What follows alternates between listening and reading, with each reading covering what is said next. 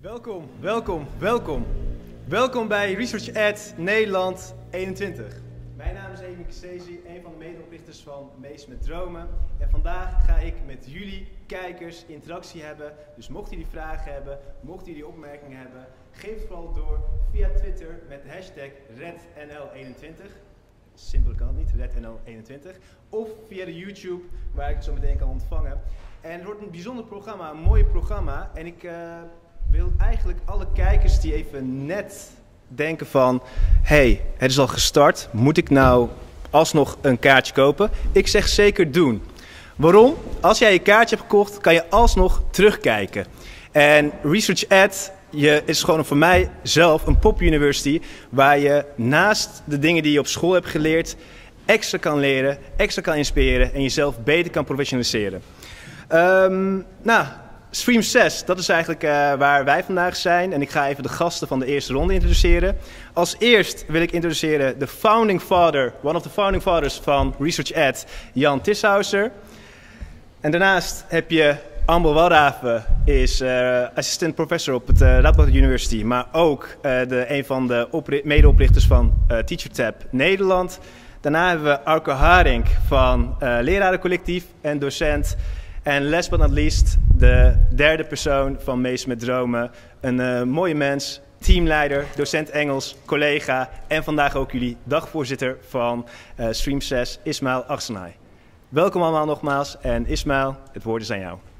Dankjewel, Emin. Ik zou het toch ook wel heel fijn vinden als we een beetje horen hoe gezellig het hier is. Dus ik, ik wil graag het publiek horen.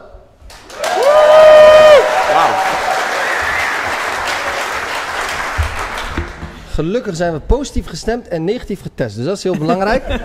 Ehm, nee, hartstikke leuk. eh, wat fijn, Jan, Amber en eh, ik wilde eigenlijk zeggen Erco, omdat ik dat gisteren Ja. echt had nodig had. Maar vandaag is het Arco. Ehm, ik ga beginnen toch met de founding father inderdaad, eh, eh, Jan. Ik ben toch eigenlijk benieuwd, waarom vind je het zo belangrijk dat zo'n event plaatsvindt? Oftewel, waarom het zo belangrijk is dat wetenschap en onderwijs samenkomen? Om een heel eenvoudige reden. Er is heel veel goed wetenschappelijk onderwijs, ook heel praktisch wetenschappelijk onderwijs, eh, dat het, de, het klaslokaal niet bereikt heeft. Eh, ja, ik zie dit als onze taak om te zorgen dat steeds meer leraren weten wat, wat onderzoek ze kan vertellen. Eh, een van de dingen die ik me heel goed herinner, en kijk ik richting Arco. Arco vroeg zich voordat hij hierbij betrokken raakte af van ja, wat kan ik hiermee in de praktijk? En die vraag ga ik stellen. Vervolgens constateerde hij dat hij allemaal verhalen had gehoord waar hij morgen wat mee kan in de klas. Wetenschappelijk onderwijskundig onderzoek is eigenlijk heel praktisch onderzoek. Dus die kloof die er is, is Ja. vooral een kloof in onze hoofden. En die wil ik weg hebben. Mooi. En, en, en als je dan inderdaad hebt over wetenschappelijk onderzoek, inderdaad, dat is iets wat te weinig de klaslokalen binnenkomt. Oftewel, het, het samenbrengen inderdaad met de praktijk, dat gebeurt dan te weinig. Eh, hoe wordt dat vandaag dan vormgegeven in het programma? Nou, laat ik er één ding uitlichten. We hebben heel veel workshops over heel veel diverse onderwerpen. Maar we hebben vandaag een, een serie workshops die gaat over leesonderwijs. Eh, over begrijpend lezen, over technisch lezen. Ehm, en we hebben geconstateerd dat dat achteruit gaat in Nederland. Ja. En ik denk dat eh, eh, het heel belangrijk is dat we van elkaar leren en horen hoe je goed leesonderwijs kunt geven, zowel technisch als begrijpend lezen. Het onderscheid is eh, ook wat eh Ja. polair, want die twee dingen hangen heel nauw met elkaar samen. Zeker, ja. Eh, Lezen is heel belangrijk. We zien het inderdaad achteruit gaan in Nederland. Breng me toch dan bij Arco. Wanneer heb je voor het laatste boek gelezen?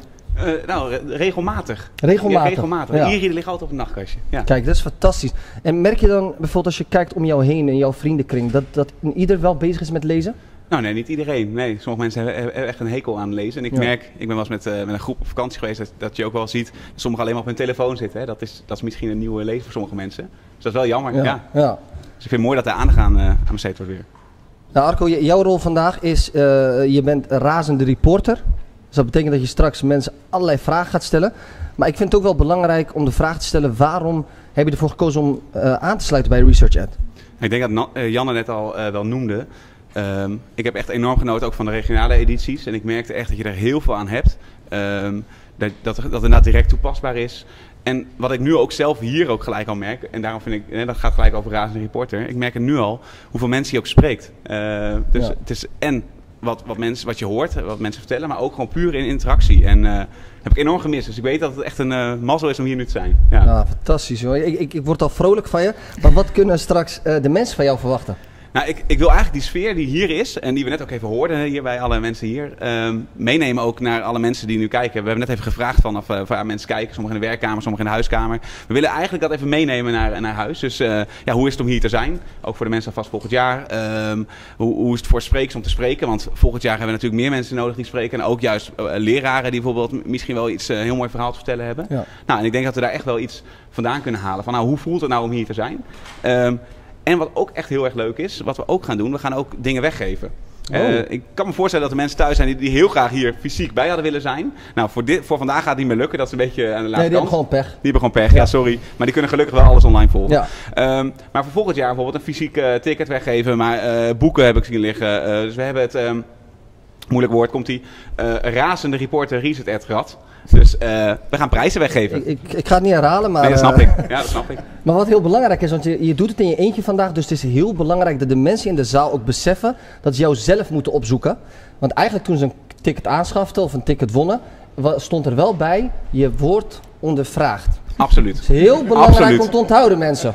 En, ja, En ik zie een aantal mensen die hartstikke blij worden. Zie je het al? Ik ja, ik, ik zag het al. Ook een paar eh, wat minder blij zie ik. Ja, Maar maar wel dan moet belangrijk- je vooral ja. vragen stellen. Ja, en sprekers, maar ook juist gewoon de gasten. Dus iedereen, die mag gewoon naar me toe komen. Je ziet me vast wel ergens rondlopen, ergens met een camera. Dus stel je ziet, nou, er zijn niet zoveel mensen. Loop even naar me toe eh, en ik eh, stel graag wat vragen. Ja, top, dankjewel. En dan ga ik naar Amber van voor- ik denk misschien voor de meeste mensen, ik weet niet of iedereen het kent of niet, maar wat is TeacherTap? TeacherTap is een eh, app die dagelijks aan leraren drie vragen stelt over hun onderwijspraktijk of over wat ze in de klas hebben meegemaakt of over de relatie met onderzoek. Wij hebben bijvoorbeeld gevraagd wanneer heb je voor het laatst een boek gelezen. We hebben ook gevraagd welke teksten heb je in je eh, klas deze week eh, gebruikt. En zo willen wij een beetje peilen hoe het op de werkvloer gaat. En wat wij delen met Research Ed is dat wij de kloof tussen praktijk en onderzoek eigenlijk willen verkleinen. En dat wij leraren willen professionaliseren, kennis willen laten maken met eh, onderzoek. Maar ook een beeld geven van hoe doen andere leraren dat Ja. nou. En die, en die vragen kunnen mensen dan de gehele dag beantwoorden? Ja, de vragen zijn 24 uur eigenlijk open. Elke dag om half vijf zijn er drie eh, nieuwe vragen. Dus tot half vijf kun je nu nog iets eh, antwoorden over de airco. We hebben namelijk nu openstaan, nu openstaan hoe, eh, hoe jij de temperatuur in je lokaal kan regelen. Omdat we deze week heel veel berichten zagen van leraren die wegsmolten in hun lokaal. Dus dan vragen wij dat van hoe heb je daar invloed op en hoe, hoe gaan je leerlingen daarmee om? Kun je nog wel lesgeven? En om half vijf vandaag hebben we dan weer drie nieuwe vragen. En waar kunnen ze die vragen vinden? De vragen staan in de app. Die kun je downloaden via de App Store of Google Play. TeacherTap heet die. Het is maar één eh, app. En als je dan Nederland invult eh, eh, in het land, dan zit je meteen in het Nederlandse panel. Nou, top joh. En dan tot slot, Jan. Vorig jaar heeft dit event ook plaatsgevonden. Wat maakt het dit jaar los van COVID anders dan vorig jaar? Ik, moet, ik moet toch eh, de naam van een nieuwe collega noemen, Jan van der Ven. Zijn invloed in het programma is er al. En met name hebben we dit jaar ook veel leraren die eh, vanuit hun eigen praktijk vertelden hoe zij omgaan met eh, evidence-informed onderwijs. Hoe zij dingen toegepast hebben in hun klas, in hun lessen. Ja. En hoe- wat dat oplevert. Dus nou, daar ben ik wel heel blij mee. Dus, dus dat is een Ja. verschil. Ehm, een van de dingen waar ik achter kom, en daar, en daar ben ik eigenlijk niet zo trots op, is dat er een hiaat in het programma zit. We hebben heel weinig eh, dit jaar geprogrammeerd over hoe leren nou eigenlijk werkt vanuit de cognitieve psychologie. Eh, en dat komt volgend jaar weer terug, want eh, ik merk dat ik iets te veel ben uitgegaan in de programmering van een stuk voorkennis bij onze bezoekers. Dus dat, dat, dat gaat, gaan we volgend jaar Dat gaan we volgend jaar ook meemaken. Ja, top. Als je meer wil weten over hoe leren werkt, hopelijk januari. een, eh Nou, in levende top. lijven. Ja, super. Dan wil ik jullie alle drie hartelijk danken. Dan eh, ga ik terug naar Emin. Eh, nogmaals, zoals ik al zei, jullie kijkers kunnen interactie hebben via Twitter met de hashtag RedNL21 of via de YouTube-kanaal. Ik zie tot nu toe alleen maar leuke opmerkingen en ook dat we af en toe in de microfoon hijgen. Maar ik ben vooral benieuwd naar wat hoop je vandaag te leren? En al onze eh, eh, docenten, medewerkers, iedereen hier, die, die zijn echt benieuwd van wat kunnen we vandaag eh, zeg maar aan jullie geven, zenden, zodat, zodat we het programma ook voor volgend jaar beter maken. Dus ik zou zeggen, gebruik, dit, gebruik deze middelen om meteen je vraag of je opmerking te stellen wat je vandaag hoopt te leren, zodat wij ook een beetje ons programma aan jullie kunnen aanpassen.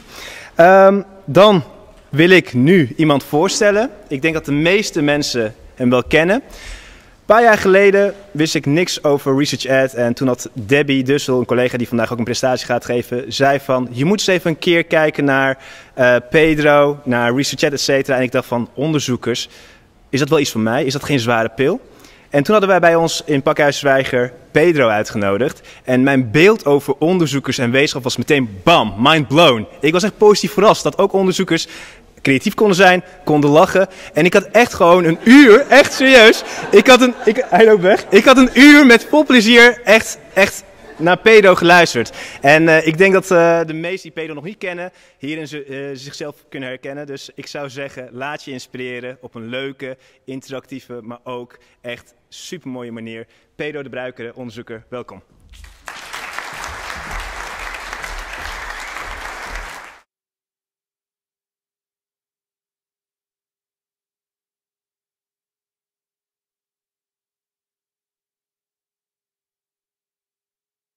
Zien. Oké, u kan de camera niet uitzetten. Voor de mensen thuis, u heeft geluk. Nu, uh, mijn naam is Pedro de Breiker. Als u klachten heeft over mij, hij maakt flauwe grappen, dan kan u dat in de chat zetten. U kan dat ook op Twitter zetten, maar zet dan dit erbij, dan weet ik ervan. Ik schrijf veel te veel boeken, mijn excuses daarvoor. Maar u krijgt vandaag een avant, avant, avant première van een nieuw boek. Ja, ik weet het. Um, ik noem het persoonlijk onze nachtmerrie. Voor de mensen die er ooit over gehoord hebben. Ja, dit boek was aangekondigd voor anderhalf jaar geleden. En nu zou ik heel slim kunnen zeggen van ja, er is een zeker virus tussen gekomen. Misschien heeft u daarvan gehoord. Maar dat is niet de hoofdreden, want het is een rotboek om te maken. Nu, voor alle duidelijkheid, onze nachtmerrie. Ik heb dit niet alleen geschreven. Casper uh, Hulshoff en Lise Messine waren hier ook heel actief bij betrokken. Zo erg zelfs dat ik vandaag dit verhaal kon brengen. En zij op dit moment het redactiewerk nakijken dat we gisteravond gekregen hebben. U heeft direct door wat de taakverdeling is. Nu, ik ga vier dingen met jullie bespreken. Um, eerst en vooral, waarom was dit zo een moeilijk boek om te maken? Want dat gaat u veel bijleren over wetenschap. Het tweede, wat sneuvelt er zo al? Want u heeft misschien een paar dingen gehoord in de lerarenopleiding die niet meer kloppen. En nu denkt u van, oh, is het dan gewoon de mythes opnieuw? Nee, het gaat nu over alles wat niet met cognitieve psychologie te maken heeft. Nee, daar ga ik het ook vandaag niet over hebben. Het staat wel in het boek, want als we zeggen bijna alles, moet leerpsychologie en cognitieve psychologie ook aan bod komen. Maar ik weet niet of u al gemerkt heeft dat er nog meer bestaat naast cognitieve psychologie. Dan ga ik ook kijken van, wat blijft er zoal? Daar, daar zaten voor onszelf een paar verrassingen bij. Van, verdorie, dat klopt dus wel. Nog steeds. Fantastisch. En wat komt er zoal bij? Kan u zich hierin terugvinden? Ik kan het ook niet meer veranderen hoor, maar ja, anders tot binnen vier jaar. Goed, waarom is het zo'n moeilijk boek? In Ericsson, Erik Eriksson heeft ooit gezegd, crisis is groei. En dan heeft de psychologie de voorbije decennia een ongelooflijke groei gekend. Want ze hebben een ongelooflijke crisis meegemaakt. Niet zomaar een crisis, maar de replicatiecrisis. Sinds plus minus 2011 was men beginnen doen? Men is beginnen heel veel klassieke onderzoeken opnieuw doen om te kijken of het wel uitkomt. En dat viel tegen. Ik ga een heel concreet voorbeeld geven. Ik ga je een beetje moeten uitleggen. Als u kijkt op deze grafiek, rechts ziet u allemaal zwarte puntjes. Dit waren de oorspronkelijke resultaten waarop handboeken beschreven werden, waarop we zeiden van je moet zo en zo aanpakken. De andere puntjes, de driehoeken, dat zijn de replicaties. Vrij vertaald, dit is hier een, ongeveer een hele tak van onderzoek dat weggeveegd is. En wat hebben wij geprobeerd? Te kijken wat er nog recht staat. En dat valt behoorlijk tegen. En dan krijg je heel vaak de vraag van hoe komt het nu dat dit zo fout gegaan is? Eerst en vooral, ik vind niet dat het fout gegaan is. Want de wetenschap corrigeert zichzelf. Vrij vertaald, we hebben nu echt een groei doorgemaakt om dan van bepaalde zaken weten van, nee, dat is niet juist. Maar andere zaken weten we nu extra zeker omdat het extra gecontroleerd is en bevestigd is. Heel veel mensen maken vaak de fout. Replicatiecrisis, dat wil zeggen, alles wat we weten is fout. Nee, van sommige zaken zijn we nu meer dan ooit overtuigd. Nu, als je het hebt over replicatiecrisis, uh, ik, sorry, ik moet beginnen met een Nederlander, dan uh, denken heel veel mensen dat komt door fraude. Diederik Stapel, kent u nog? Ja, hè? Uh, of hier, ik, wil nu, ik heb gezien dat Tim van der Zee ook kijkt. En dit is een eerbetoon, want de naam klinkt wel Nederlands, maar is het niet. Dit is Wansink, uh, een heel bekende professor aan de Cornell University over eten, psychologie van eten. Bijvoorbeeld het onmetelijke bord. Um, die man heeft ook fraude gepleegd en dat is aangetoond geweest door een Nederlandse PhD-student, die is ondertussen gedoctoreerd. En als ik het werk van Tim lees, dan voel ik mezelf niet waardig PhD genoemd te worden, want die heeft dus de groten der aarde op de knieën gekregen. Nu, het is wel zo, pauze die vooraan, dat ik zelf Wansink leren kennen heb door een boze tweet van Paul Kirchner. Want wat had de man gedaan? Hij had beschreven op een blogpost zelf ja, ik heb hier een studenten uit Turkije, doctoraatstudenten, en ik heb haar een hoop data gegeven en ze moest kijken of er ergens een significant verband was. Zo werkt wetenschap dus niet. Hè? Dan noemen ze gaan vissen of p-hacking. En dan kan je toevallig iets uitkomen, dat klopt. En dan ga je daarna je theorie op baseren. Nee, goede wetenschap is, je hebt een theorie je gaat gaan nadenken, hoe kan ik dit hier gaan controleren? En in het beste geval komt de tijd, of in een slecht geval denkt je van, damn. Hm, bijvoorbeeld zoals uw scherm compleet weg is. nu, en mag mijn scherm terugkomen? Dank u.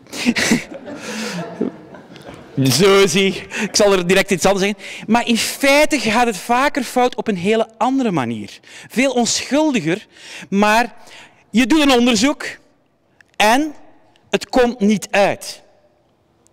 Dan wordt de kans veel kleiner dat je het gepubliceerd krijgt. En wat ga je dan doen? Oké, ik zal maar niks mee doen, bye. Maar daardoor maken we de fout dat heel vaak dingen die uitkomen in papers terechtkomen, dat zijn de dingen waar je over leest. Maar de zaken die niet uitkomen, zelfs vaak niet eens ingestuurd zijn naar wetenschappelijke journals. Wat wel belangrijk is, maar mag ik even een keer een heel concreet voorbeeld geven. Significant voor een wetenschap wil zeggen, er is een klein verschil, maar het is geen toeval. Maar beeld u eens in dat we een onderzoek doen met twee lesmethodes. Eén lesmethode waar we van weten het werkt, al lang onderzocht, en een nieuwe lesmethode om te kijken van, is die beter? Stel je voor dat daar geen significant verschil tussen staat, dan is dat voor een wetenschapper slecht nieuws. Maar voor een leerkracht is dat fantastisch nieuws. Weet je waarom? Die tweede methode is even bruikbaar. Maar we gaan het wel niet te weten komen, want voor de wetenschap is het moeilijk om het gepubliceerd te krijgen. Gelukkig er zijn tegenbewegingen met preregistratie, dat je op voorhand zegt, we gaan dat en dat doen. En dan wordt het ook wel meer en vaker wel gepubliceerd. Maar dat is een van die redenen waarom dat fout gegaan is. En je kan dat soms letterlijk zien. Kijk, je moet normaal gezien een mooie verdeling krijgen van resultaten. Als er hier, oeps, sorry, linker benedenhoek een heel groot gat zit waar dat er geen enkel resultaat is, dan is het een aanwijzing dat er misschien een publicatiebias aanwezig is. En er is nog heel veel meer, maar ik ga het daar niet uitgebreid over hebben. Ik wou duidelijk maken waarom het voor ons moeilijk was om dit boek te schrijven. Uh, als u iets wil lezen, het boek van Stuart Ritchie. Het is wel leuk, hè? ons boek komt nog niet uit en je wilt toch iets lezen. Stuart Ritchie, Science Fictions, beschrijft hoe je dit kan begrijpen allemaal. En uh, het goede nieuws is, psychologie heeft het gedaan. Slecht nieuws is, er zijn nauwelijks replicaties in onderwijs. Slecht nieuws is, Geneeskunde heeft daar ook een paar problemen. Als je kijkt waar dat, uh, de meeste retracties, terugtrekking van onderzoeken gebeuren, uh, anesthesie staat bovenaan bij uh, Retraction Watch. Maar voor de rest, hou rustig hoor. Uh, mag ik u ook wel een bekend onderwijsvoorbeeld geven? Er is een bekend slachtoffer van de replicatiecrisis. Namelijk growth mindset. Ja, ik zie hier mensen, het humeur zakt met de seconde. Maar wacht, ik ga het nu met alle nuances vertellen. Kijk, uh, er was, iedereen weet, growth mindset versus fixed mindset. Uh, inzetten op, we het komt door hard werken versus... Wat bleek? Een meta-analyse. Als je alle onderzoek naast elkaar legt, gemiddeld een klein effect. Een replicatiestudie met een hele grote steekproef, waar Carol Dweck, ere wie ere toekomt, zelf aan meegewerkt heeft. Resultaat, geen effect. Gemiddeld. Recent onderzoek, mogelijk negatief effect. Eh, ik zie hier nu veel mensen denken, want moet ermee stoppen? Nee. Waarom? Het gaat over de nuances. Als ik zeg gemiddeld geen effect, dat wil zeggen dat bepaalde groepen er wel effect is. Meer nog, specifiek bij kinderen uit laag sociaal-economische achtergrond. Als we gaan kijken naar kinderen, vooral jongere kinderen, dan zien we dat het een positief effect kan hebben. Geen gigantisch, maar het kost ook niet veel moeite. Maar dankzij die replicatie weten we ook dat bepaalde groepen, oudere tieners, de sterkere tieners, dat het een negatief effect kan hebben. Omdat ze gewoon zich, zich beledigd voelen. Denk je dat ik dom ben toch? En die nuances, dat maakt duidelijk dat als je ruimer kijkt dan uh, cognitieve psychologie, maar ook al de rest bijpakt, dat je ook die nuances van evidence-informed werken ruimer kan gebruiken. Goed, dit gezegd zijnde, wat sneuvelt er zo al? Als er in de komende slides een van uw helden zit, sorry.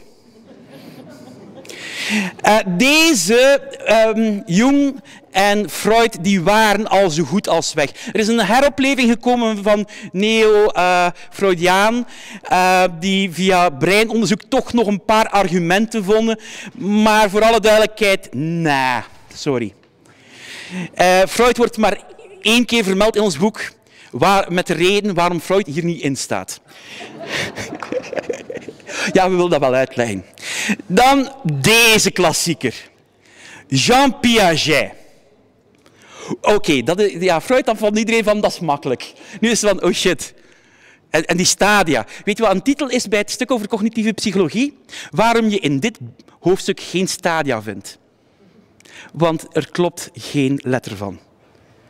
Even een kleine vraag. Op welke leeftijd kan een kind rekenen?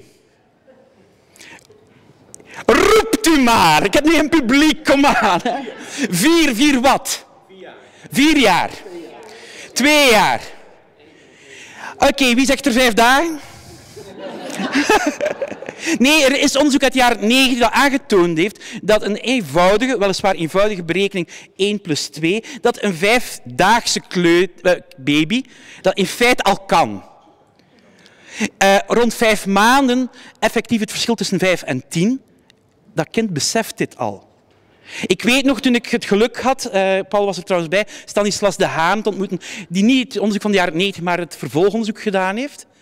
Dat ik zei van, maar wat u zegt, wil dus in feite erop, komt erop neer dat Piaget op geen enkel vlak gelijk had. Ja, dat klopt. Nee, maar besef eventjes welke invloed dit denken gehad heeft op ons onderwijs. En voor alle duidelijkheid, ik ver... Ja?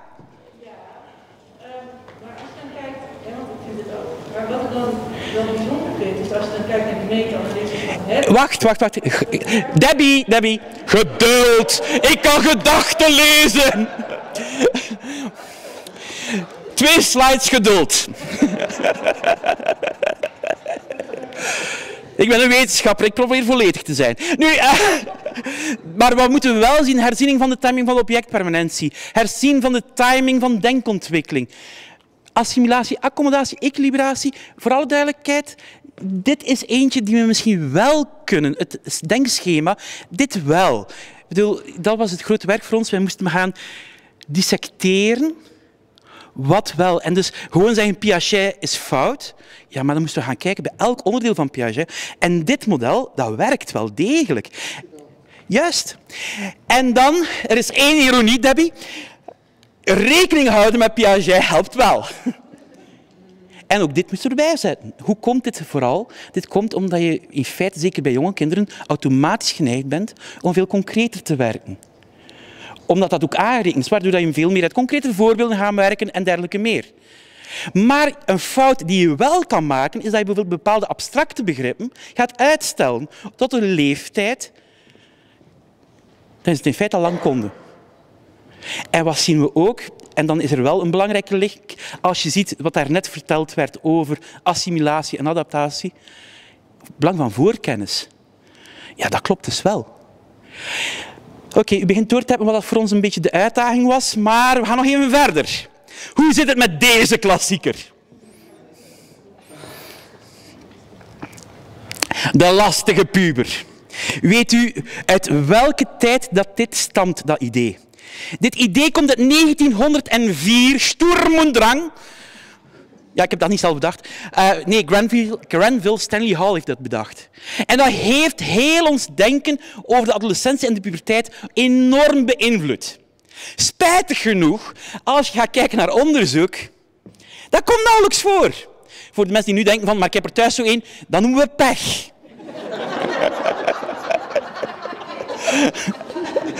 Nee, alle gekheid op een stokje. Nu even serieus, dit was een leuke grap. Maar wat zien we? Gedrag dat we voor en na de puberteit ook zien. Dat gaan we gaan toewijzen aan andere oorzaken. Maar op het moment dat je toevallig met een hormonenstorm zit, van ah, we weten wat dat is. En wat zie je? Dat er een hele grote correlatie, geen absolute, geen paniek, maar een grote correlatie is tussen problemen in de adolescentieperiode en erna en ervoor. Maar dat we ze dan een andere naam geven. En dus bestaat het gevaar, ook als we het hebben over leerlingbegeleiding, dat we de fout maken, er is hier iets, oh, dat is gewoon een lastige puberteit. Terwijl dat we daardoor miskennen dat er misschien iets anders aan de hand is. En dan merk je dat een eh, idee van meer dan 100 jaar ons denken nog wel een beetje in de war stuurt. Er is nog heel veel meer, maar ik kijk naar de klok en ik zit nog maar aan slide 38 van 104. Goed, wat blijft er zoal? Uh, verrassingen. Eerst en vooral Koolberg, morele ontwikkeling. De verschillende stadia van Koolberg, die kloppen meer dan ooit. En nu denkt u van, ja, maar Koolberg had zich toch gebaseerd op Piaget. Zo heeft u het waarschijnlijk op de school geleerd. Maar weet je wat wel opvallend is? Als je dan het oorspronkelijke werk van Koolberg leest, die zette zich af tegen Piaget. En het idee dat daar leeftijden op stonden, staat haaks op wat Koolberg zegt. Meer nog, dat is net de essentie. Sommige mensen zullen misschien op hun zesde al veel verder zitten en anderen zullen nooit in fase vijf of zes geraken. En dat is heel vaak het geval bij ontwikkeling. Ik uh, was de grootste verbazing, was voor mij Erik Erikson. Identiteitsontwikkeling. Ik dacht, hij heeft zich gebaseerd op Freud. Dat zal niet kloppen. En het klopt, er is een stukje minder aandacht voor, maar het werk van Erikson, waarbij eh, rond de adolescentieperiode een, een hele belangrijke vraag is, wie ben ik? Dat klopt wel degelijk. En als je kijkt naar de verschillende stadia van James Marcia, foreclosure, vervroegd afsluiten van de experimenteerruimte, die zaken vinden we nog altijd terug. Er is wel één belangrijke correctie, en dat is misschien ook wel handig om te weten voor onderwijs. Die identiteitsverwarring komt later voor vandaag dan Eriksson besproken heeft. Is dat omdat het veranderd is? Dat kan. We zien onderzoek dat er dingen evolueren. Maar wat wij associëren met een jongere die zichzelf aan het zoeken is. Wij zitten dat heel vaak in de vroege adolescentie. In de praktijk zien we nu, als we kijken naar onderzoek, dat dat eerder midden tot laat adolescentie is. Ik zie nu een paar mensen heel begrijpvol knikken. Dat verklaart veel. En ik zie een paar mensen nu heel erg aan zichzelf twijfelen. Nou, ook dat is normaal. Maar wat we in feite bij alle theorieën gezien hebben, nuance. Bijvoorbeeld gisteren, echt letterlijk gisteren, kreeg ik een tweet toegestuurd. Ja, we zijn hier bezig met groepsdynamica. Ook dit bespreken we in het boek. Kloppen die vier stadia van uh, Tuckerman nog? En we hebben het onderzocht. En ja, er is kritiek op. Maar de man zelf heeft ook gezegd van die vier, dat is dus geen scenario dat je moet doorlopen. Het is geen vaste volgorde. En nee, ze hoeven niet alle vier voor te komen. Dergelijke nuances maken het in de praktijk een beetje moeilijker, maar het is wel correcter. En dan hoef je ook niet in, de, in, de, in paniekfase te zitten omdat storming niet gebeurd is. Voor de mensen die nu allemaal storming, waar heeft dit over? Wel, vanaf 7 september kunt u er voorbij leren. Wat komt er zoal bij? Ja, ik heb de nieuwe dingen. Uh, voor alle duidelijkheid, ontzettend veel. uh, grote dingen waar ik vandaag niet over ga hebben, omdat je minstens een uur nodig hebt om dat uit te leggen en ik kreeg maar 40 minuten. Uh, theory of mind.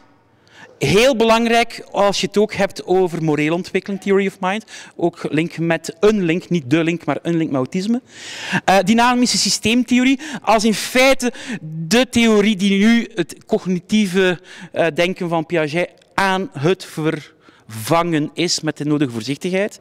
We hebben nog uh, heel veel over motivatie en u gaat niet geloven, er is meer dan de zelfdeterminatietheorie. Dag Erik. Uh, waarnemingspsychologie en dergelijke meer. Maar ik ga, omdat ik jullie... Ik had heel veel schrik toen ik dit voorbereidde, dat ik een heel technisch, saai verhaal kon brengen over psychologie en ik, dat ik alles zo maar een beetje kon aanraken. Ik wil nu drie wat concretere voorbeelden geven. Dingen die erbij komen, of dingen die je misschien al weet, maar waar ik wel een belangrijke nuance moet aan toevoegen, die wel handig is om te weten. Goed, Eén, wij hebben allemaal overtuigingen. En uh, dit komt uit de behavioral economics. Namelijk, je hebt aan de ene kant de homo economicus. Uh, dit komt dus uit economie, maar is een samengaan van economie en psychologie. Wat dachten namelijk economen? We maken allemaal fouten, maar als we het gemiddelde maken van iedereen, dan krijgen we een rationele mens. Alsof dat we nooit collectieve fouten kunnen maken. Ik wou nu beginnen over politiek, maar dat ligt heel gevoelig hier in Nederland. dus dat ga ik niet doen. Het gaat dus tussen de rationeel denkende mens versus mensen die denkfouten maken. Nu, ik heb in ons boek, wij hebben in ons boek, hebben we de belangrijkste denkfouten allemaal beschreven. Ga ik nu niet doen. Zoveel hebben we ook niet gedaan. We hebben echt die genomen die relevant zijn voor onderwijs. Maar ik ga een, een, een heel eenvoudig voorbeeld geven. Wat zie je hier?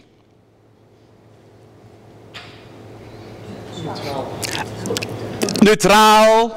Een smiley. Nee, u ziet hier twee cirkels, een grotere cirkel en een streepje. Dat is wat u ziet. Maar direct denkt u van, ja, dat is een, dat is een gezichtje. Dat is hetzelfde als je twee mensen naast elkaar ziet lopen, die hebben niets met elkaar. Terwijl dat misschien een momentopname is. Of, uh, heel populair, patroon en samenhang zien, dat is dus denkfout. Dat is ook vaak de reden uh, waarom dat causaliteit en correlatie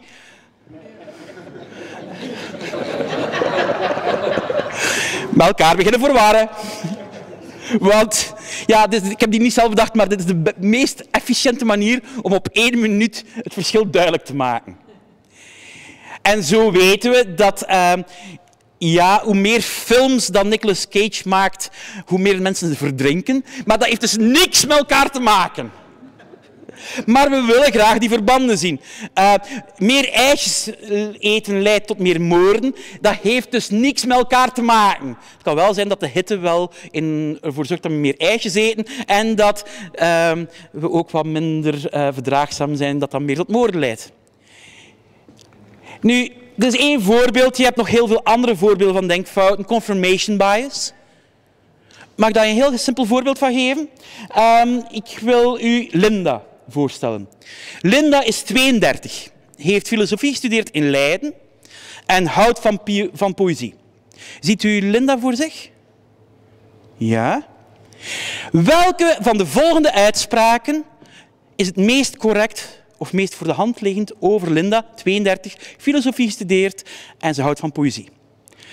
Optie A. Linda, 32, filosofie gestudeerd, in Leiden trouwens, en eh, houdt van poëzie, werkt in een bank.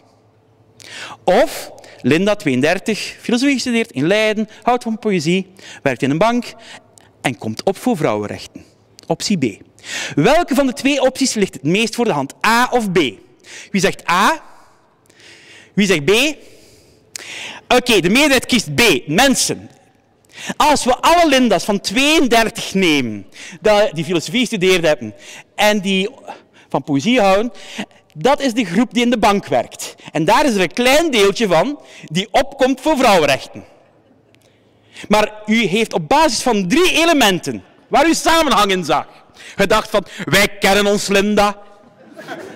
Die zou nooit, maar ook nooit in een bank werken als ze niet opkomt voor vrouwenrechten. Dames en heren, dit is ook zo'n denkfout, confirmation bias. Horen wat je wil horen. Nu, wat weten we uit uh, onderzoek? Je kan die denkfouten gaan gebruiken en dat heet nudging. Nudging is een duwtje in de goede richting geven. Um, dit zijn uh, behavioral economics is een Nobelprijs, nudging is een Nobelprijs, maar wij kunnen uitleggen en we doen dat, hoe dat je er kan voor zorgen door die denkfouten te gebruiken, dat uw kinderen op school gezonder eten. Maar tegelijkertijd kan ik de presentatie terugkrijgen en dan afblijven.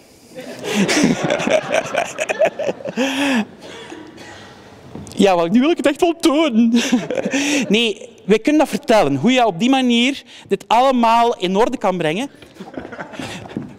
Ik wil mijn presentatie terug. Dank u. Um, je kan dat vertellen, maar de belangrijkste vraag dan is, hoe ethisch is dit allemaal? Want wat maak je misbruik van? Je maakt misbruik van denkfouten die iemand niet bewust maakt. Uh, pom, pom, pom. Wij gaan nu over naar familie.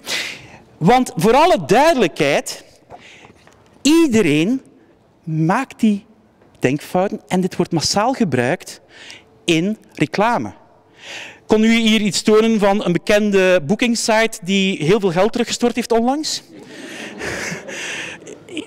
Fictief voorbeeld. Maar wat zie je dan heel vaak? Er zijn nog vijf kamers vrij. En dan denkt wat moet mij haasten? Maar dat is in feite die behavioral economics in praktijk. Of een ander voorbeeld. U ziet de oorspronkelijke prijs, die nooit gevraagd geweest is, dat staat doorstreept. En daaronder staat een lager bedrag. En dan denk je van, dit is een koopje. Eh, een, truc, een typische truc ook op uh, menukaarten. De eerste gerechten zijn veel te belachelijk duur. Waardoor dat de prijs die daarna komt, redelijk lijkt. Dames en heren, en wat krijgen we bij dit verhaal? Als ik dit vertel, Waarom is dat belangrijk? Als we in het onderwijs onze leerlingen dergelijke denkfouten leren herkennen, dit blijkt niet het middel, want het middel in onderwijs bestaat bijna nooit. Maar blijkt wel een middel te zijn om te leren omgaan met fake news. En daarom is dit ook relevant. Goed, uh, u zal de bronnen laten kunnen zien. Ah, ijzer. Een tweede. U kent waarschijnlijk nog altijd de marshmallow-test. Wie heeft nog nooit van de marshmallow-test gehoord? Ik merk dat de voorkennis hier terecht goed ingeschat was. Um, dus één, voor de mensen thuis die nu niet van waar marshmallow, heeft hij er te veel gegeten? Ja, maar dat is een ander verhaal. Uh, u krijgt nu één marshmallow en als je een kwartiertje wacht, krijg je een tweede bij. Nu, wat in de jaren 60, 70 gebeurde is, ze hebben daarna ontdekt van wij hebben de data, de gegevens, de contactgegevens van die kinderen nog. En ze gingen die terug gaan contacteren. En wat bleek dan? Dan bleek dat dat veel minder grappig is dan dat leuk filmpje dat je al overal kan vinden. Want delayed gratification, het uitstellen van beloning, correleert, opgelet, correlatie, ik heb hier geen kausaal verband, herinner de slide die je daarnet zag, hogere competentie, betere leerprestaties, betere scores op centrale toetsen. Uw BMI is beter. Hoe je ruikt. Nee, dat is een grapje. Eh, maar wel heel veel meer. Maar probeer het niet direct thuis, want dat gaat over gemiddelden. Als je dan zo nu een klein kind hebt of een man. eh, en je probeert dit bij uit. Het gaat niet. Dat is niet het moment om direct in paniek te slaan. Maar het heeft wel ons een heel erg groot deel voor op het spoor gezet, samen met ook onderzoek naar autisme, naar executieve functies. En executieve functies is op dit moment in onderwijs een grote hype. Maar kan je executieve functies verbeteren? Dit is nu het moment dat ik weet dat verschillende mensen zenuwachtig worden. Ik zie een paar mensen ja knikken, een paar. Luister het uit. Er komen twee slides. Bij slide 1 wordt u depressief, bij slide 2 verbeter ik het. Ja, ik heb gemerkt dat zo het vliegtuig dat je aanwijzing moet geven voor veiligheidsvoorschriften. Eerst en vooral, ik zal eerst al kan je iets doen aan executieve functies? Ja, ik weet een paar manieren om ze effectief te verslechteren. Nee, dat is wel handig. Hè? Trucjes om executieve functies slechter te maken. Eh, drank. Ja, dat helpt dus om ehm, de impulscontrole te onderdrukken. Uh, uw werkgeheugen kan slechter worden door weinig slaap. Dus dat werkt. Maar ook geluid. Een van de in feite zaken die we vaak over het hoofd zien, welke invloed lawaai in de klas op leren heeft.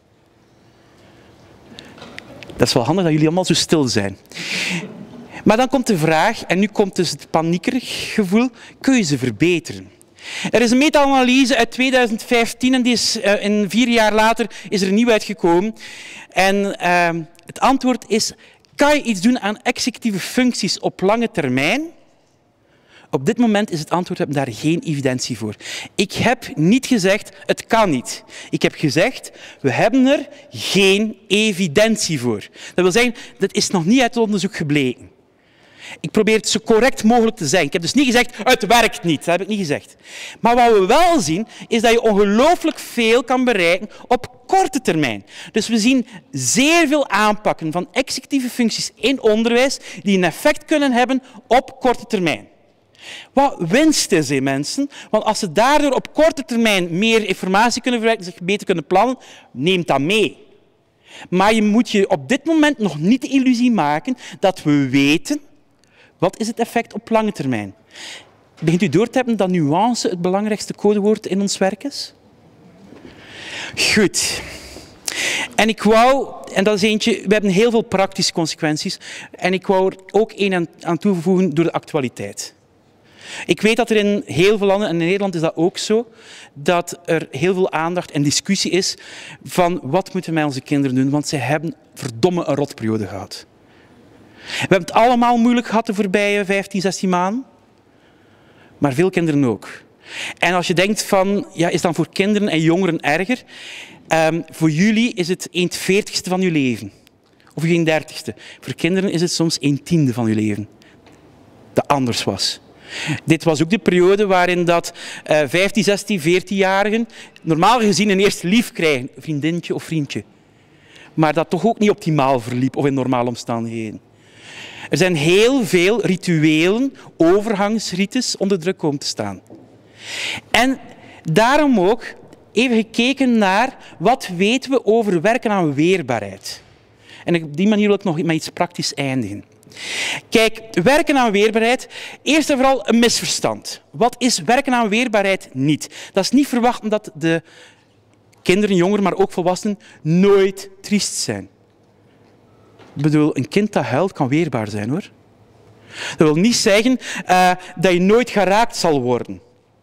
We gaan van hen geen robots maken. Wat is weerbaarheid wel? Weerbaarheid bestaat uit vier elementen. Het eerste is zelfbewustzijn. Dat is in feite bij jezelf emoties herkennen en, en de nodige zelfreflectie en eigenwaarde hebben. Voor alle duidelijkheid, als een kind zegt, ik heb het gevoel dat ik nu overdrijf, omdat het heel hard reageert. Het feit dat een kind dat zegt, wil zeggen dat het aan het groeien is in weerbaarheid. Dus dat is een goed teken als dat kind dat zegt.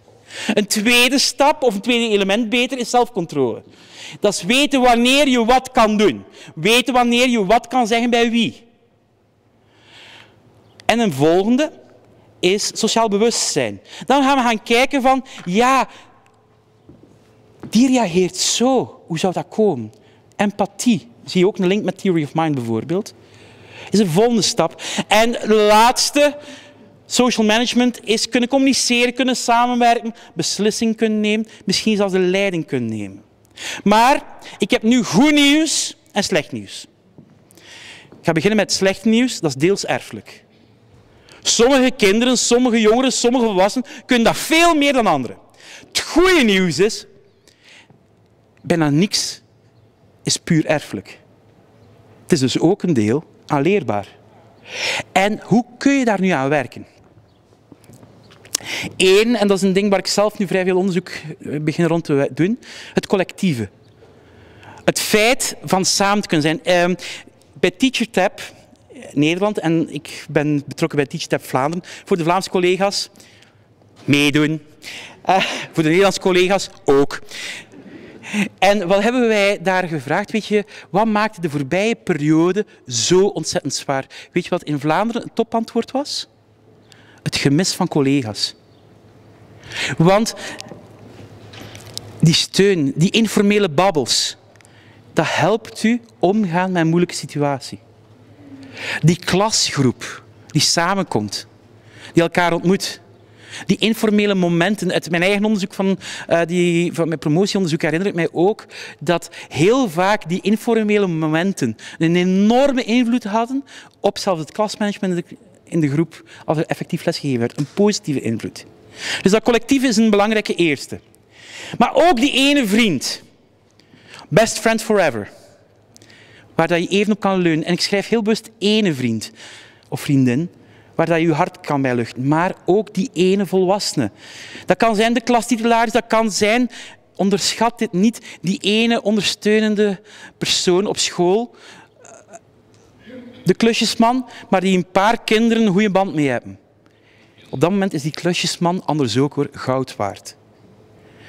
Nu, wat kan je nog doen? Lid worden van een club. Dat vind ik zo frustrerend. Heel veel leuke zaken werden geschrapt. Wat een belangrijke basis is om weerbaar te zijn. En als je moet kiezen voor een club, schaakclub, toneelclub, muziekclub, u gaat het niet geloven als u naar mij kijkt, maar als je moet kiezen, zou ik zeggen, kies voor een sportclub. Ja, ik hou van muziek en dergelijke meer. Maar waarom zeg ik sportclub? Omdat we zeggen al een paar duizend jaar een gezonde geest en een gezond lichaam. En u hebt waarschijnlijk allemaal de voorbije 15 maanden gehoord, of 16 maanden gehoord, wandel, fiets, beweeg. Maar daar zit heel veel onderzoek achter. Want als je je beter in je vel voelt, ga je ook meer weerbaar zijn. Vrij vertaald, ik heb van scholen gehoord die onder tijdsdruk de sportlessen schrapten. Dat was geen goed idee, hè? Misschien om die tijd te winnen voor leren, ja, maar die weerbaarheid was ook belangrijk. Maar je kan nog meer doen. Realistische doelen. Wat is als je je kinderen realistische doelen leert opstellen of hen daarin helpt? Dat is leren vooruitkijken. En realistische doelen, dat wil niet zeggen, als je dit doet, binnen drie maanden gebeurt dat. Voor sommige kinderen is dat een eeuwigheid. Voor sommige volwassenen trouwens ook. Maar wat kan je bereiken vandaag? Wat kan je bereiken binnen twee dagen? En leren ook zeggen van, het moet bereikbaar zijn, want anders bouw je direct weer een teleurstelling in. Dames en heren, en daarin begeleiden, ook zeggen van, ik denk dat jij dit kan. En jij als leraar weet dat dat gaat lukken. En dan zeggen van, zie je wel, straf. En daar eventueel iets aan koppelen. Bijvoorbeeld, als we deze week allemaal in het gezin opletten en we doen een, zelftest, dan kunnen we naar oma en opa. Dat is een realistisch doel. Op dat vlak hebben we soms te veel onrealistische doelen. En die denkfout die ik daarnet over had, die moet je ook leren herkennen. Want bijvoorbeeld, u kent het wel, ik ga even een niet-corona voorbeeld geven. Een van uw leerlingen in de adolescentie, als je aan die groep les geeft, of uw zoon of dochter, heeft voor de eerste keer liefdesverdriet. En je hoort het kind zeggen, of de jongeren zeggen, nog nooit heeft iemand zoveel verdriet gehad. En wat weet je? Dat is geen waar. Wat wil dat kind op dat moment niet horen? Het valt wel mee. Nee! Wat moet je op dat moment doen? Eerst meegaan. Zo van, ik zie dat je het moeilijk hebt.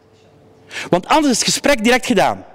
Wat moet je vooral niet doen, is dat heel graag leraar doen, direct een oplossing aanbieden. Dat wil dat kind op dat moment niet horen. Maar als het gesprek gaande is, wat kan je dan doen? Ja, je zegt dat alles tegen zit, maar ik heb u gisteren zien lachen. Waarom was dat? En gaandeweg kan je dan leren die relativering binnenbrengen. Nu, last but not least, we moeten onze kinderen leren durven hulp te laten zoeken. Maar mag ik daar iets aan toevoegen? Hulp zoeken. Vaak zeggen van, als jij het moeilijk hebt, kom bij ons. Maar gebruik ook eens de leerlingen of de kinderen als jongeren, studenten, als nulde lijn. En voeg ik eraan toe, als jij merkt dat een van jouw vrienden of vriendinnen het moeilijk hebben, kom ook naar ons. Niet om te komen klikken, maar als jij je zorgen maakt, dat is belangrijk. Misschien kunnen wij dan kijken hoe we kunnen helpen. En op die manier gebruik je dat collectieve, dat netwerk, ook om elkaar te ondersteunen. Dames en heren, dit gezegd zijnde, dit was zo wat 1 twintigste van het boek kort samengevat. Tot de volgende keer dus. Ik dank u.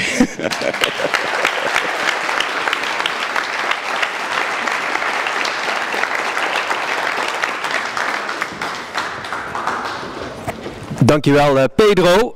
Um, ik krijg door vanuit de techniek dat er in de lokalen voor de livestreams nog hard wordt gewerkt om alles uh, klaar te maken voor de sessies die om tien voor beginnen.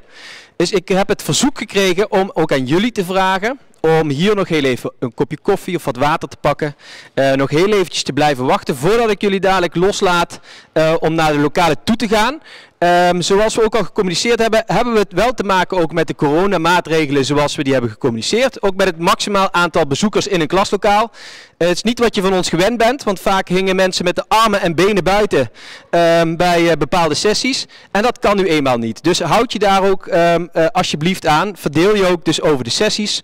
en dan gaat alles goed komen. Ik geef, nou weet je, een minuut of vijf wachten we hier nog. Um, en zodra de, um, de techniek klaar is, laat ik jullie allemaal naar buiten. Ik ga daar bij de deur staan te, te posten. Als je even naar het toilet moet, dan mag dat.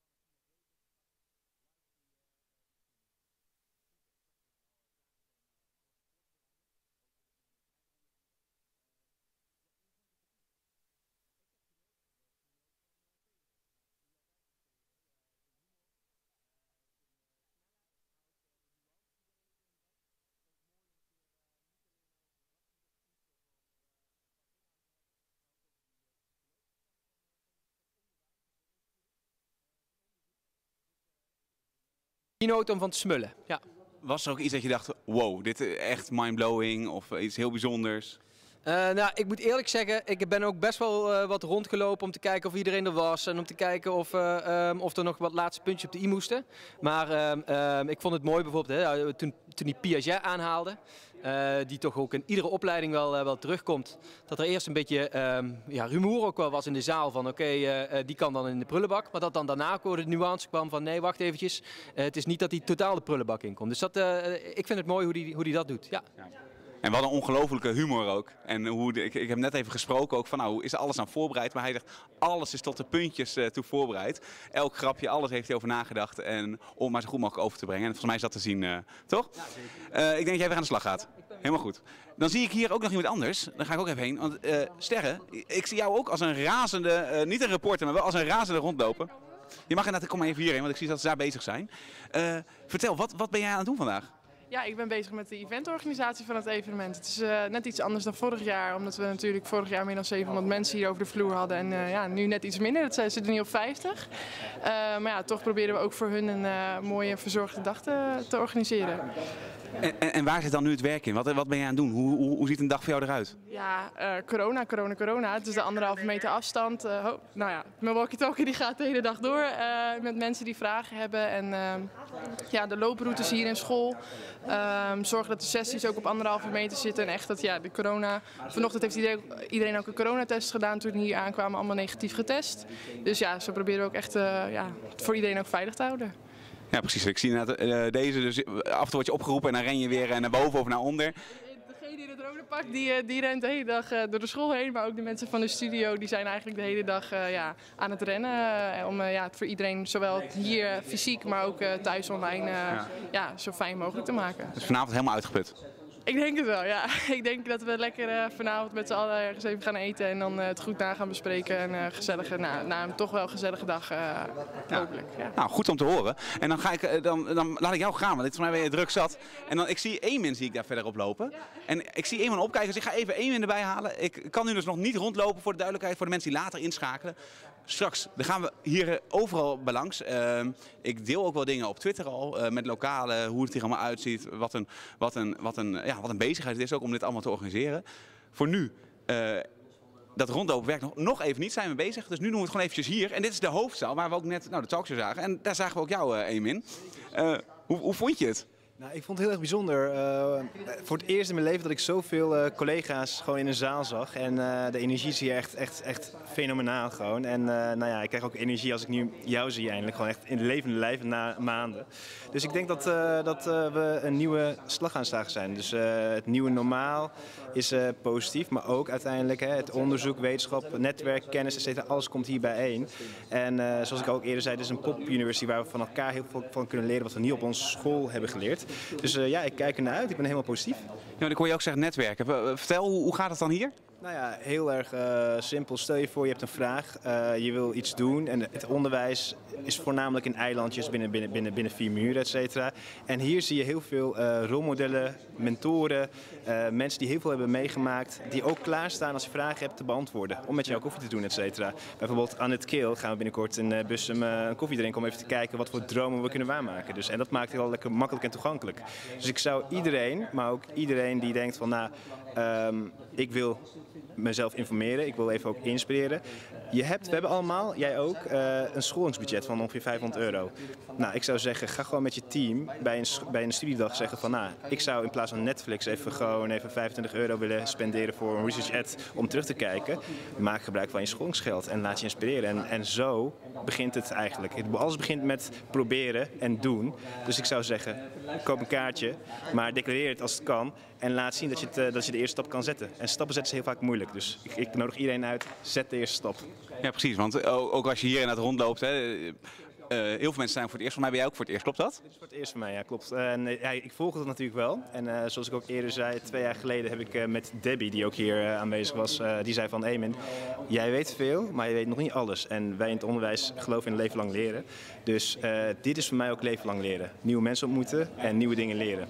Dus Ja, en ik denk dat ook voor de, eh, even als, kijker, eh, er zijn heel veel mensen die hier voor het eerst zijn. Dus ook volgend jaar echt van harte welkom om hier gewoon fysiek bij te zijn. En ik, ik merk het zelf ook, ook voor mij is dat nieuw. Hè, dat, om, om hier dan zo rond te lopen en dan zie keer mensen die, eh, die normaal eh, die, die boeken schrijven, waar je een keer wat van hoort en, en eh, eh, rapporten, wat dan ook wat voorbij komt. Dan zie je hier een levende lijven. Heel veel leraren zie ik ook in levende lijven. En ik vind het fantastisch om te zien en om ook om eens even te spreken en ook even te denken, oh kijk, dat, dat mens eh, zit erachter. Eh, heb je nog een, een bijzonder iemand toevallig al ontmoet vandaag? Of? Eh, ja, aan het keel. Gerard Baars, die ik zo meteen verder ga spreken. En ja, het, woord NRO, als, jij weet het, ik weet het nu ook inmiddels. Maar heel veel menige leerkrachten weten niet wat NRO is, wat het doet, et cetera. Als je een mooie idee hebt en het is evidence-based, dan kan je daarvoor subsidie krijgen. Dus wil je een financiële injectie, eh, ontmoet Gerard Baars van het NRO. En ja, zodoende kan je dus wel eh, het verschil maken. Want onderwijs is echt het verschil maken met elkaar. En het begint hier. En nu kijk ik naar de klok en ik weet, we gaan weer verder. Dat betekent, er komen weer hele mooie programma's aan. Je kan nu gaan schakelen naar de stream eh, die jij wil volgen. Dus er zijn vijf verschillende keuzes. Kies je stream uit. Heb je nog geen kaartje, dan kan je nu een kaartje kopen. En alsnog meedoen. Ga het regelen. De stream gaat nu weer starten.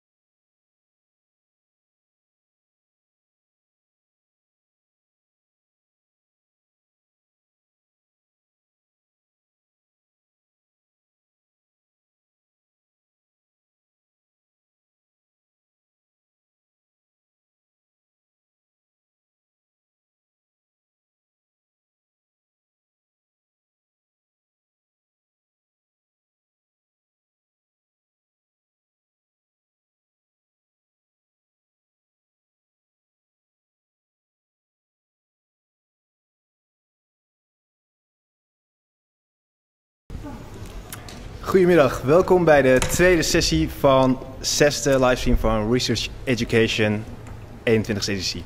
Oh, eh, ja, 21, sorry. Ehm, nou, zoals ik al zei, we zijn allemaal geïnspireerd vandaag. Helemaal overdonderd met nieuwe kennis, nieuwe informatie. Heel veel mooie mensen ook ontmoet. En ik hoop dat, eh, dat u als eh, kijker ook heel veel eh, hebt geleerd. En vooral als je iets hebt geleerd of je hebt nog steeds vraagtekens, zet het op Twitter, zet het in de chat van de YouTube kanaal en we lezen het. En nou ja, ik zou zeggen, we gaan starten.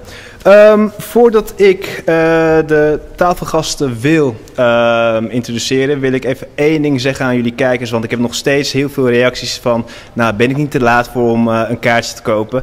Ik zou zeggen nee, koop het. En weet je, er is een quote. Iedereen kent, leraar maakt verschil. Ik geloof uiteindelijk dat education is about moments. Hè? En don't wait for them, create them. Dus eigenlijk als je een verschil wil maken, moet je eerst momenten kunnen creëren. En hoe doen we dat? Hoe doen we dat? Die afspraak wil ik met je maken.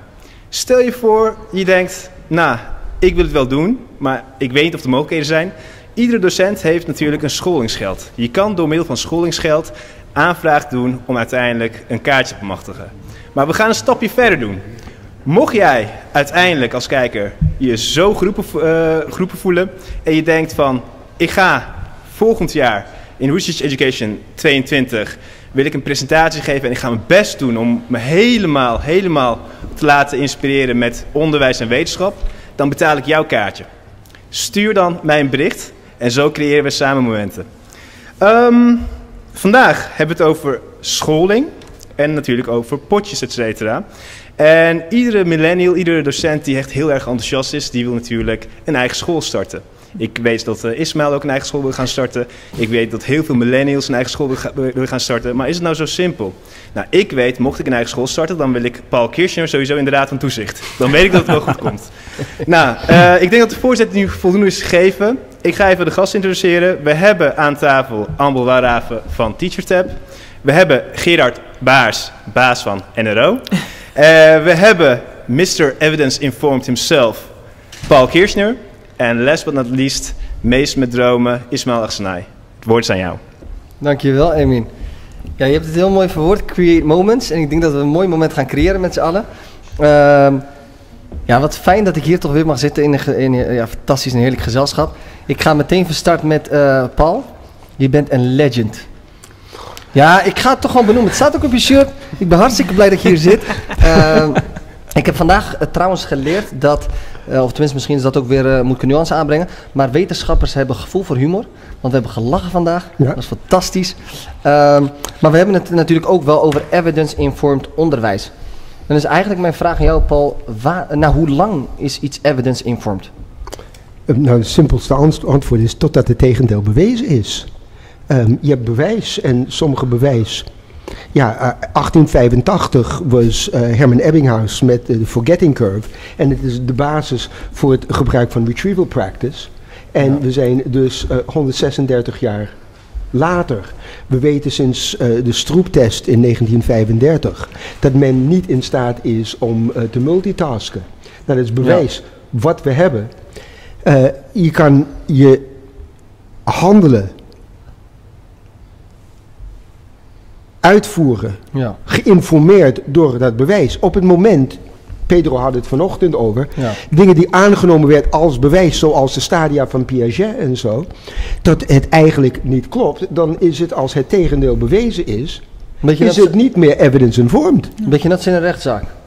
Totdat het tegendeel Totdat het tegendeel Ja, bewij- ja. bewezen is. Ik bedoel, tot 1906 ehm, eh, gingen we uit van een bepaald idee over eh, eh, zwaartekracht en hoe dingen in elkaar zitten en moleculen en atomen. En ineens kwam mensen zoals Niels Bohr en we hadden kwantummechanica, wat werkte voor de hele kleine wereld. Ja. Nou, we kregen dan op dat moment nieuwe bewijs. Die kon naast de klassieke mechanica werken, maar we wisten dat bepaalde dingen uit de klassieke mechani- mechanica niet meer werkten in de subatomaire. Ja. En ook het tegenovergestelde. Het tegendeel was in 1906 kwam het met mensen zoals Albert Einstein en zijn special relativity theory. Kwam er bewijs en wij krijgen nog steeds berichten dat, hé, hey, wat hij had gedacht in een gedachte-experiment, dat is nu, doordat we het kunnen meten, komt het uit. Maar andere dingen niet. Nou, Ja. Dus eigenlijk eh, kort samenvatten. Dat is wetenschap. Is, het- is het inderdaad wetenschap. Totdat het tegendeel bewezen is. Eh, ga ik naar Amber. Want eh, je, vanuit Teacher Tab natuurlijk hebben jullie ook een aantal vragen weer uitgezet. Eigenlijk elke dag staan er drie vragen op Klopt. Teacher Tab. Ehm, ook jij hebt hier een vraag uitgezet rond- rondom Evidence Informed. Ik heb de eerste slide bij me. Dat is de vraag: wordt er op jouw school aandacht besteed aan evidence-informed onderwijs? Die is trouwens ingediend door een van onze gebruikers. Dat kunnen gebruikers ook doen, Kijk. eh, vragen indienen. En we zien daar aan de rechterkant. Ik heb hier nog nooit over gehoord dat toch wel een kwart. Ja, Paul slaat zijn hand al voor zijn eh, hoofd. eh, gezegd: ik heb hier nog nooit over gehoord. En als je kijkt in dat middengedeelte, ik heb hier geen zicht op, of nauwelijks of nee, dat is eigenlijk de, de meerderheid. En, en 20% in, in het PO of basisonderwijs dan nog net ietsje meer. Die zeggen ja soms of ja absoluut. Dus is, er is in dat opzicht nog wel een wereld te winnen. Ik vind dit schrijnend. Stel je voor dat er een arts was die zegt van... ik handel niet op basis van, van, van bewijs. Ik weet niks van anatomie, fysiologie of pathologie. Ik weet evidence informed. Ja. Niet of nauwelijks eh, heb ik geen zicht op. Ik heb nooit van bewijs gehoord. Ja. Stel je dat voor bij een arts. Zou het aan de En term is- kunnen liggen? Wat? Zou het aan de term kunnen Ja. liggen? Dat ze wel handelen op basis, als we hadden gevraagd, handel je op basis van theorie, dat er een ander antwoord. Ja, dat weet ik niet. Dan zou je het Moeten kunnen doen. over Ja. zes maanden. Ja. Test, retest validity. Precies. Ja, ik, ik, kan, ik kan daar wel op reageren, eh, zelf ook als leraar natuurlijk. Dat ik heel vaak handel, eh, ik, ik handel onbewust bekwaam. Dus ik doe veel zaken vanuit de theorie. Alleen het is inderdaad, ik, voor mij was het ook een hele nieuwe wereld, evidence informed. En toen ik het leerde kennen, dacht ik, ja, prachtig, inderdaad, dat doe ik eigenlijk al. Maar dit is eh, de term die, er, die eraan Ja, vasthangt. dat, Ja. dat klopt. Ik Dus dat krijg heel vaak ja. als ik een lezing geef, mensen komen aan het einde naar me toe en ze zeggen van, oh, nu weet ik eigenlijk waarom ik het doe. Ja, En ik hoor wat mijn schoolhoofd wil en ik denk van, hé hey, nee, ik ben niet gek, ik geef goed onderwijs. En bedankt dat je mij hebt uitgelegd van waarom ik bepaalde dingen doe, omdat dat kon ik niet onder woorden brengen. ja. Breng me da- dan toch bij, Gerard eh, Baars. Eh, ja, Emin zei het net heel mooi, eh, gewoon echt een baas, zou ik dat maar zeggen. Ehm, ja, van, van het NRO. ik ga toch lezen Nationaal Regie Orgaan Onderwijs Onderzoek. Kijk eens, heb ik goed? Ja, ik, kon, ik, ik lees natuurlijk op.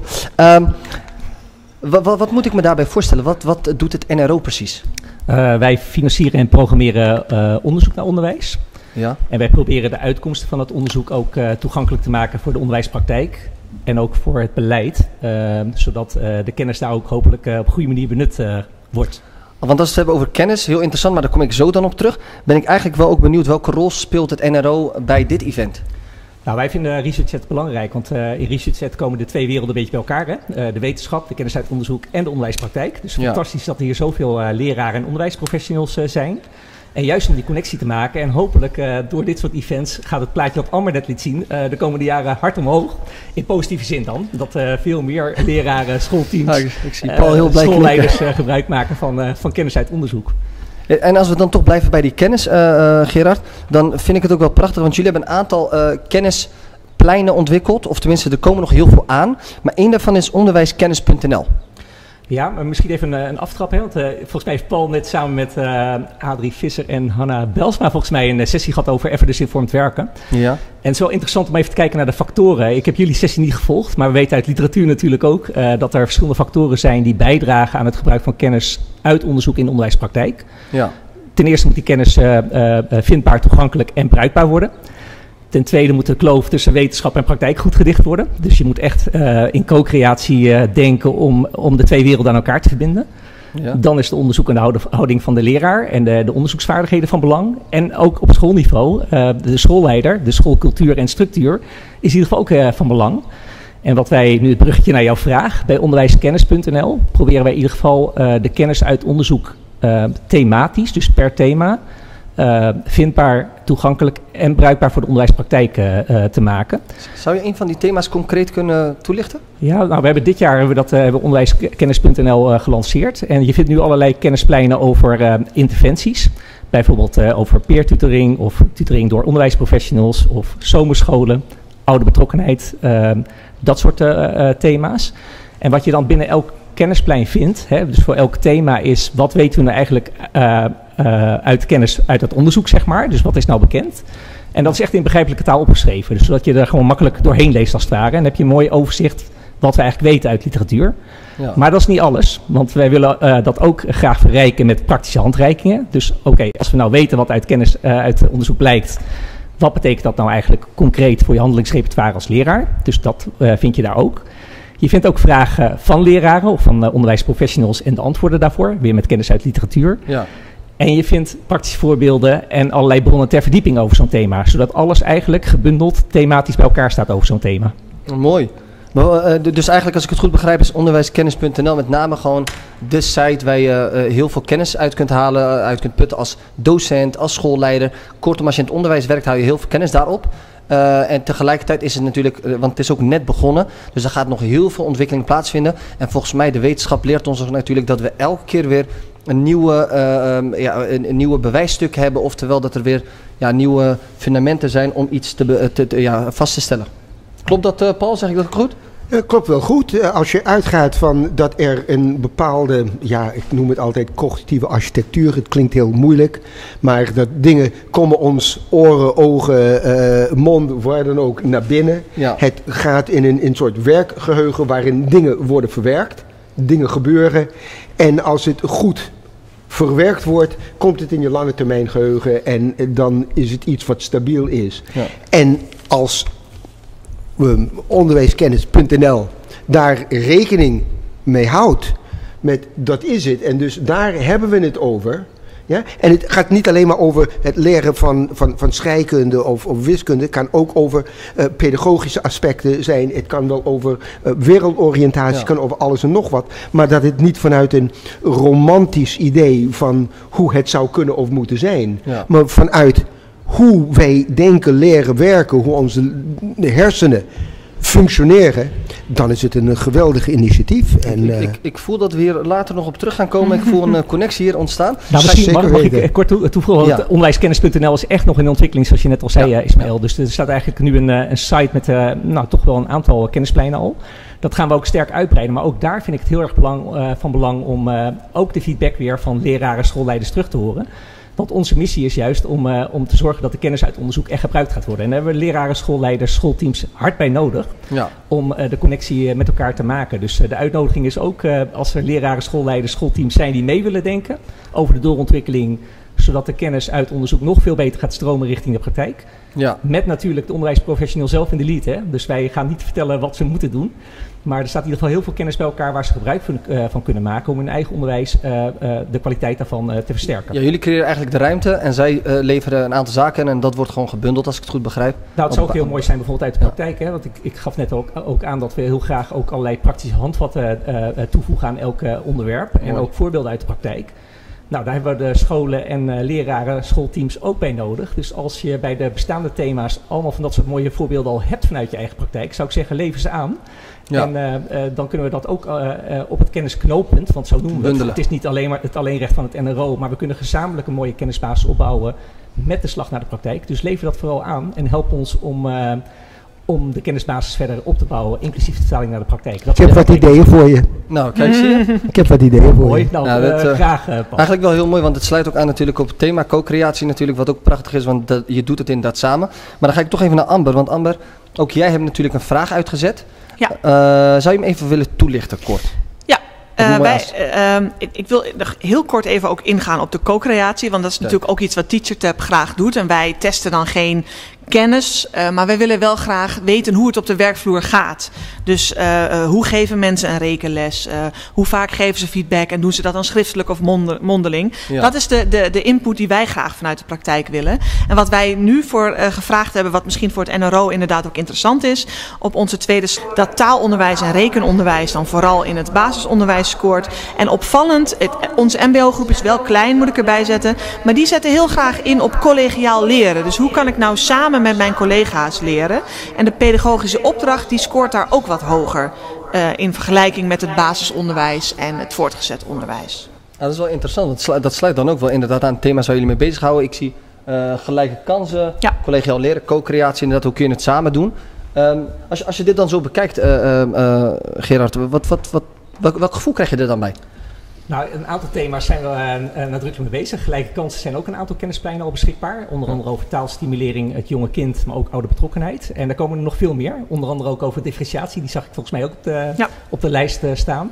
Maar wat wij dus meteen heel belangrijk vinden, hè, want we hebben nu een soort start gemaakt om een aantal kennispleinen neer te zetten. Maar nu wordt het heel erg belangrijk, denk ik ook, om met elkaar na te gaan denken over welke thema's willen wij nieuwe kennispleinen op gaan, eh, gaan zetten. En daar willen, daarbij willen we ook heel graag de inbreng van eh, eh, eh, het onderwijs zelf uiteraard hebben. Want uiteindelijk moet het daar gebeuren. Ja. Dus als er eh, eh, mooie thema's naar voren komen, ook in het kader van eh, de interventies die bijvoorbeeld gestart gaan worden na de zomer. Dan, dat vinden wij zeker belangrijk bij de verdere doorontwikkeling van onderwijskennis.nl. Om te kijken welke thema's Ja. leven er en waar kunnen wij dan ook eh, in die kennisbehoeften voorzien.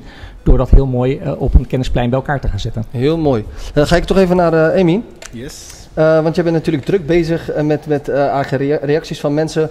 Hoe leeft het online?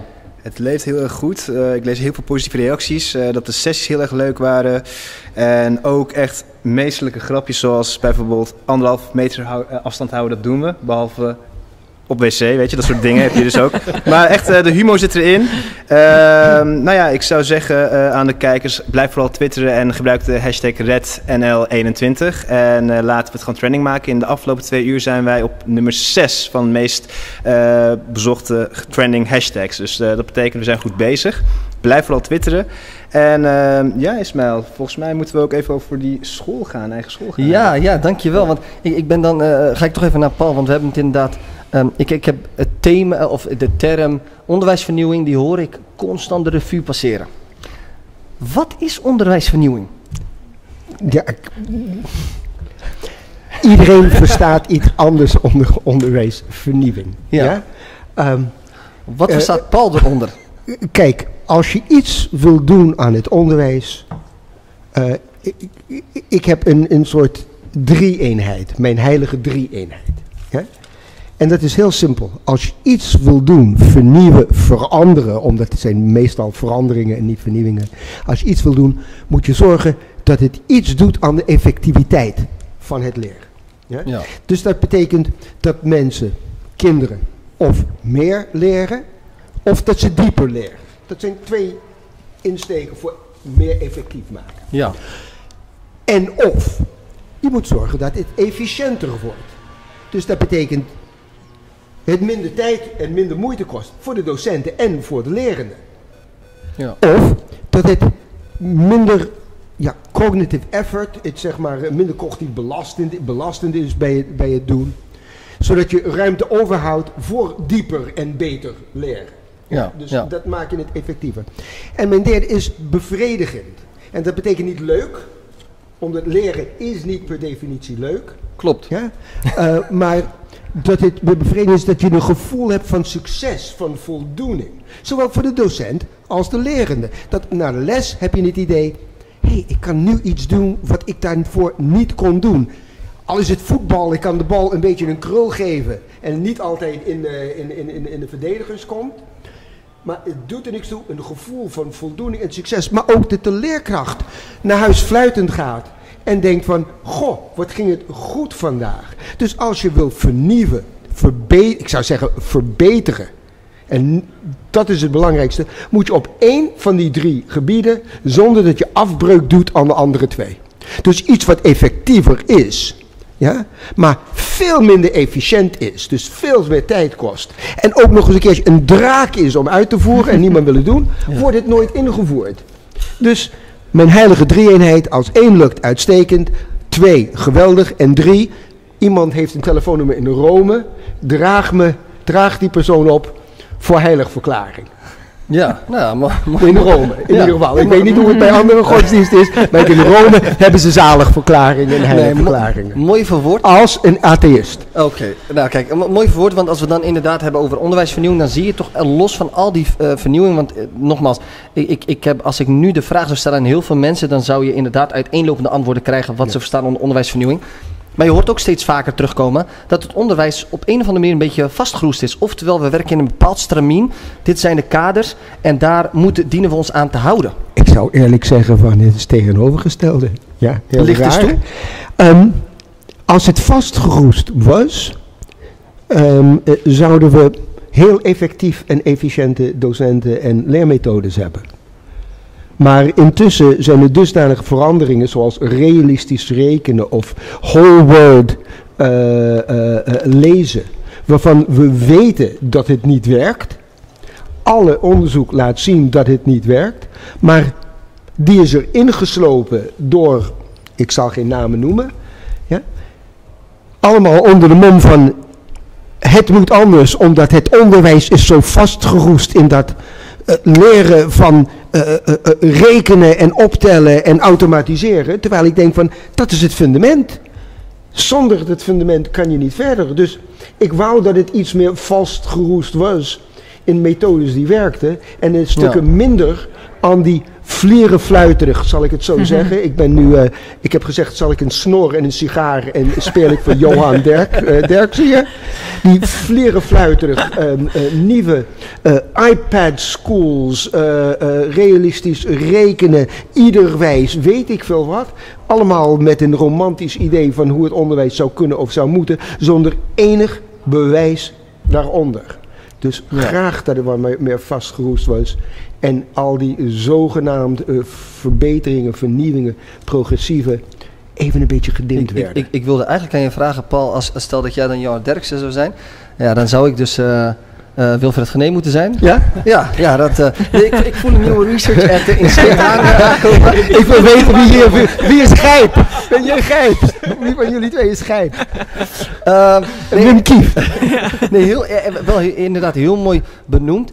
Ehm, ga ik toch even naar Amber ook weer. Want Amber, ook jij hebt eh, vanuit TeacherTap hebben jullie ook dat soort vragen wel eens Ja, uitgezet. Ja, ik heb daar nu geen slide van meegenomen, maar wij hebben bijvoorbeeld gevraagd ook over onderwijsvernieuwing is moeilijk omdat routines veranderen moeilijk is. En dat is misschien de andere kant. Je hebt natuurlijk vanmorgen hebben we ook gehoord dat bepaalde dingen Ja. op een gegeven moment niet meer werken. En dan moet je als leraar ook weer bepaalde routines ehm, afleren, Ja. zeg Ja. maar. En het grappige was dat in onze resultaten was dat ook een beetje 50-50. Mensen zeiden, ik ben het daarmee eens dat het, dat het moeilijk is. En anderen zeiden, ik ben het daar niet mee eens. En dat zijn misschien ook Ja. die twee kanten en de nuance. En Dat die zie je dus ook terug in ons klopt, maar je ziet ook met elke verandering, breng het uit je comfortzone. Je bent Precies. gewend een bepaalde iets te doen. Eh, het werkt de- het grootste deel van de tijd. Dus waarom zou ik het eh, veranderen? Ja.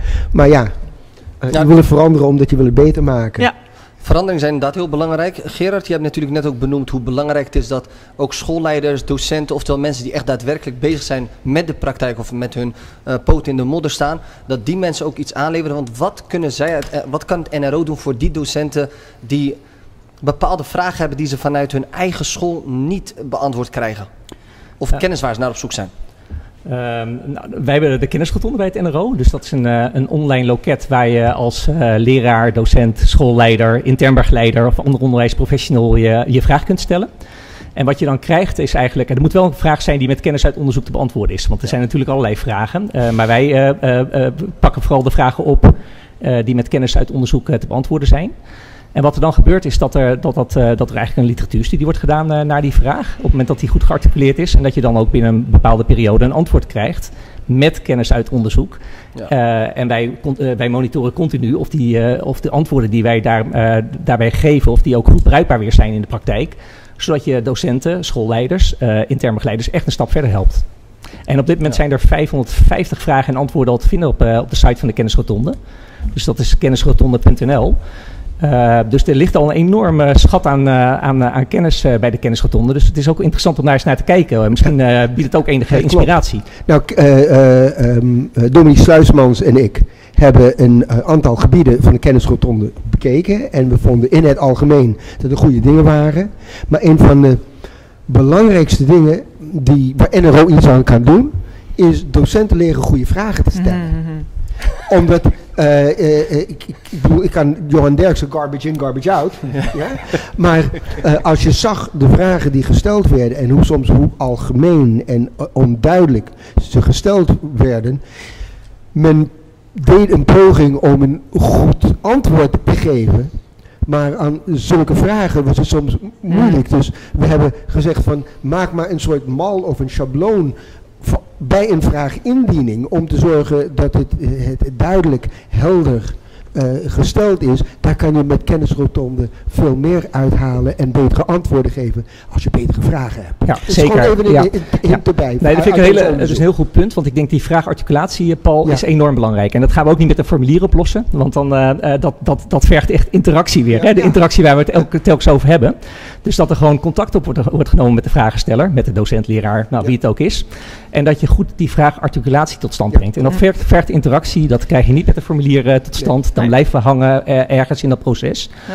En in dat vraag-articulatieproces, ja, dat is zeker interessant om daar continu naar te kijken. Hoe krijg je de vraag achter de vraag goed scherp? Ja. Zodat het antwoord daar ook goed bij aansluit. Daar Ja. ben ik het helemaal mee eens, eh, Paul. Nou ja, ik wil, goede vragen stellen is natuurlijk ook best wel ingewikkeld. Wij hebben daar het afgelopen jaar veel in geleerd. Bij ons is het ook zo dat leraren vragen in kunnen dienen. En wij gaan dan ook altijd in gesprek met die leraar om te kijken, van wat wil je nou echt weten? Wat zijn mogelijke antwoordcategorieën? Maar een goede vraag stellen blijft natuurlijk ook Ja. heel moeilijk. een goede vraag krijg je geen goede antwoord. Nee, goed precies. antwoord. precies. Maar dan zouden we eigenlijk ook kunnen stellen dat ook daar misschien wellicht in de leraaropleidingen misschien wat meer aandacht aan besteed mag worden? Nou, dat zou je kunnen zeggen, maar dat komt weer terug. Ja, dus een stokpaard, academisch langer, beter opgeleid worden. Als wetenschapper, ik bedoel, dat weet eh, iedereen hier aan tafel, in ieder geval aan deze kant. Ik weet niet of jij een academische opleiding hierin hebt. Eh, is een maar- HBO-opleiding, is het academisch? Nee. Nee, Ehm, daar gaat het mis. Nee, eh, hebben geleerd, gewoon omdat je moest, eh, eh, eh, eh, of een promotie gaan doen of wat dan. Je, je moest leren om een vraag goed te articuleren, omdat anders kan je geen onderzoek daarnaar doen.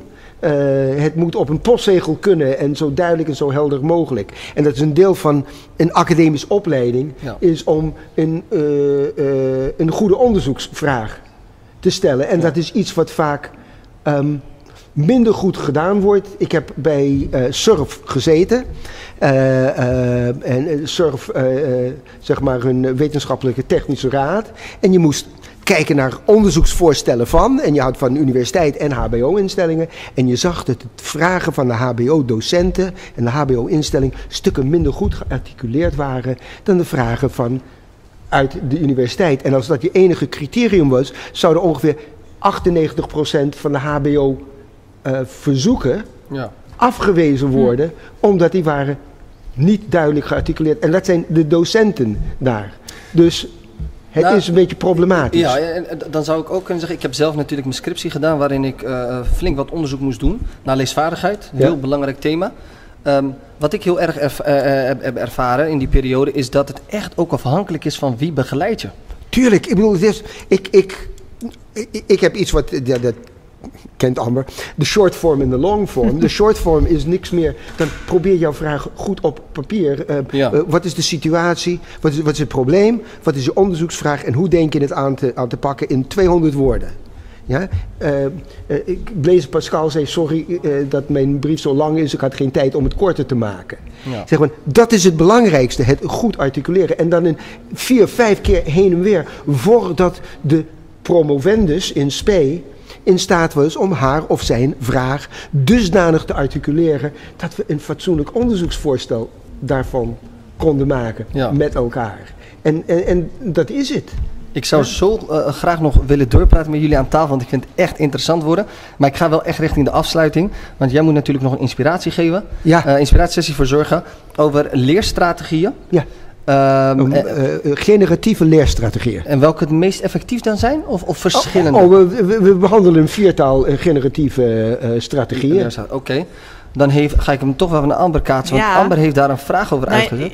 ja, en ehm, eh, een van die generatieve leerstraat is ook vragen stellen over de Ja. stof natuurlijk. Maar mijn vraag aan jou is eigenlijk, wat denk jij dat leraren veel doen? En ik weet dat je zegt, ik heb er geen onderzoek gedaan. maar wat denk jij dat leraren nou aan die eh, strategieën eh, doen? Welke doen ze vaak? Als ik, als ik goed denk aan wat ik gezien heb bij docenten, wat ze heel vaak doen, is als ze het goed doen, vragen naar uitleg. Zelf kunnen uitleggen. Waarom heb je dit gedaan? Waarom Ja. heb je daarvoor gekozen? Ja. Het is een heel simpel iets. En dat is een generatieve leerstrategie van zelf in eigen woorden uitleggen. Ja. Zelf uitleggen. Dat is een generatieve. Ik zou zeggen van, als ik zou een gok moeten wagen, zou ik zeggen dat? van, dat is in de Ja. top 2 of top 3. Nou, dan gaan we kijken naar de, onze slide, de laatste slide. Welk van deze laat je leerlingen nou regelmatig doen? Ik heb een aantal van die productieve leerstrategieën gevraagd. En we zien dat zelftesten en oefentoetsen maken, dat dat het hoog scoort. En wat jij zei, het zelf verklaren aan je, uitleggen aan jezelf, dat dat ehm, toch nog het meest voorkomt in het voortgezet onderwijs. Maar dan pas maar bij 40% van de, van de respondenten. Dus dat dat nog wel ietsje hoger kan. En wat we zien, wat heel weinig gebeurt, conceptmappen en het tekenen van een concept. Terwijl we eigenlijk weten dat dat ook best een krachtige strategie klopt. is. Ja, Ja. klopt.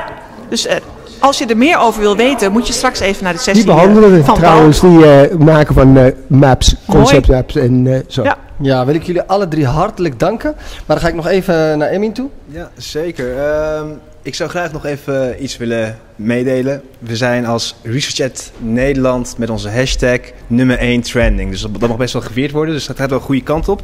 En er zijn ook een aantal vragen eh, gekregen. Die we hebben gezien de tijd, ga ik even persoonlijk eh, met Paul of met Amber of met Gerard dit beantwoorden.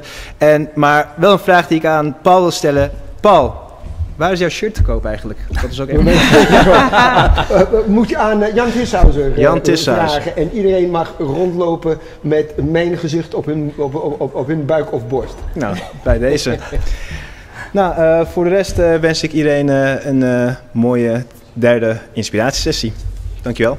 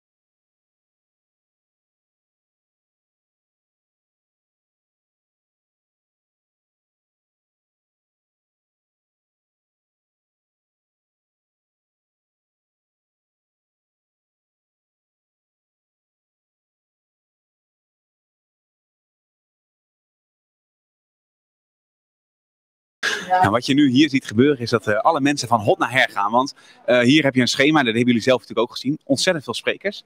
En in 10 minuten tijd moet iedereen van eh, alle kanten naar elkaar toe. En dat moet ook nog op een coronaproef manier gebeuren. En dan krijg je zulke situaties. Ehm, ja, je hebt gewoon sprekers die zijn heel, heel gewild. Die wil, iedereen wil zien. En dan, dan, dan zijn de wachtrijen tot aan de deur. Vroeger was het zo, hè, voor coronatijdperk, dan kon je gewoon met z'n allen naar binnen. En dan was het, één, dan was het proppen, de deur bleef half open staan, eh, met armen en benen naar buiten. Maar die tijd is nu een beetje voorbij. We moeten namelijk gewoon, eh, ja, we hebben gewoon een max aantal mensen. Dus dat betekent eh, wie het eerst komt, wie het eerst maalt. Dus als je hebt, dan ga je snel weer naar een andere plek toe. Ehm, gaat u ook op dit moment nog naar een, een praatje toe? Of gaat er... ga naar Lusanne, die gaat het hebben over de Leitnerbox. Interessant, en waar bent u net geweest? Bij Paul Kirchner, en die was heel grappig. Die heeft over zijn chihuahua's verteld. En, en dat beviel? Ja, dat was heel grappig. Hij zei dat je een les beter onthield als je het aan jezelf kon uitleggen. En toen zei Tim Surma, maar dus niet aan je cavia. En toen zei Paul Kirchner, maar het kan wel bij mijn chihuahua's. Dus Nou, wel fijn dat mensen dan nog een beetje humor ook hebben. Dat maakt het misschien ook gelijk een, eh, een stuk leuker. wat eh, Kirchner wel aantrekkelijk maakt. Ja. En ik zie, eh, de, volgens mij is het nog niet eens klaar. Nou, was u net ook al op tijd om naar binnen te kunnen? Want ik denk, Paul was aardig gewild. Was het druk daar? Het was uitverkocht. Ja, dat was een, eh, een gekte. Mensen liepen over elkaar heen. Dat was verschrikkelijk. Maar het is gelukt. Nee, er was nog één stoel vrij. Nou, eh, fijn. Nu zijn we naar de volgende. Ehm, voor jullie, jullie kunnen dus nu naar je eigen stream toe. Ehm, ga er snel heen. Ik weet niet hoe laat het nu inmiddels is. Ehm, ik pak mijn eigen telefoon er even bij. Oh, vijf minuutjes. Moet, kunnen we nog een rondje lopen? Is dat nog even leuk? Ja? Laten we eventjes, eh, misschien even zien waar, eh, waar we net zijn geweest. Lopen we daar even heen. Ik moet heel rustig lopen, heb ik begrepen, anders valt de verbinding weg. Kijk, waar we nu uitkomen, ehm, dat is eigenlijk de sprekersruimte. Het is een beetje het gedeelte waar, eh, wat heel leuk is, ook voor nieuwe sprekers, dat je in één keer iedereen ziet. Dus mensen die, die je kent van je hè, boeken, alles wat je leest in de, in de media over onder, onderzoek, die komen hier bij elkaar. Ehm, nou, hier is ook gelijk te zien dat wij echt in een, in een moment zijn van overgang tussen twee fases, want nu is het helemaal leeg. En hoe komt dat nou? Al die sprekers die gaan zelf, gaan ze ook weer bij elkaar zitten. Dus dat is heel leuk om te zien. Ik zat net bijvoorbeeld ergens, nou Debbie Dussel, ik weet dat hij straks gaat spreken. Maar die gaat niet alleen spreken, die zit ook bij iemand anders te luisteren. Dus dat is heel leuk. Dus mensen lopen kriskras door elkaar. Sprekers, gasten, het is allemaal gelijk hier. Eh, ik wens jullie heel veel plezier bij de stream.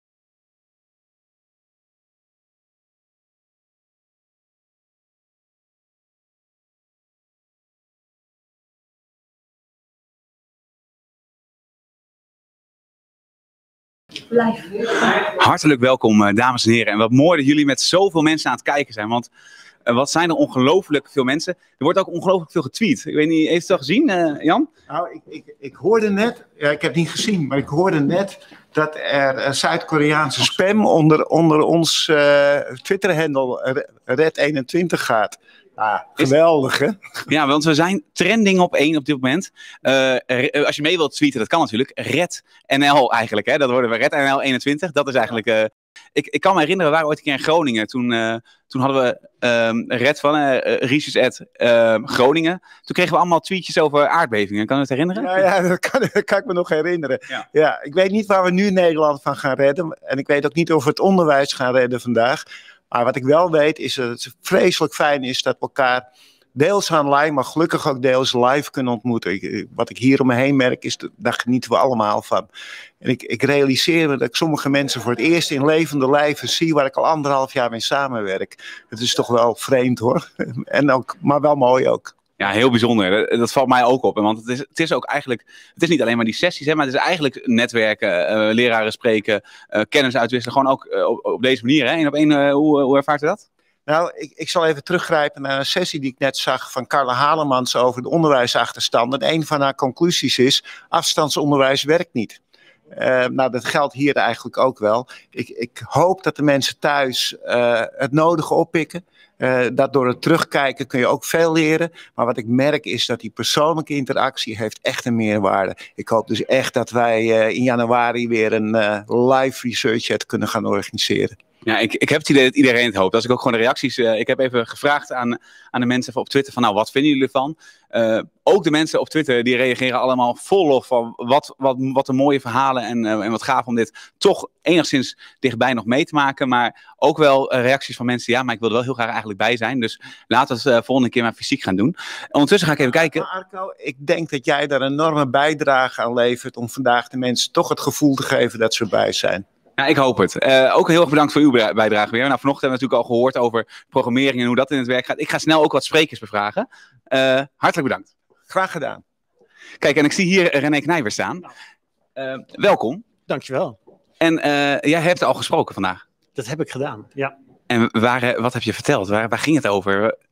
Het gaat over feedback. Dus uh, hoe je uh, eigenlijk met minder werk meer resultaat kunt bereiken. Want als leraren zijn we heel geneigd als het gaat over feedback. Van ja, dat we ons eigenlijk altijd schuldig voelen. Hè? Want aan het einde van de dag had je al die kinderen nog feedback kunnen geven. En het kan altijd meer of beter. Of... En uh, in mijn sessie heb ik eigenlijk bij stilgestaan dat het een vrij klassieke opvatting is over feedback. En dat de nieuwste inzichten uit wetenschap eigenlijk zijn dat het beter is dat jij als docent minder doet. En dat uh, de leerlingen of studenten meer aan het werk gaan. En ik heb in die sessie eigenlijk stilgestaan bij ja, hoe kun je dat dan aan. Wat zijn de achterliggende, achterliggende gedachten? En wat voorbeelden laten zien voor hoe je dat een beetje makkelijk kunt doen. En, uh, ja, en dan is dus het gekke dat het minder werk is, maar dat het veel meer resultaat oplevert stuk makkelijker voor ons dus. Ja, nee, dus het was een heel goed nieuwssessie. Het was niet van, oh ja, jullie doen het verkeerd en je moet eigenlijk nog harder werken. Maar het is meer, je doet het verkeerd, maar je zou eigenlijk veel minder moeten doen. Dat, ja. ja. En misschien even leuk om te weten, allereerst trouwens, eh, want iedereen kan het ook terugkijken. Uh, nu weet ik uh, dat je al heel veel verschillende sessies hebt ge gedaan. Hoeveel jaren sta je al te spreken hier bij Reset? Ik denk ongeveer 60, 65 jaar. Inmiddels eigenlijk sinds 1838 ben ik al betrokken bij Research at Nederland. Ja. ja en ja. Precies, en uh, moet je nagaan, zo lang. En toen luisterde ik de podcast van Reset, die kunnen jullie ook luisteren op Spotify. En toen begreep ik daaruit dat je ook elke keer iets anders wil vertellen. Elke keer een heel ander onderwerp. Wat gaat het volgende keer worden? Dat is een hele goede vraag. Ja, dat weet ik eigenlijk nog niet zo goed. Uh, ja, dat zou kunnen. Ik denk misschien motivatie, want daar heb ik nog niet heel expliciet over verteld. En dat is ook een prachtig onderwerp. Hè, van uh, ja, wat voor soorten motivaties zijn er? We hebben vaak een soort idee. Hè, de heilige graal is dat ieder kind intrinsiek gemotiveerd is. Hè, dat het daar ons om zou moeten gaan. En ja, en ik denk dat je wat, eigenlijk wat beter kunt kijken naar motivatie en, uh, en hoe je dat in de, uh, ja, eigenlijk in de, in de praktijk over zou moeten nadenken en waar je je op zou moeten richten. Ja. Volgende keer fysiek? Ik vond het nu al heel fysiek, maar liefst met nog meer mensen in één gebouw. Ja. Nou, dan gaan we daar ons best voor doen. En dan ga ik ondertussen, ik, want ik, ik, ik, wil nog heel veel aan je vragen, maar dat doe ik gewoon straks zonder de uh, microfoon. Want er zijn nog meer sprekers, dus ik ga even een, een rondje lopen. En hartelijk bedankt. Ja, veel plezier. Yes. Dankjewel. Helemaal goed. En ik zie daar toevallig al iemand staan. Ik zie uh, Gert Verbrugge. Uh, mag ik jou toevallig iets vragen? Fijn. Uh, volgens mij, jij gaat nog eh, spreken straks. Als laatste, ik mag ze wakker houden. Ja, ben je zelf nog wakker na zo'n dag? Ik hoop het. Ik ga straks een bak koffie erin gieten en dan eh, komt het wel goed, denk ik. Fijn. Wa- waar gaat het over? Wat, ga- wat ga je vertellen? Of misschien eerst allereerst, eh, eh, wat doe je normaal gesproken in het dagelijks leven? Sta je alleen voor de klas? Of- Ja, ik sta ik alleen voor de klas. Eh, ik geef Engels en ik ben intern begeleider in een MAVO-school in Deurne. En daar ga ik ook over vertellen, over wat we doen op onze school. En, en wat, wat, wat is nou zo bijzonder aan jullie school? Eh, wat valt erover te vertellen? Ehm, ik denk, ja, wij zeggen altijd, we werken evidence-informed.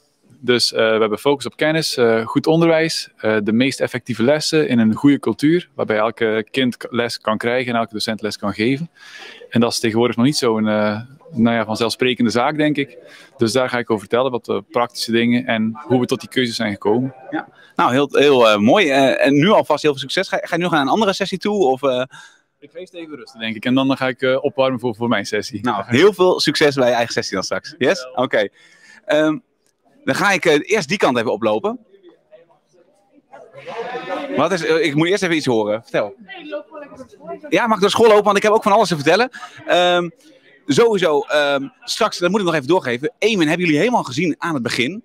En Eamon die, die heeft het volgende gezegd. En dat is niet niet bij iedereen doorgedrongen. Stel dat jij nou door vandaag denkt, ja, hé, maar ik wil zelf onderzoek gaan doen. Ik wil zelf hier beter in worden. En ik wil mij ook eh, meer gaan professionaliseren. Ik wil, en ik wil dat ook volgend jaar gaan delen. Dan biedt hij voor die leraar, hij zegt maximaal 10, wil hij en het kaartje betalen volgend jaar.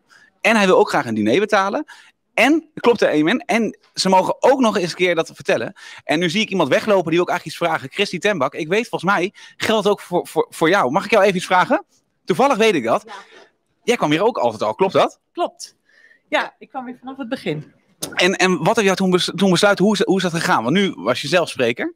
Eh, ja, dat klopt. Eh, nou, dat komt eigenlijk ook als je hier bent, dan word je ook gewoon enthousiast voor onderzoek, omdat de onderzoekers zo enthousiast zijn. En nou ja, op die manier rol je dan een beetje zelf in onderzoek en dan denk je als eerste, hé, hey, waar moet ik zijn? Research ad. En dan stuur je een mailtje en dan eh, kan je komen. Ja, mooi. En is dat dan de eerste keer op de landelijke eh, reset? Ja, en eh, in november al op de regionale, maar dat was compleet anders. Ja, wa- wat maakt het dan zo anders? Eh, nou, de regionale zat ik in de studio. En dan zit je in je eentje op een stoel met drie camera's voor je snuffert. En hier heb je gewoon mensen voor je. En dat is toch wel echt veel leuker. Ja, nou misschien hoor, hoort het al wel, want ik heb net eh Eamon, die heeft het volgende aangeboden. Die zegt, als er nu iemand is die, eh, net, nou, eigenlijk net als jij, eh, besluit van nou, ik wil eigenlijk ook wel onderzoek gaan doen. Ik wil het ook wel presenteren. Jij zegt, ik bied en het kaartje aan. Nou goed, kaartje, in principe krijgt hij. Diner, laten we daarop hebben. Maar eh, ook leuk, mogen bij Education, moet ik het goed zeggen, mogen ze ook nog het, er iets over vertellen. Klopt dat? Zeker. Kijk, weet je, het is Arco, ik geloof in cumulatieve inspiratie.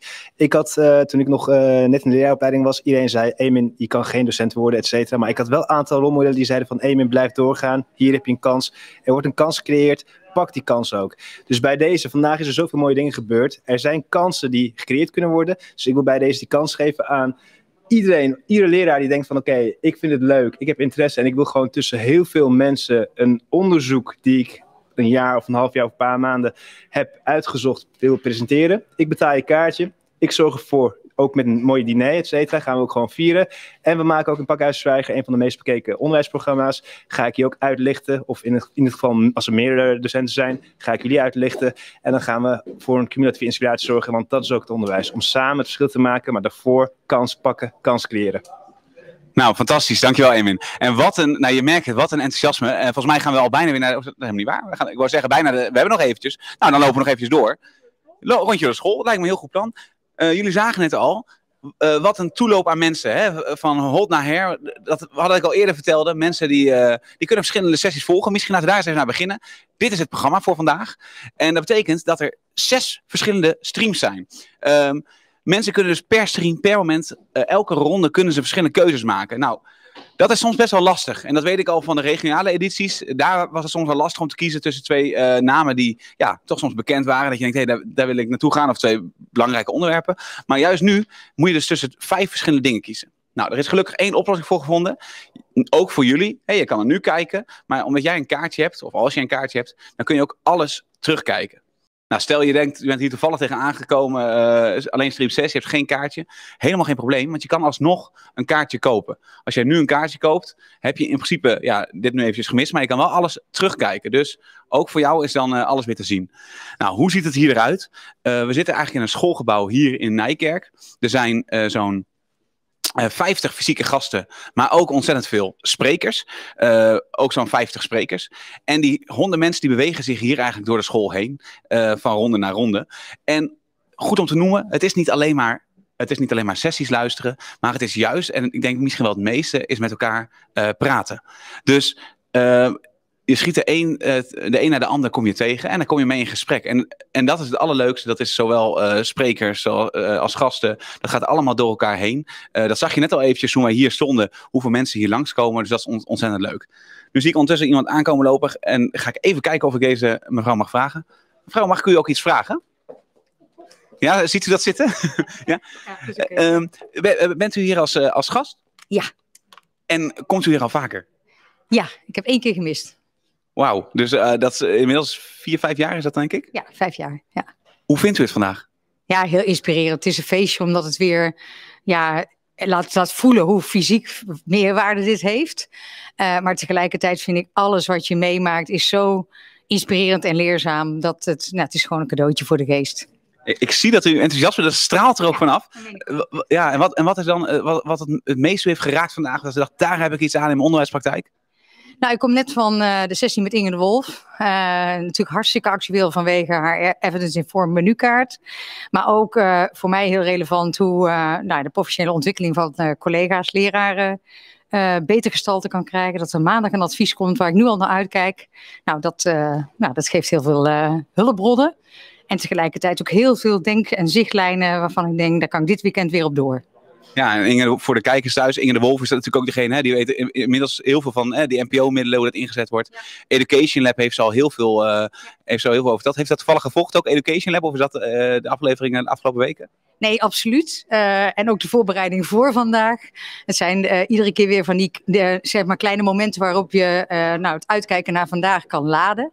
Dus het voldoet wat dat betreft volledig aan de verwachtingen. Maar ik denk ook dat Education Lab en alles wat we kunnen doen in Nederland om meer, nou ja, op basis van wat we weten, onderwijs te verbeteren en leraren beter te faciliteren, te stutten, te steunen, te helpen, maar ook de beroepsgroep vooral zelf in positie te krijgen. Ja, dat, eh, volgens mij is dat ook precies datgene waar we de komende jaren voor staan. En dan ben ik wel even heel benieuwd, want ik vertelde net al eh, aan de kijkers van, nou, de keuze is soms heel lastig. Was dat bij u ook zo? Eh, je kan in principe maar naar één tegelijk hier. Was dat lastig? Ja, nee, en sterker nog, ik, ik maak één grote fout door na een sessie met iemand te blijven praten, waardoor mijn volgende sessie vol zit. Dat komt me nu vandaag voor de tweede keer. Dus eh, ja, dan moet ik heel snel weer een andere keuze maken. Maar ik ben research ed gewend als eh, een dag waar je met de benen buiten boord hangt, maar iedereen kon er altijd in. En nu merk ik gewoon dat ik moet ophouden met de teuten tussendoor en gewoon hard rennen naar de volgende sessie. Want dan zit hij vol. En, en, en wat voor leraar bent u eh, in het dagelijks leven? Nou ja, ik moet eerlijk zelf toegeven, ik ben bestuurder, maar ik, ben, eh, ik voel me nog steeds leraar. Ik ben docent Nederlands opgeleid, 20 jaar lesgegeven. Daarna eh, een uitstap gemaakt naar de beroepsgroep en nu als bestuurder nog net zo geïnspireerd door alles wat hier gebeurt. En dat is te zien. Dus ik, eh, ik zou zeggen, ga snel naar de volgende sessie, anders werd u weer te laat, want nu is het doorroei. Eh heel erg bedankt. Niet meer ophouden, dankjewel. Nou, je ziet het. Eh, het enthousiasme bij, de, bij zowel eh, gasten als sprekers, dat straalt er vanaf. Fantastisch om dit mee te maken. En dan kijk ik even naar de klok. Het is inmiddels vijf voor. Dat betekent dat jullie allemaal naar je eigen stream kunt gaan. Eh, genoeg keus. Ik weet dat die keus moeilijk is, maar ga er nu maar heen. Eén hele belangrijke mededeling nog. Als je straks mee wilt doen met het Research, eh, of razende reporter Research at Rad, moet ik het wel goed zeggen weer. Dan kan dat. Dan moet je even de tweet retweeten op Twitter van Research Nederland. Ga even naar het Instagram of naar het Twitter account. Retweet hem. En als je hem dan retweet, dan kun je deelnemen. En er is ontzettend veel te winnen. Onder andere een hele mooie prijs. Fysieke tickets voor volgend jaar. Heel erg leuk. Eh, boeken. Nou, van alles staat erop. Tot straks bij het razende reporter. Het.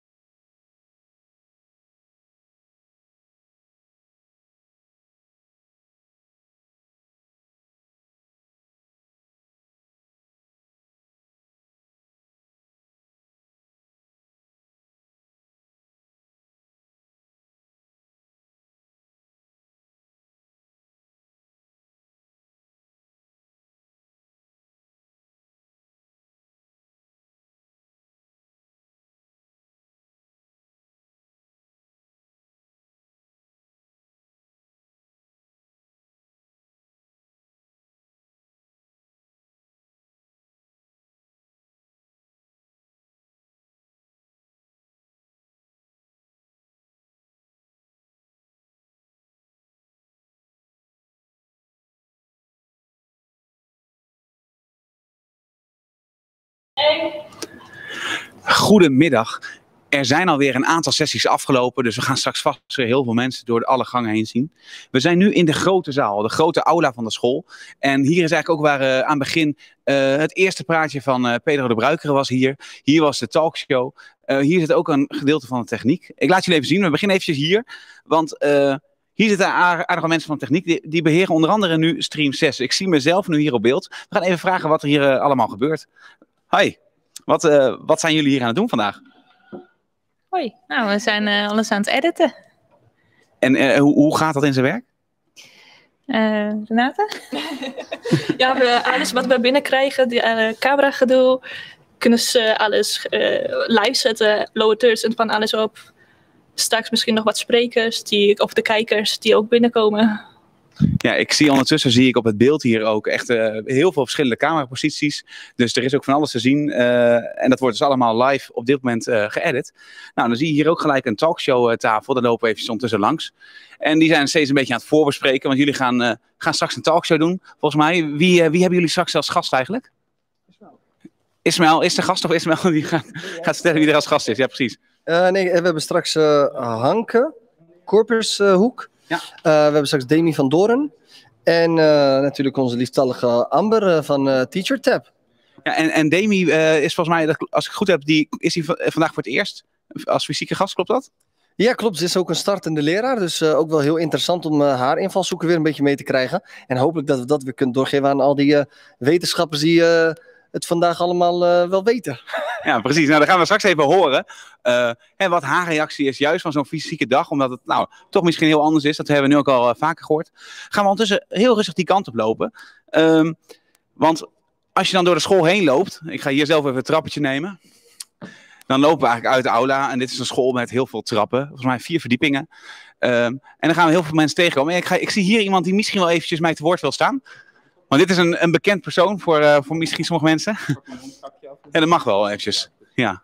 Goedemiddag, eh eh, Bertus. Eh, mooi dat u, dat u er bent. ben jij. Mooi dat jij er bent. Ja. Eh, hoe, hoe, hoe, vind je het vandaag? Ja, ik zal hem omdraaien.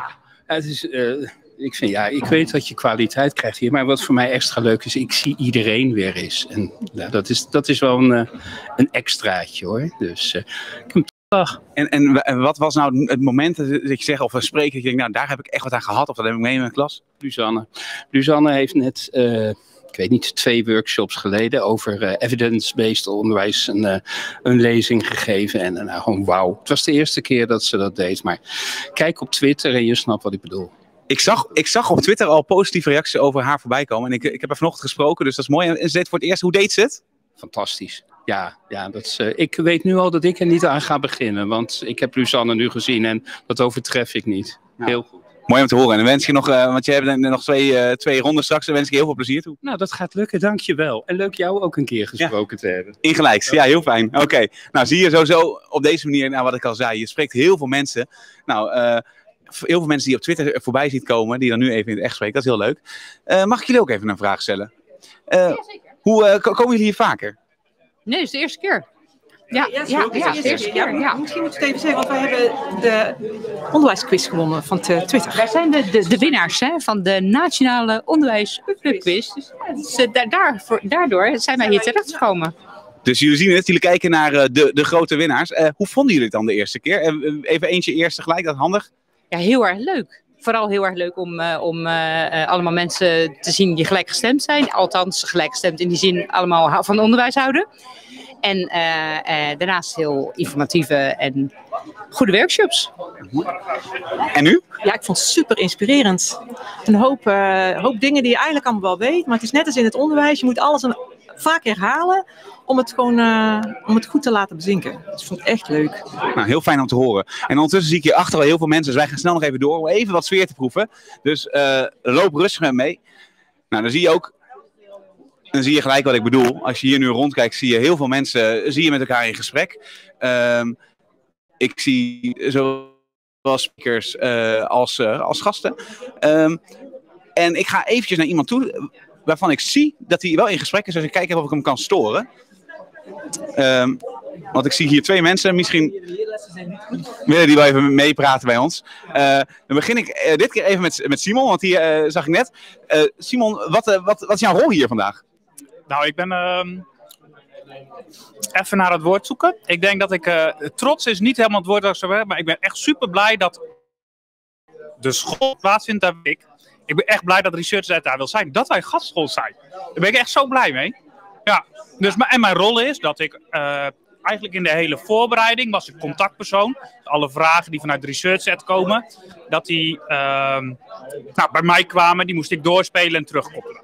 Ja, en dan sta je met al- allemaal bekende mensen. Ik zie hier Tim staan. Eh, mooi dat je er bent. Ik moet snel door, hoor ik net. Zullen wij straks nog even praten? Want ik wil heel graag even meer van u weten. Yes? Dank u wel.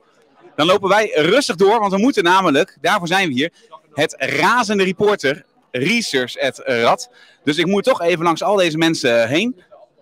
Ik weet dat de verbinding soms hier wel weg kan vallen. Dit was voor mij het punt eh, waar het soms verkeerd ging. Dus ik loop rustig aan door. Ik ga even geen trappetjes meer nemen, maar de snelste weg naar ons eh, reporter Rad. En jullie kunnen hele leuke prijzen winnen. En we zagen al dat er ontzettend vaak eh geretweet is. Dus dat is heel leuk om te zien. Dus dit is ook het enige gedeelte wat echt alleen maar voor de mensen juist is, zijn voor de mensen die online kijken. De andere mensen die mogen hier niet bij. Dus je ziet we lopen naar het achterste van achterste hier in de school. De plek waar eigenlijk geen mensen meer komen. Die lopen nu allemaal hier naar de verschillende sessies toe. Ik zie mensen half rennend naar, om op tijd te zijn en om sessie te kunnen volgen. Maar wij gaan eh, hier naar het reporterrad. En hier staat alles klaar. Ik hoop dat de verbinding nog heel goed meewerkt. Volgens mij gaat het allemaal goed.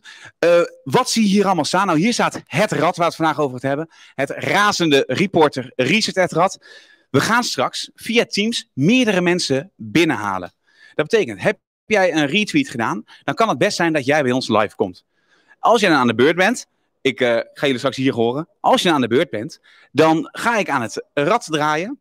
En die prijs kun je winnen. Nou, wat kan het dan zijn? Nou, ik zie bijvoorbeeld eh, eh, een kaartje, fysiek kaartje, het boek Doorloopjes, het boek eh Klaskit, een eh, Research Ad pakket, chocola, een, een goodiebag met eigenlijk heel veel verschillende spellen. Je kan het gehele prijzenpakket kan je winnen. Ehm, en ja, we hebben ook het getal 13, dus er hoort natuurlijk ook bij dat je ook geen prijs kan winnen. Nou, laat ik hopen dat we straks heel veel prijzen gaan winnen, want er staan gewoon hele mooie, bijzondere prijzen bij. Ehm, en ik denk toch wel de hoofdprijs, misschien wel het fysieke kaartje voor volgend jaar. Want nou, jullie hebben net gezien hoe graag mensen er live bij willen zijn. Ehm, ik ga kijken of er al mensen binnenkomen. En dan kijk ik even ondertussen naar mijn eh, collega's hier in de buurt. Ik hoor dat er mensen zijn. Ik hoor nog niets in mijn oor, maar dat gaat vast komen. Eh, wie is er aanwezig? Hallo. Hey, hi. Ik eh, herken eh, juf Maaike van, van Instagram, de, Ja, de bekende juf Maaike. Wat leuk. Eh, juf Maaike, hoe vind je het tot nu toe? Ja, super gaaf, super interessant. En ik was bang dat ik helemaal gaar zou worden van al dat scherm te doen. Maar het blijft gewoon interessant. Dus het ja, gaat goed. Wat, wat fijn. Is er ook iets wat je zegt, nou, die sessie dat was het allermooiste van allemaal? Of heb ik het meest aan nou gehad? of ga ik meenemen in mijn lessen? Met, uh, met Bertus van uh, Luzanne. Die vond ik, uh, ik denk dat het heel goed is dat we juist ook onze kwetsbare kant in het onderwijs laten zien. En wat we daar van, vanuit daaruit allemaal uh, aan het leren zijn. Dus dat, daar was ik heel blij mee. Ja, goed om te horen. Ja, ik wil zeggen, dat is ook echt een leraar. Ik sprak haar van tevoren inderdaad eventjes. En ik weet ook hè, dat het beste natuurlijk spannend is om weer voor het eerst hier te staan. Maar fantastisch dat ze het zo goed heeft gedaan. Uh, heb je iets wat je, waar je heel erg op hoopt? Een bepaalde prijs? Ja, ik wil het kaartje voor volgend jaar natuurlijk wel winnen. Ik wil ook live daar zijn. Nou, dan gaan we, daar, gaan we daarvoor draaien. Ik, ik ga denk ik draaien. Het, uh, we zijn ook wel het rad, het razende reporter. Uh, Reset het rad. Komt-ie. 3, 2, 1.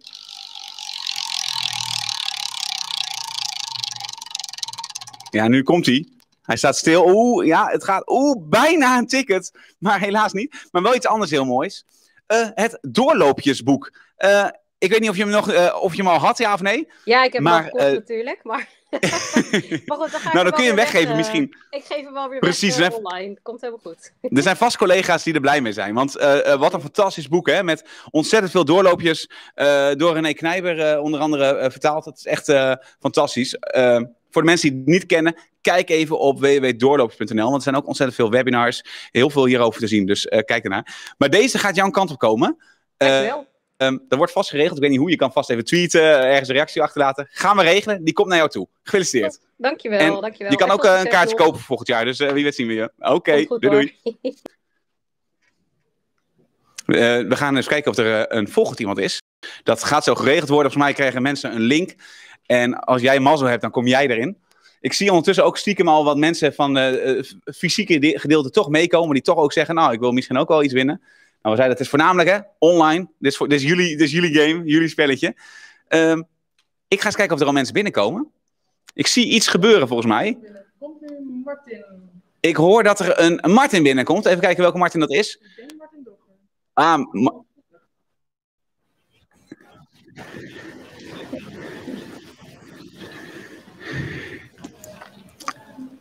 ik, ik hoor nog niet mensen. Ik, hoor, ik hoor wel iets, maar er moet nog daarin komen. Bijna. eh hou- heb nog even geduld. Het gaat bijna komen. want Ik hoor stiekem weer iets in mijn oor, maar het komt nog niet binnen bij de mensen thuis. Dus daar wacht ik nog heel eventjes op. Dus ik hoor stiekem al dat ik een- een Martin Dogger, en die was volgens mij eh, al heel blij, dat hoorde ik al stiekem, dat hij, dat hij uitgekozen was. Ehm, ik ga zo meer van. Ja, ik zie hem in beeld. Martin, hi. Ja. Ja, weer een herkend, herkend gezicht. Hi, hi Martin. Weer bekend inderdaad. Ja, precies. Hoe, hoe vind je het vandaag? Ik eh, vind het eh, prima te doen. Het is jammer dat ik er niet fysiek bij ben. Maar eh, dikke, dikke duim omhoog voor hoe het allemaal online geregeld is. Goed om te horen. Ik zag ook al positieve Twitter-tweetjes voorbij komen, dus Ja. dat is heel fijn. Het, het is Ehm, net of je gewoon van klas naar klas kunt hoppen. Door elke keer op andere stream Ja. te klikken. Dat is gewoon leuk. Ja, en hoe gaat het met keuzes maken? Lukt dat een beetje? Killing. dat is bijna niet Ja, dat zal. Ja. Nee, de, de Nee. ro- ronde Nee, 3 was nee. de pool des doods. eh, maar voor- de rest kom ik er wel redelijk uit. Maar het is, het is, het is wel lastig hoor. Nou, gelukkig kun je altijd terugkijken. Je hebt een kaartje, Ja. dus je betekent dat je van nu alles eh, mag kijken. Dus eh, de komende weken nog genoeg avondbesteding, denk ik zo.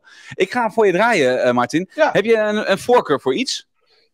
Ook een fysiek kaartje. Maar, ik zou zeggen, draai aan het rad. ja, een fysiek kaartje. Dan gaan we daarvoor draaien. Draai aan het rad en we gaan het zien.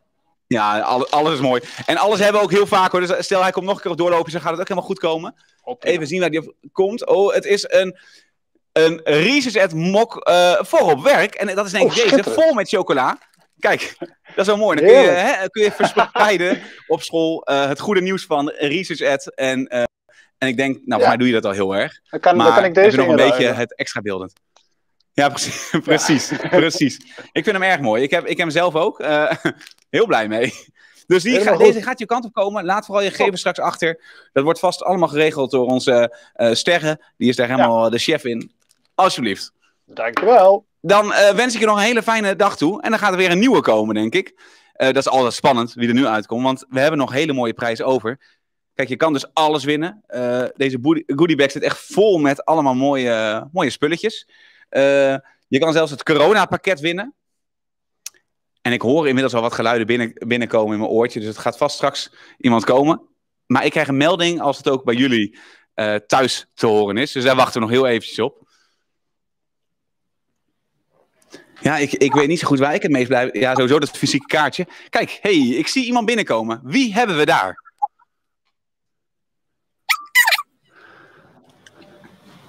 Ik hoor nu vrij weinig.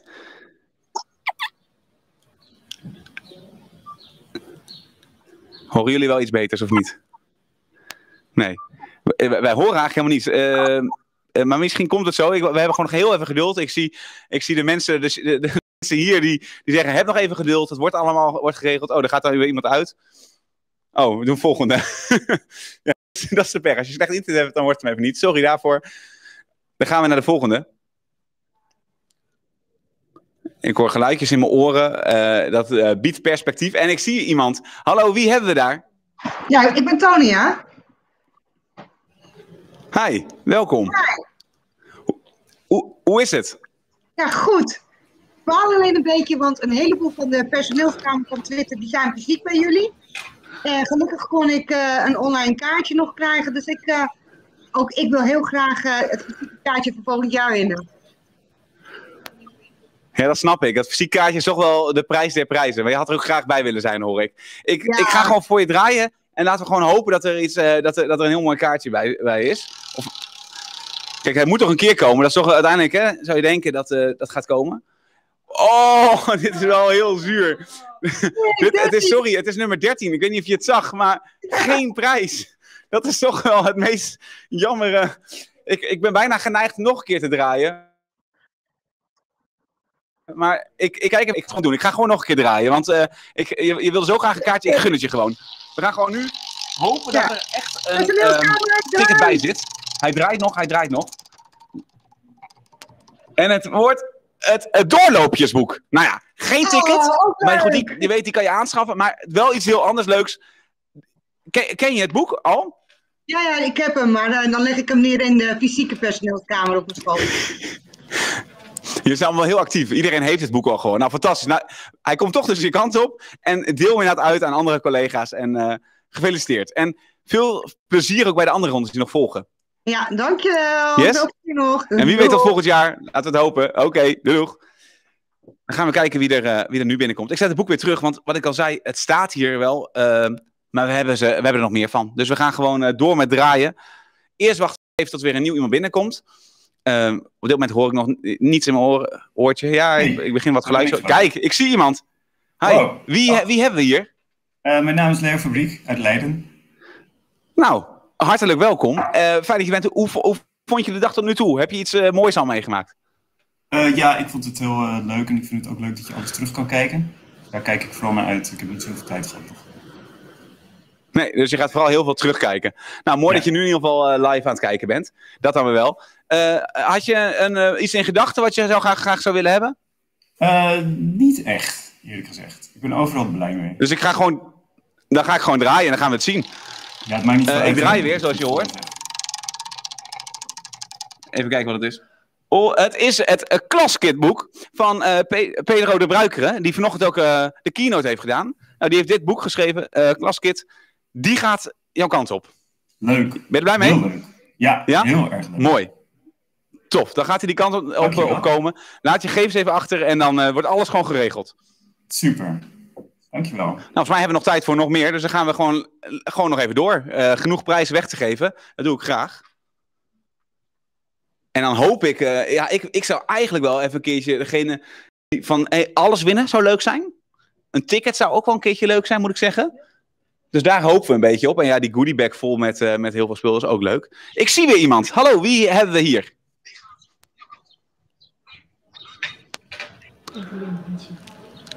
Is dit Evelien?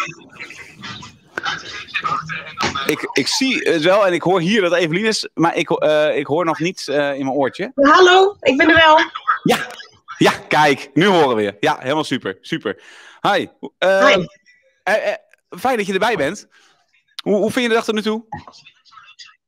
Ja, ik, vind het, ik vind het erg interessant, maar ik hoor ondertussen ook het main event erdoorheen. Dus ik zit even achter. Ja. Ja, helemaal goed. Ik hoorde al in mijn oortje mijn eigen stem. Dat was wel bijzonder. Ja, eh, hij loopt achter, dus eh, ik, ik weet niet, er gaat iets mis met de verbinding, maar ik hoor je wel. Misschien zal ik, anders, zal ik anders gewoon gaan draaien. En dan, eh Ja, dan de prijs gewoon op. Ik draai gewoon. Ik draai gewoon. Komt-ie. Het, en wie weet is het fysieke ticket wel voor jou of, of iets anders van leuks. Het is een research at mok. Voor het werk. Dus weer die ene mok die ik net al liet zien. Vol met chocola. Eh, die gaat jouw kant op. Nou, heerlijk. Yes? Nou, geniet ervan. En eh, geniet nog even van de rest van het eh, evenement. Gaat zeker lukken, dankjewel. Helemaal goed. Fijn. Tot wie weet volgend jaar. Kijk of we nog één laatste hebben. En ik zou bijna zeggen, kunnen, ja, we hopen toch een beetje. Ik ga misschien wel een klein beetje helpen. Dat zou leuk zijn. Wie komt er nu als laatste binnen? Even kijken als die, of diegene ook graag een fysiek ticket wil hebben. Even kijken of iemand al binnenkomt. Ja, eh, wie hebben we daar? Yes, ja, hoi, welkom. Nu werkt het heel goed. Ja. Nou, eh, wat wil je... eh, nou, allereerst misschien eventjes, hoe, hoe is het om thuis te kijken?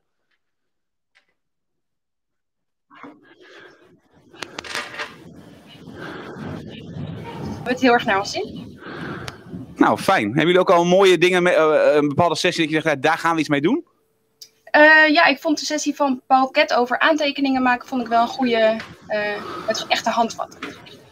Goed om te horen. En eh, volgend jaar, wil je dan er ook echt bij zijn, fysiek? Of, eh, of vind je online wel goed? Eh, ja, zo met z'n tweeën eh, ja, erbij zijn is natuurlijk leuker.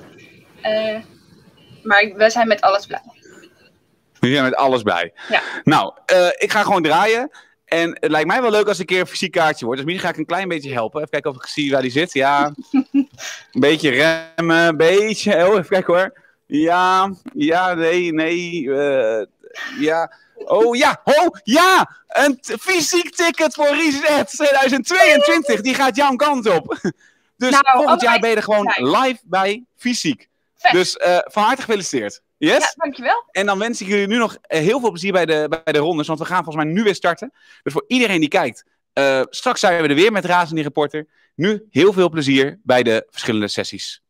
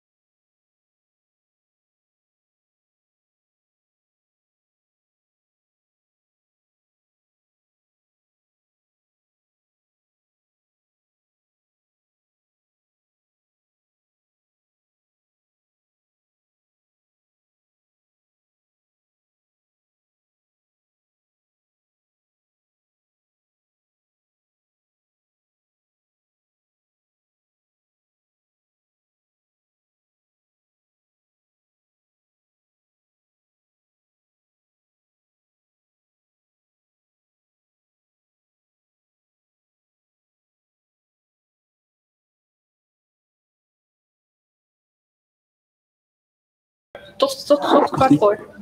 Oh, dat, ja. Maar wil, wil jij weten wat ik ga doen? Is dat je vraag? Oh, wacht maar even, ik wil eerst even weg. Hier. Hebben jullie net hier eh, gesproken of is dit, is dit eh, de chillruimte? Jullie zijn, We zijn hartstikke chill. en jullie, zijn, jullie zijn gewoon gasten? Nee, jij bent jij hebt Ik, ben, ik heb gesproken, ja. Net. Of Eh, al eerder. Voor, zeg maar, Daarom is ze nu chill. Ja, precies.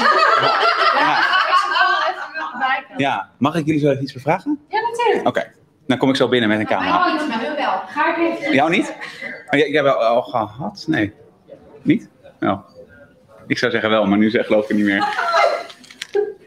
Heb je al was, eh, net een vraag gesteld? Was jij, niet de, jij was niet de winnaar van... Nee, oké, sorry. Nee, oké. Ja, precies. Heb ik Nee, sorry. Dan kom ik zo binnen. Oké. Voor mij even kan ik. Nog niet. Zeg maar, ja, Zullen we even naar beneden rennen en dan... eh, Ik begin nu. Ja, maar, hij moet nu nog even hoor, je nog geregeld. Dus. Maar ik kom straks binnen en dan... eh,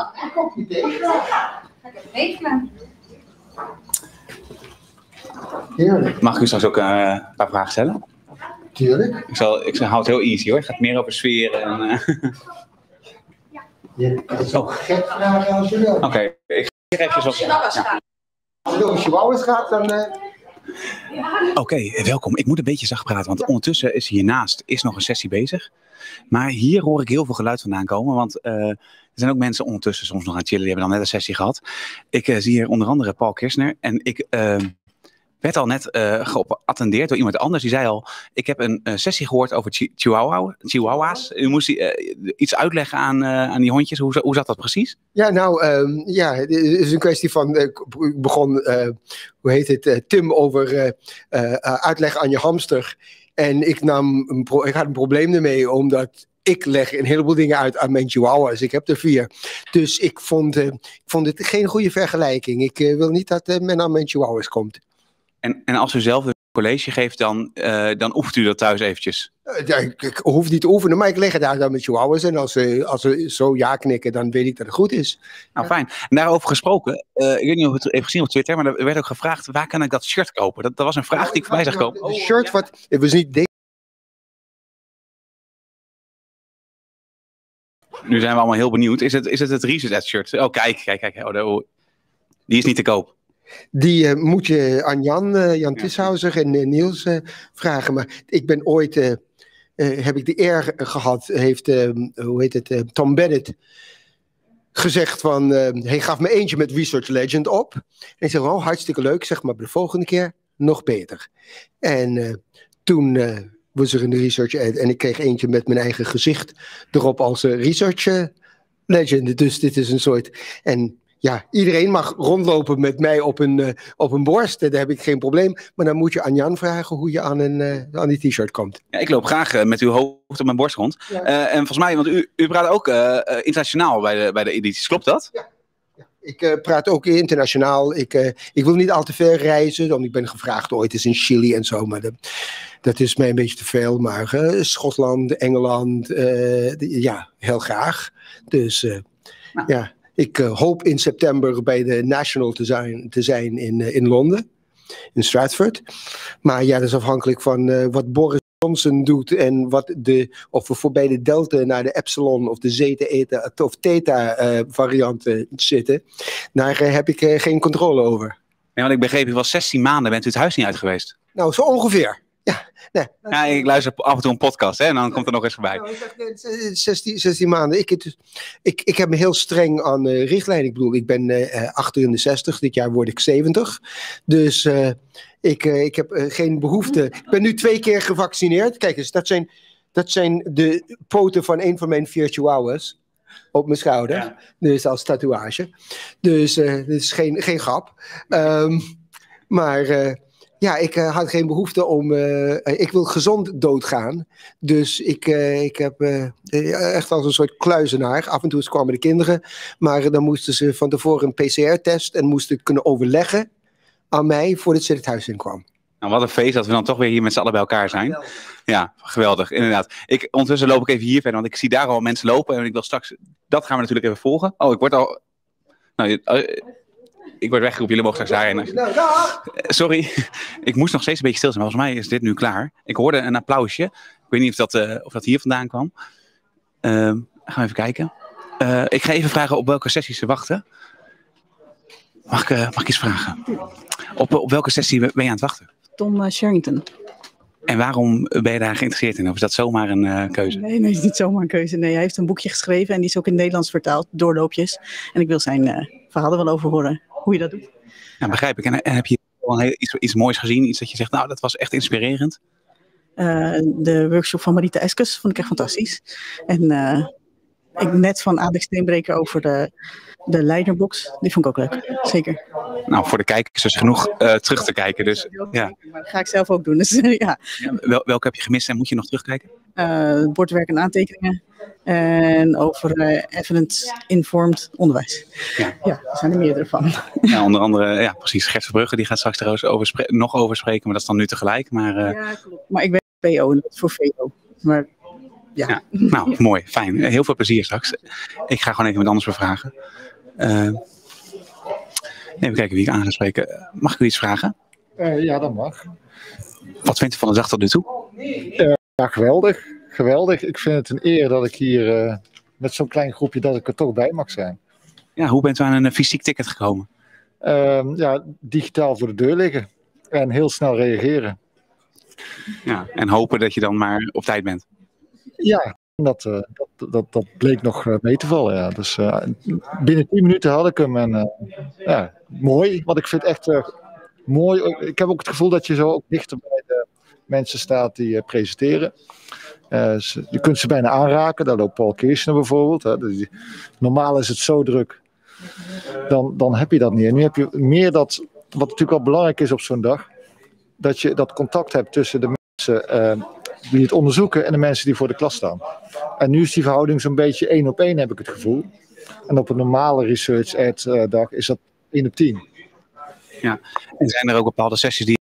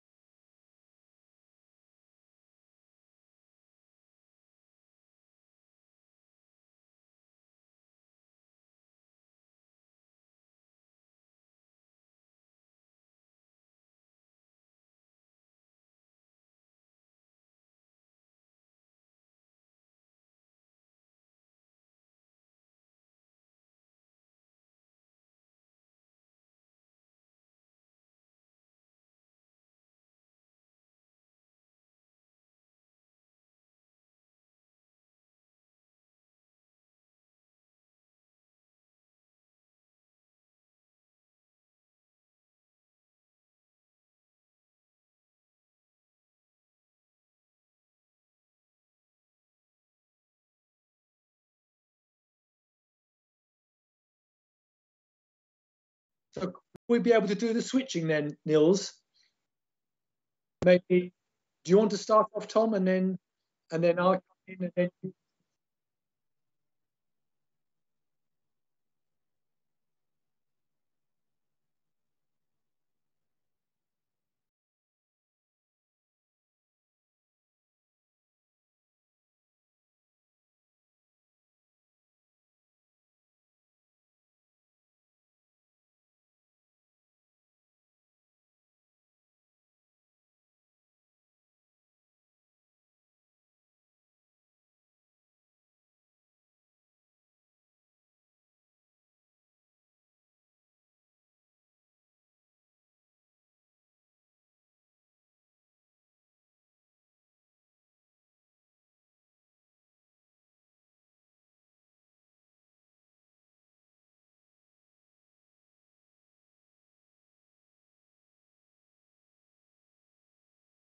And if when, I when, you switch to that? me, just just stop sharing, and I, and I'll share mine.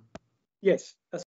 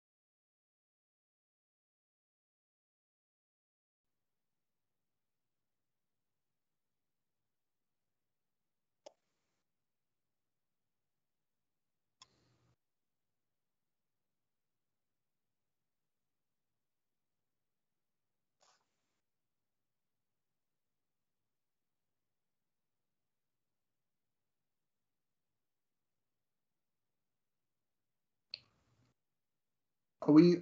Are we? Are we on? I, can't, I don't really know what's um, happening now. If it's not 45 years, I'm thinking that No. you have to tell us. Okay. Just I'll, wait, start, I'll start on 45, whatever. So, are we going to get? Are we going to get a thumbs up? Nils? Or Nils' colleague? Because I can't see anything. I can only see my slide at the moment. You, do you see anybody, Tom? I can see you and me at the bottom, under your slide. Uh-huh, okay. Can you not see that? No, I just see the slide. Oh, you've gone full. You've gone super full screen. I don't know how to do it otherwise. Teams is a bit of a nightmare, to be honest. Well, yesterday was terrible. Really.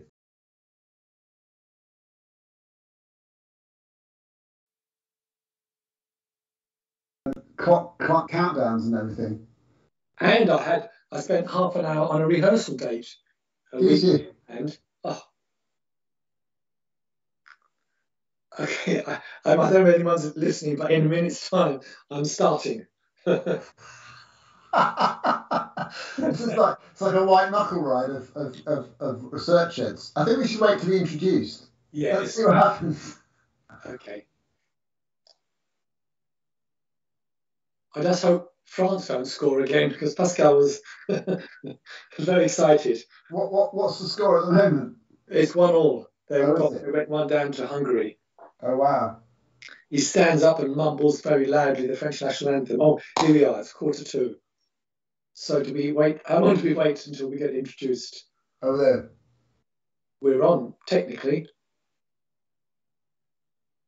Hello everyone. I'm not sure whether you can see us or hear us, but uh, we're waiting uh, to see if we have a signal to start. This is the start time. Niels, are we ready? To, are we live? Are we broadcasting? I can see him. You can. Oh, you Yeah. don't view the audio. That would have been nice, wouldn't it?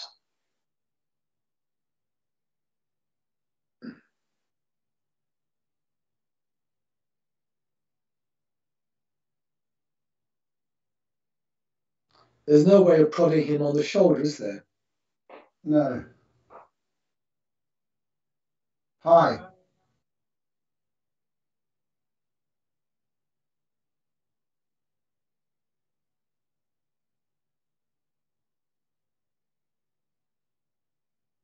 Okay, we're okay. We're going. Hello, everyone. Great to be with you. We'd have liked to have been with you, really, but we're this is the best that we can do. Um, so, welcome to the walkthroughs. Here's a very brief introduction that I'm going to give you. I'm a warm-up man for Tom Sherrington, who will follow me, me immediately when we switch screens. So, I'm going to talk about kind of some of the reasons why the walkthroughs were invented and why we think they were needed, and some of the kind of nearly unique features of them. First of all, there's this phenomenon, I don't know whether you'll be familiar with it, where you go along to a course and you listen to the course leader, the guru, the expert, and as you listen, it's natural and it's invariable. You'll say to yourself, Yeah, that sounds really great. But you know what? I think I'll miss out what he says is, is uh, step three because my children, their ages, my classroom, my experience, I can't just tweak it. I'll do that instead. So we cut, we add things. And then we go back to school and then we try it out and we do a few more changes. And then perhaps a day later, someone talks to you in a staff room and says, Hey, Oliver, how did that course go? And you say, It was really great. Food was nice. All my friends were there. Oh, and I learned a few techniques. Here's one that I did. And then I tell the person about the technique, not what I heard, but what how I changed it. And the person listening to me thinks, ah, Oliver's not very good at that. So when he says that, I think I'll just I'll skip that and I'll do it my way instead. And that goes on and on. And Dylan William has picked up a term. It wasn't his originally, but he, he's used it. It's called lethal mutation. And it seems almost inevitable like that because we all know our classrooms and we know it's best. And Dylan Williams reckoned by the third time that's happened, by the third or fourth time, the essential parts of the technique at the beginning have disappeared. So gradually, I'll say gradually, perhaps rapidly, we soon find out, oh, that technique doesn't work. So we go on another course with a new, bigger, more expensive guru, and we take down notes. And same time, we start changing and adapting, and the whole process. So these these these golden nuggets become tarnished, and, and so we go looking for more pieces of gold, the new shiny things, lethal mutation. Because what happens is the communication and change is linear, and we go further and further away from the original. And to make things worse, we have professional amnesia. So I remember leading training courses and I was doing something on mapping, and I'll often have an older teacher, not necessarily older, but who's been teaching 10 years, say, Oh, I used to do that. So not only do we not have a particular mechanism where all the great things that teachers have invented are archived so we can access them easily, we don't even remember what we did that was successful because we keep moving on to the latest, greatest thing that we forget what really worked practically for ourselves. Seems there's kind of a bit of a problem. It's ironic that we talk about the issue of memory amongst our students when, as a profession, we're suffering from the self same phenomenon. Now, Atul Gawande is a surgeon and um, a columnist for the New York Times, and he's really explored how his field of medicine improves. And it improves through coaching. And coaching fundamentally is dropping the search for the really talented people and realizing that actually, if we capture what expert people do and we analyze it and we describe it really accurately and precisely, then we can pass it on. So we call these checklists. And so a checklist is the, the mechanism. I've got something to say about checklists in a minute. We, we all don't like the word. But a checklist essentially is the mechanism by which we can pass on and avoid um, all the paraphernalia that goes on with training teachers and find out what works. So with the walkthroughs, we've broken it up into five steps. Why five? Well, actually, you'll remember Nelson Cowan's um, work with working memory limitations, and he had the number, unlike George Miller's seven plus or minus two. When you're dealing with something that has more significance than the small words for recollection that Miller worked with, um, Cowan says it's four, four plus or minus one. So there we have five steps, because the last thing you want to do is to learn a technique, or rather think you've learned it, and you end up in front of your class and going, ah, oh, what happens next? So five seems a good number. And although we've used the word checklist just here between, between us, it's not really in the way that checklists normally work. So let me tell you how we've gone around the constraints, the limiting constraints of checklists. And I'll do so by introducing you Jim Knight, uh, really probably one of the best known people dealing with educational instructional coaching. And listen, look what he says.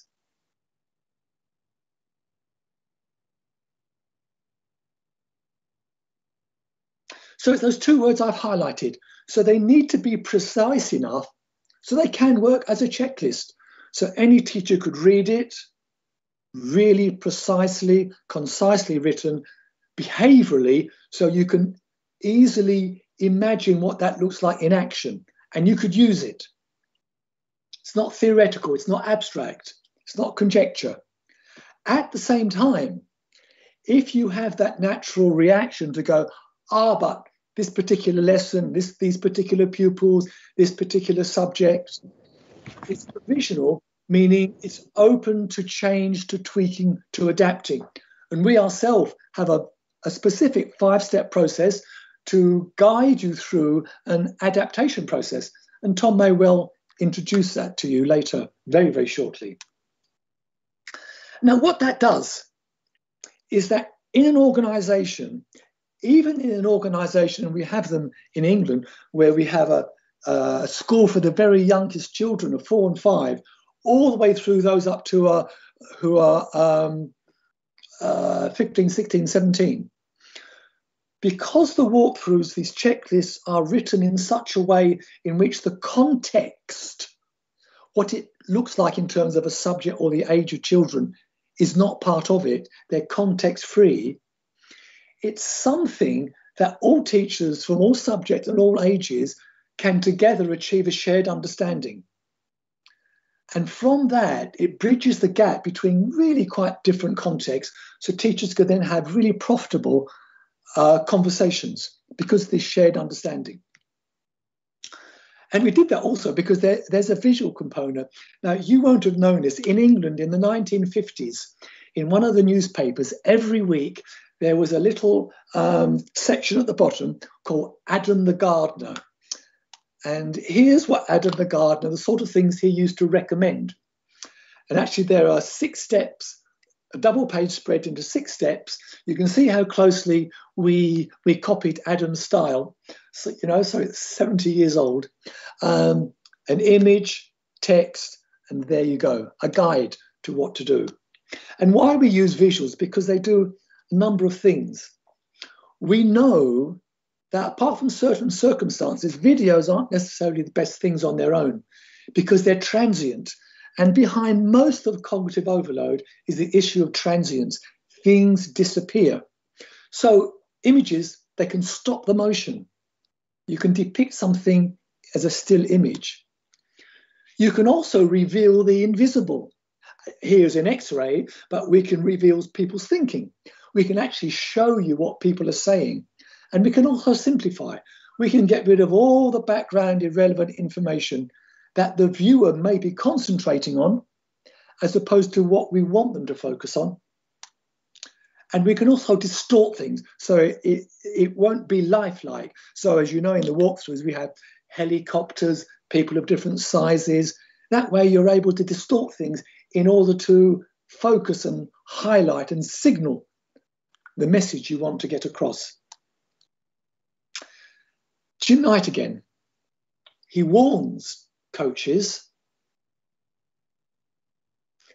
that unless they have a large repertoire, they'll really be inefficient because they won't be able to respond to the, the number and variety of different circumstances and problems and requests that teacher would have of their of their knowledge. So clearly we've really addressed that and then some. So um, we have over 100 walkthroughs based on a classroom. We have volume one, which is in in Dutch, wonderful to see. Uh, and I believe you're working on volume two. Um, and Tom and I, uh, this summer, will be rolling our sleeves up and working on volume three.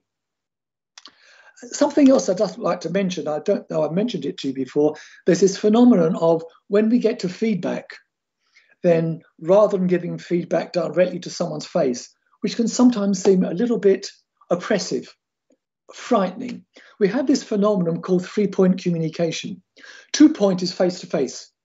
If you then sit yourself beside someone, so teacher and coach are side by side, and that, that already feels different, and then you bring into play a third point, which is very often a visual, which is the walkthrough, and then the conversation can happen via the walkthrough, via the third point.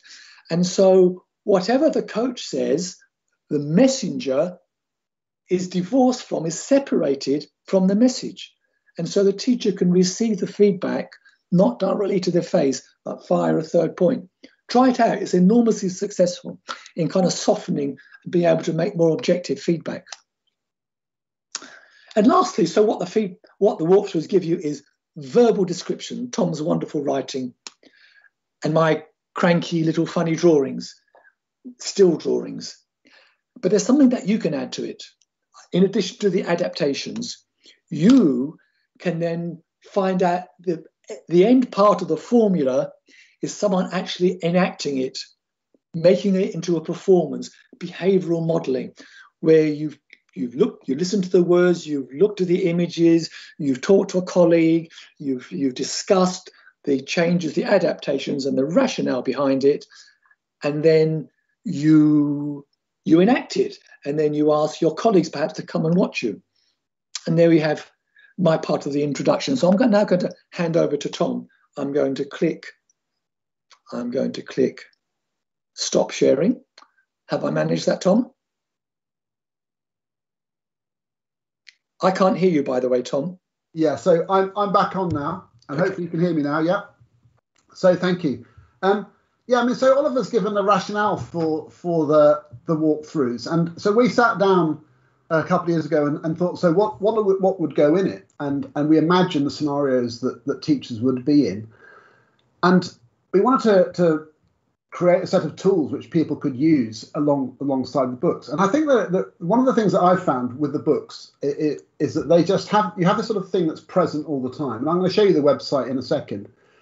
But mainly, I mean, if I just, for example, take this classic book here, you know, Teach Like a Champion, it's absolutely fantastic. So it's one of the, the great greatest books that's been written about teaching. Um, 62 techniques is excellent, and Doug Lemov is writing his third edition of that now. Or you might take a, another classic text, and literally, I was told that the second edition of this book is on its way to me. Dan Willingham's "Why Don't Students Like School?" Now, this is another superb book which teachers should read. But the thing is that when you're when you're sitting next to a colleague in a in a teaching situation and you've observed a lesson, it, the, the recall, the, the the shared understanding of the te- of the ideas in those books is sometimes even then hard to to communicate, and you need something that's there with you to kind of have a reminder. So with, with the walkthroughs books, you've got this sort of lovely visual guide, and so we, we always encourage people to, to get the book out and open it up and you're talking about the strategy that is relevant to that situation. And just by looking at the five step guide you're you're reminded of the of the step. It's very visceral. It's sort of in your hand. We're saying okay so in this case this book has opened up at a strategy called metacognitive talk.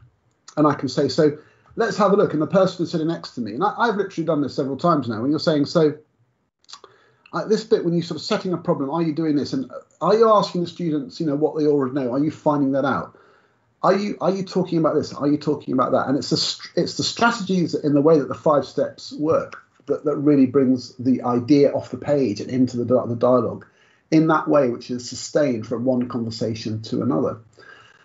What I can also know is that if a, another couple of colleagues down the corridor are having the same conversation about the same strategy, the strategies that they're discussing are the same because they're written down and depicted in this way.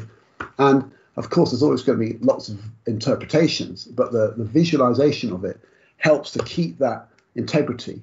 And of course, know, we're thrilled that the, the translation of it works well because with De Lupus, as I never pronounce it properly, but the fact that Rene Kuiper has done a superb translation, um, but the images are essentially the same as the in, in the English version because the, the, the visual language is common and it, it allows you to uh, put yourself into that position and it helps you focus and think, oh, is that what I do? And sometimes the images are sort of abstractions to sort of make you think rather than literal depictions of people in a room. And that helps you because it makes you think, yeah, that's that Im- Im- imagining of this concept is helping me sort of think through what I do and it, and it prompts discussion. So the vision, the books are are the core of the walkthroughs, and we keep saying that. And, and on, we have a Kindle version where people can sort of flick through on their phones.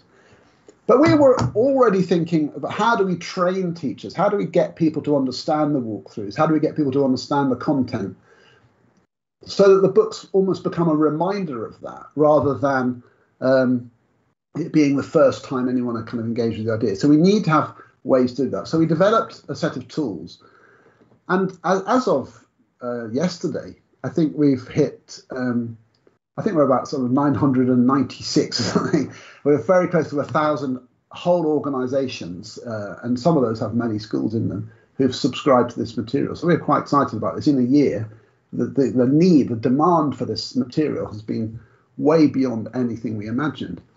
So let, let me show you kind of the sorts of things that we're, we're talking about here. Um, we've got um, a set of, of tools, and I'm going to show you the website that, that we have. Um, we're going to, I'm just going to log into log into my account here so that you can see um, the walkthroughs account that, that everyone gets. And basically, it's a standard website, and embedded in it are a, a set of um, of tools. And um, I'm just going to get into the into the page.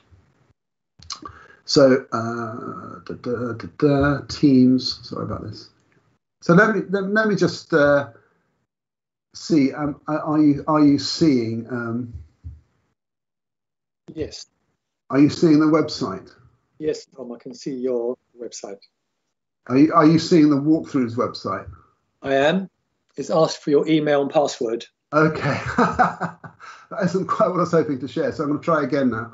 Um, I'll open the share tray. Do it. Here we go. This is what I was trying to share. So here we go. That's that's more like it. So are you seeing the the walkthroughs website there, Oliver? Yes, I am. Yes. Great. Okay. So this is what you have. So we have a, a website, and essentially at the heart of it is a set of materials like PowerPoint slides and trainer notes and so on. But we've had it beautifully kind of arranged into this um, Google site, so people can come on here and you can see the sorts of things that we've got. We have we have a section on the why. So we want people to be engaged in things like Rosenshine's principles, um, Shimamura's the Marge model, Ron Berger's an ethic of excellence, and if that's the, the thing that you wanted to engage in, you would you would um, select uh, this page, and here you have a summary of Ron Berger's ethic of excellence and a video of, of me giving a- an overview of that. And it's that sort of, sort of summary. Now, we, I know a lot of people have, have told me that having seen this in here, they've gone then to read Ron Berger's Ethic of Excellence in, in full. And similarly with something like um, the Marge model, a lot of people haven't heard of Shimamura's Marge model. It's really, really useful. And having seen it summarized in the walkthroughs book, they've gone then to say, okay, so what is Shimamura saying about this whole brain model? And again, you have some slides and, and people can access them here and, and, and discuss them in a team. So there's this why section, which includes a whole range of ideas. One of my, yeah,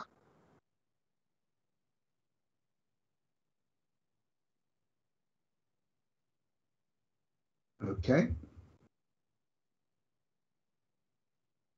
Can you, are you seeing this?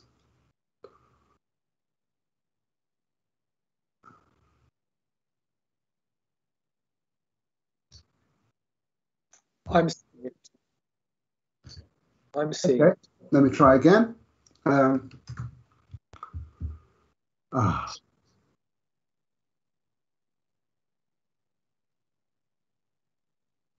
Okay, let me let me let me try this. Hang on a second. Um, um, ah.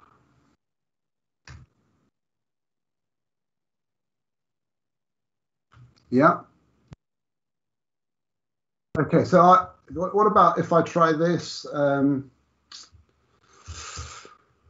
are, are you seeing this?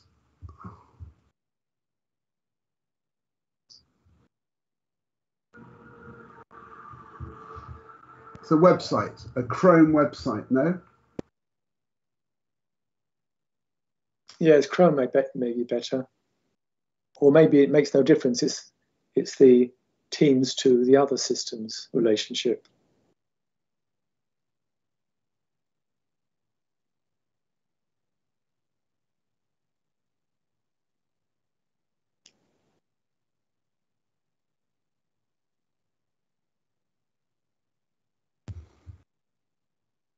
I'll, I'll, if, if it doesn't work, I'll set up a PowerPoint. Yeah.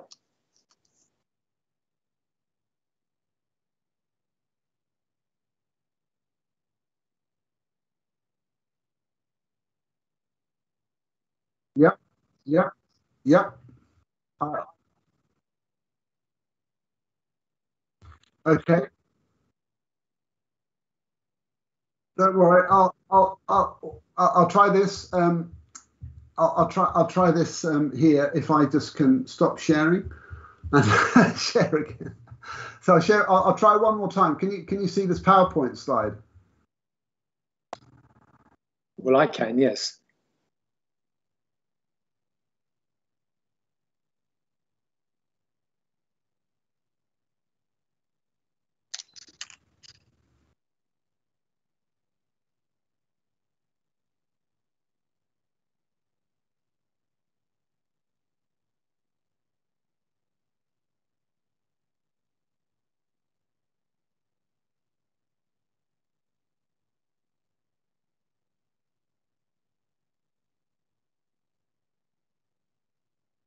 Okay, it's not working so well. Okay, so we, we're just having technical issues.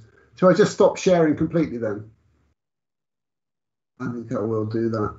Um, until we, so it, just just because it's too, it, it, just if people are watching this, it's too too disrupted. I, I'll just just talk and hopefully you you can see me do this. Um, so I mean, this is this is the thing. So we we've we created this tool toolkit where we have the walkthroughs, and they are they are this visual guide, and and and, and the, the, the, the way it works is you you ask um, a teacher, you know, in a in a in a coaching session, you know, to, to discuss the issues that they've got. And we have this idea called solve the learning problems. And we, we think that's really important so that we don't just start saying, what strategies would you do you feel like doing? We actually talk more through the lens of what strategies do you think you need in order to secure better outcomes from your students. So in order to do that, we have this process which we call solve the learning problems. And that, we think that's really important to have that mindset that we're not selecting um, strategies because of a kind of a whim or a, a personal feeling, but we start by reviewing we're reviewing student performance. So in the very first uh, stage of the review student uh, of the solved learning problems, it says review student performance. So what are the things that your students find difficult? And then we try to be try to probe and, and uh, identify very exactly where that is. So is it specific individuals? Is it and is it something to do with say questioning and explaining? Is it think, something to do with the way we're scaffolding a task? Is it to do with the, the questioning techniques in the in, in the lesson, so that gets more students participating? Is it a behaviour management thing? It can be in some cases about expectations and making sure all the students are doing the things you ask. So once we've decided the, the issue, we then can say, okay, what, what's a walkthrough that might address that issue?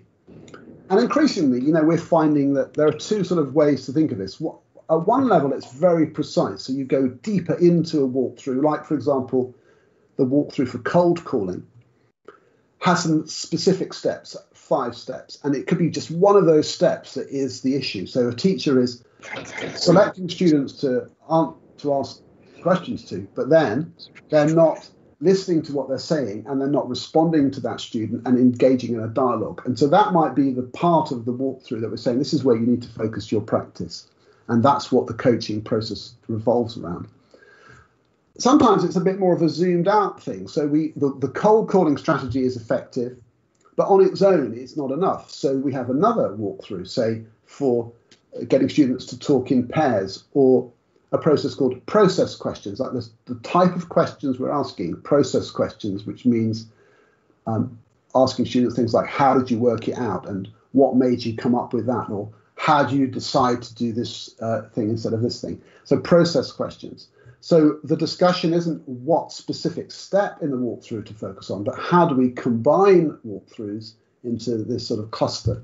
So if you get a chance to look on our, our website, walkthroughs.co.uk, you'll see there's a, a cluster building tool partway down, which is a free download and anyone can access it. And it, and it gives you a feeling of this sort of sketch pad of which walkthroughs can come together. Some of them are to do with retrieval practice. So, for example, you might have a, a walkthrough for quizzing, a technique where you, you ask uh, a class a set of questions, which are just recall questions. But that links to a walkthrough which is using a knowledge organizer, which is a way of summarizing the knowledge the students are supposed to have in order to, to quiz from. Um, and weekly and monthly review, which is more about the structure of time where you use a quizzing technique. So you've got a, a cluster of techniques which are to do with checking students' knowledge. So this is what's so interesting. Now, what we found, this is so so amazing to us, is that we've we found so many schools have, have jumped on this because they've finally had a set of resources where they wanted to talk about retrieval practice or questioning techniques or behavior management. But not, not many people in their school have had time to go to research ed or read all the books. In fact, I find it absolutely fascinating that even when you give somebody, say, a book as thin as this Rosenshine's Principles book, my book, some schools have, have, to my great surprise, have given this out to everybody. And still, half the people who receive it haven't had time to read it. They just haven't. And teachers are so busy. So what they found, what we've got now is this set of resources where you can say, look, what just a quick summary, watch the video on your phone, you can present it in a staff meeting, and then people can go away and follow up by accessing the same resources in their own time. And if you've got uh, a little sub meetings. A lot of teachers really love being with their colleagues in their team. So it could be a primary school year group team or a, the maths department or the French department. That's where they feel the most comfortable. Uh, But you can put the resources into each of those team sessions and say, everybody watch these videos and these go through the slides and discuss these ideas in your own sort of space without having to all sort of come together in the in the central area and listen to it explained by someone who's quite remote from you in the organization. It can be something you're discussing together with your immediate colleagues. And people are saying to me that's what they find really useful, that it's it's the way that the resources can go from the, the whole space of a, of a big training room to the micro discussions that teachers have around a building without distorting the ideas because they're the same resources that everyone can access. And then it stimulates further reading. It, it stimulates more people to say, well, let me find out more about Dan Wooding and let me go and see exactly what Rosenshine said. Let me go and find out more about retrieval practice and uh, and hit and, and read that excellent um, Dylan William book about formative assessment, which has been in our library for years, but I've never had time to read it. And that kind of thing is happening. Some of the schools are doing a thing where they say everybody, because it's a, it's so powerful to have a shared language. It's very powerful for a number of teachers to be talking the same things. And this is the thing I get told more than anything is when people have introduced the walkthroughs materials, that they go around their schools, and sometimes it collects families of schools, and everyone is saying something like check for understanding, and they all know what that means. And this has really changed. So, check for understanding is a specific, meaningful phrase which comes from Rosenshine's principles of instruction. Doug Lemov talks about it as well. But it's being defined for them in a very simple, coherent way. So here we have many, many teachers talking about checking for understanding. And now they can get beyond that initial hurdle of do we know what it means to how do we do this effectively in our lessons? Uh, and that's the same for many of the other techniques. So some schools have gone down the road of saying let's all focus on cold calling, check for understanding, and say weekly and monthly review. And that's that's a good approach that they've ad- adapted because you've got a small set of ideas that lots of people are talking about. In other schools, they've gone more sort of individual. So the teachers may be slightly more uh, confident with all of this stuff. Um, and they've allowed allowed encouraged each individual teacher to just pick a, a, thing that they feel is relevant for them. So that teacher over there is working on live modeling. That team is working on scaffolding. Um, this team over here is working on a, a, collection of questioning techniques. One school i know they, they they asked a group of teachers to make a presentation to the staff on a walkthrough they thought might be interesting. And then they kind of selected one of those to be the, the theme for the next few months' uh, development.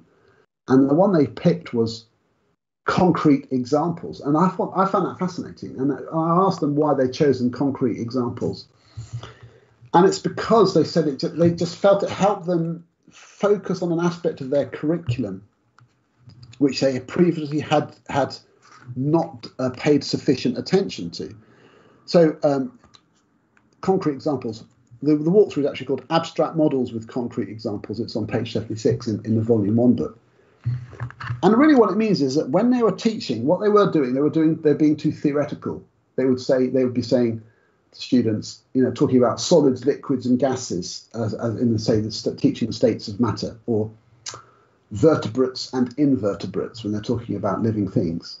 But the children wouldn't know an example of an invertebrate or they wouldn't know many examples of liquids, or the ones that they did know would be uh, too uh, re- reduced. Like they would think water is a liquid, but they wouldn't sort of be able. They wouldn't be good, uh, confident to say that molten iron is also a liquid. So they'd be thinking, you know, iron is a solid. But actually, it isn't always a solid. It's sometimes a liquid. That's how we make iron bars and railway tracks and buildings. So this idea of using concrete examples to broaden students' uh, understanding of an idea. So a liquid could be liquid oxygen in a tank, or molten iron, or water, and those are concrete examples of liquids which help you understand what liquids can be. And that's a kind of that's why they chose it. And it's the same with language as well. They were into some things like the idea of a metaphor, what's a metaphor? Well, what's an example of a metaphor? You have to have a concrete example of that. And they realized they weren't teaching the children enough concrete examples so that they really got this idea.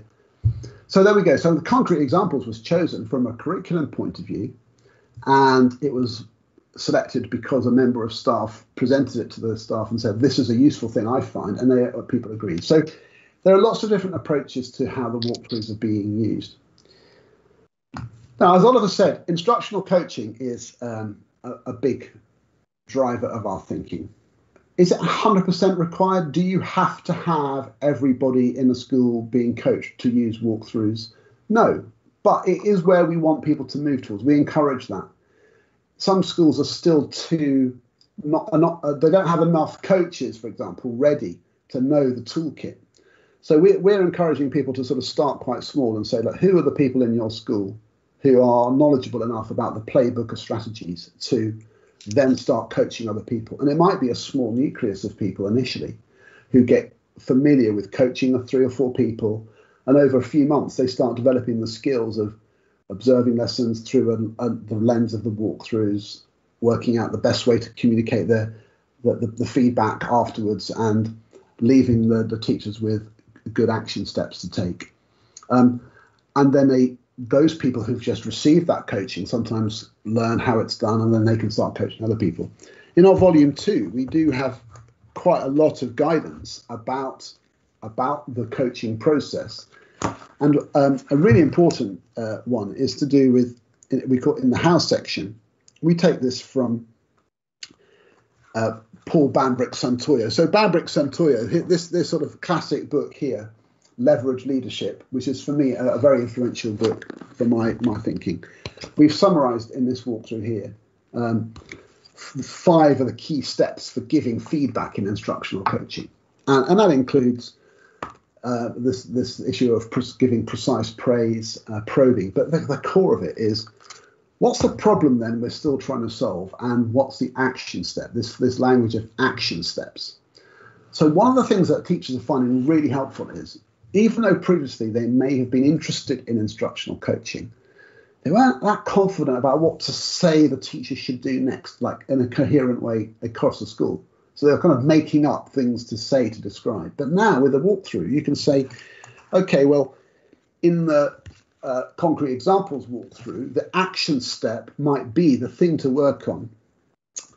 Is this thing of um, linking the, the example to the to the concrete. So it might be sort of number three, where the students having got the general idea and then themselves having to generate or remember additional um, concrete examples. And it's a very specific part of that.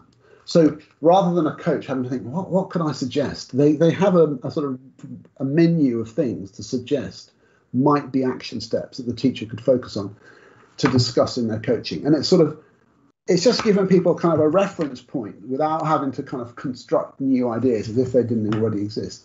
As we all know in teaching, a lot of the ideas we discuss are already there. So I know it's been a bit interrupt, disrupted with the kind of the flow of the sharing here, and I, the team behind here are just doing incredible work. I can see that it's like they're fighting all these kind of chat lines of communication, and they're putting on this massive uh, show, which is great to stream all these things.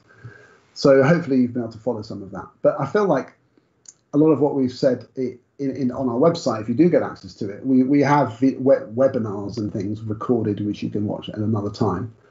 And if you're interested in finding out more about walkthroughs, um, you know the website has got lots of videos and stuff uh, explaining it. Um, and one of the things we find is that these little five-minute explainers are, are popular. There's a, every walkthrough has got a five-minute, quite short explainer, um, and the most recent ones have been added by um, uh, an English expert in reading uh, called Alex Quigley, who some of you will know. And he's produced some superb, very punchy five minute videos explaining some really important aspects of how to teach reading academic texts, um, which we think are really, really good. And that that's part of the, the, the stuff. So thank you very much. Um, I don't know if Oliver, you want to just add anything further? Uh, no, other than um, look forward to seeing you all next time we're over.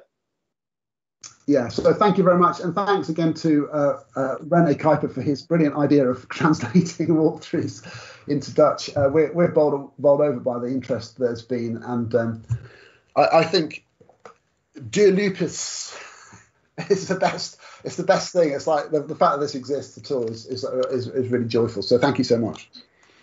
Okay, I think Niels, we're finished.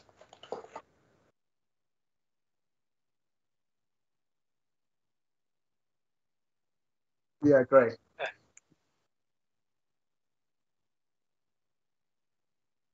Okay. Okay, bye. Bye bye, everybody. Thank you.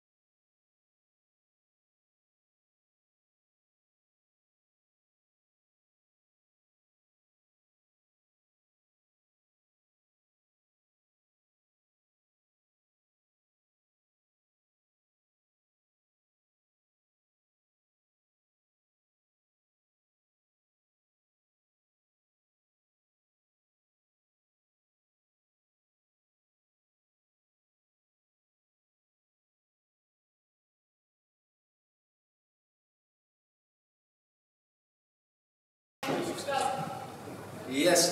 Voordat ik uh, Emmy het woord ga geven, vind ik het altijd leuk om even toch na een hele energieke dag, of tenminste misschien ook een vermoeiende dag, want je hebt veel, in, uh, veel kennis meegekregen. Uh, hebben jullie het naar je zin gehad? Ja.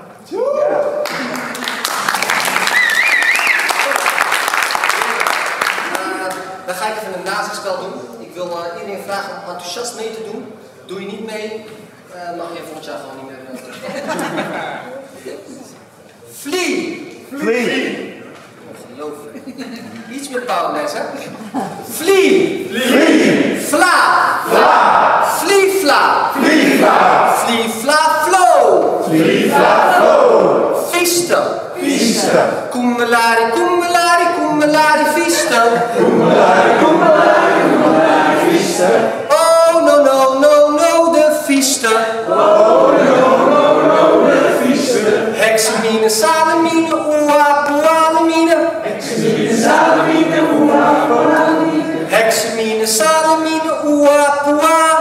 Hexamine, salamine, oa, poa. Bibi, blio, de dode bobo, bedie de dader, wat daar, ze die de dader, doe. Klaar voor jezelf.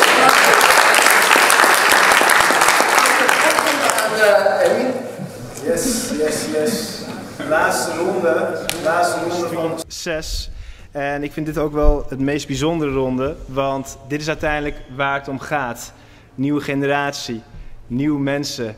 Blijven we in het onderwijs of geven we het op?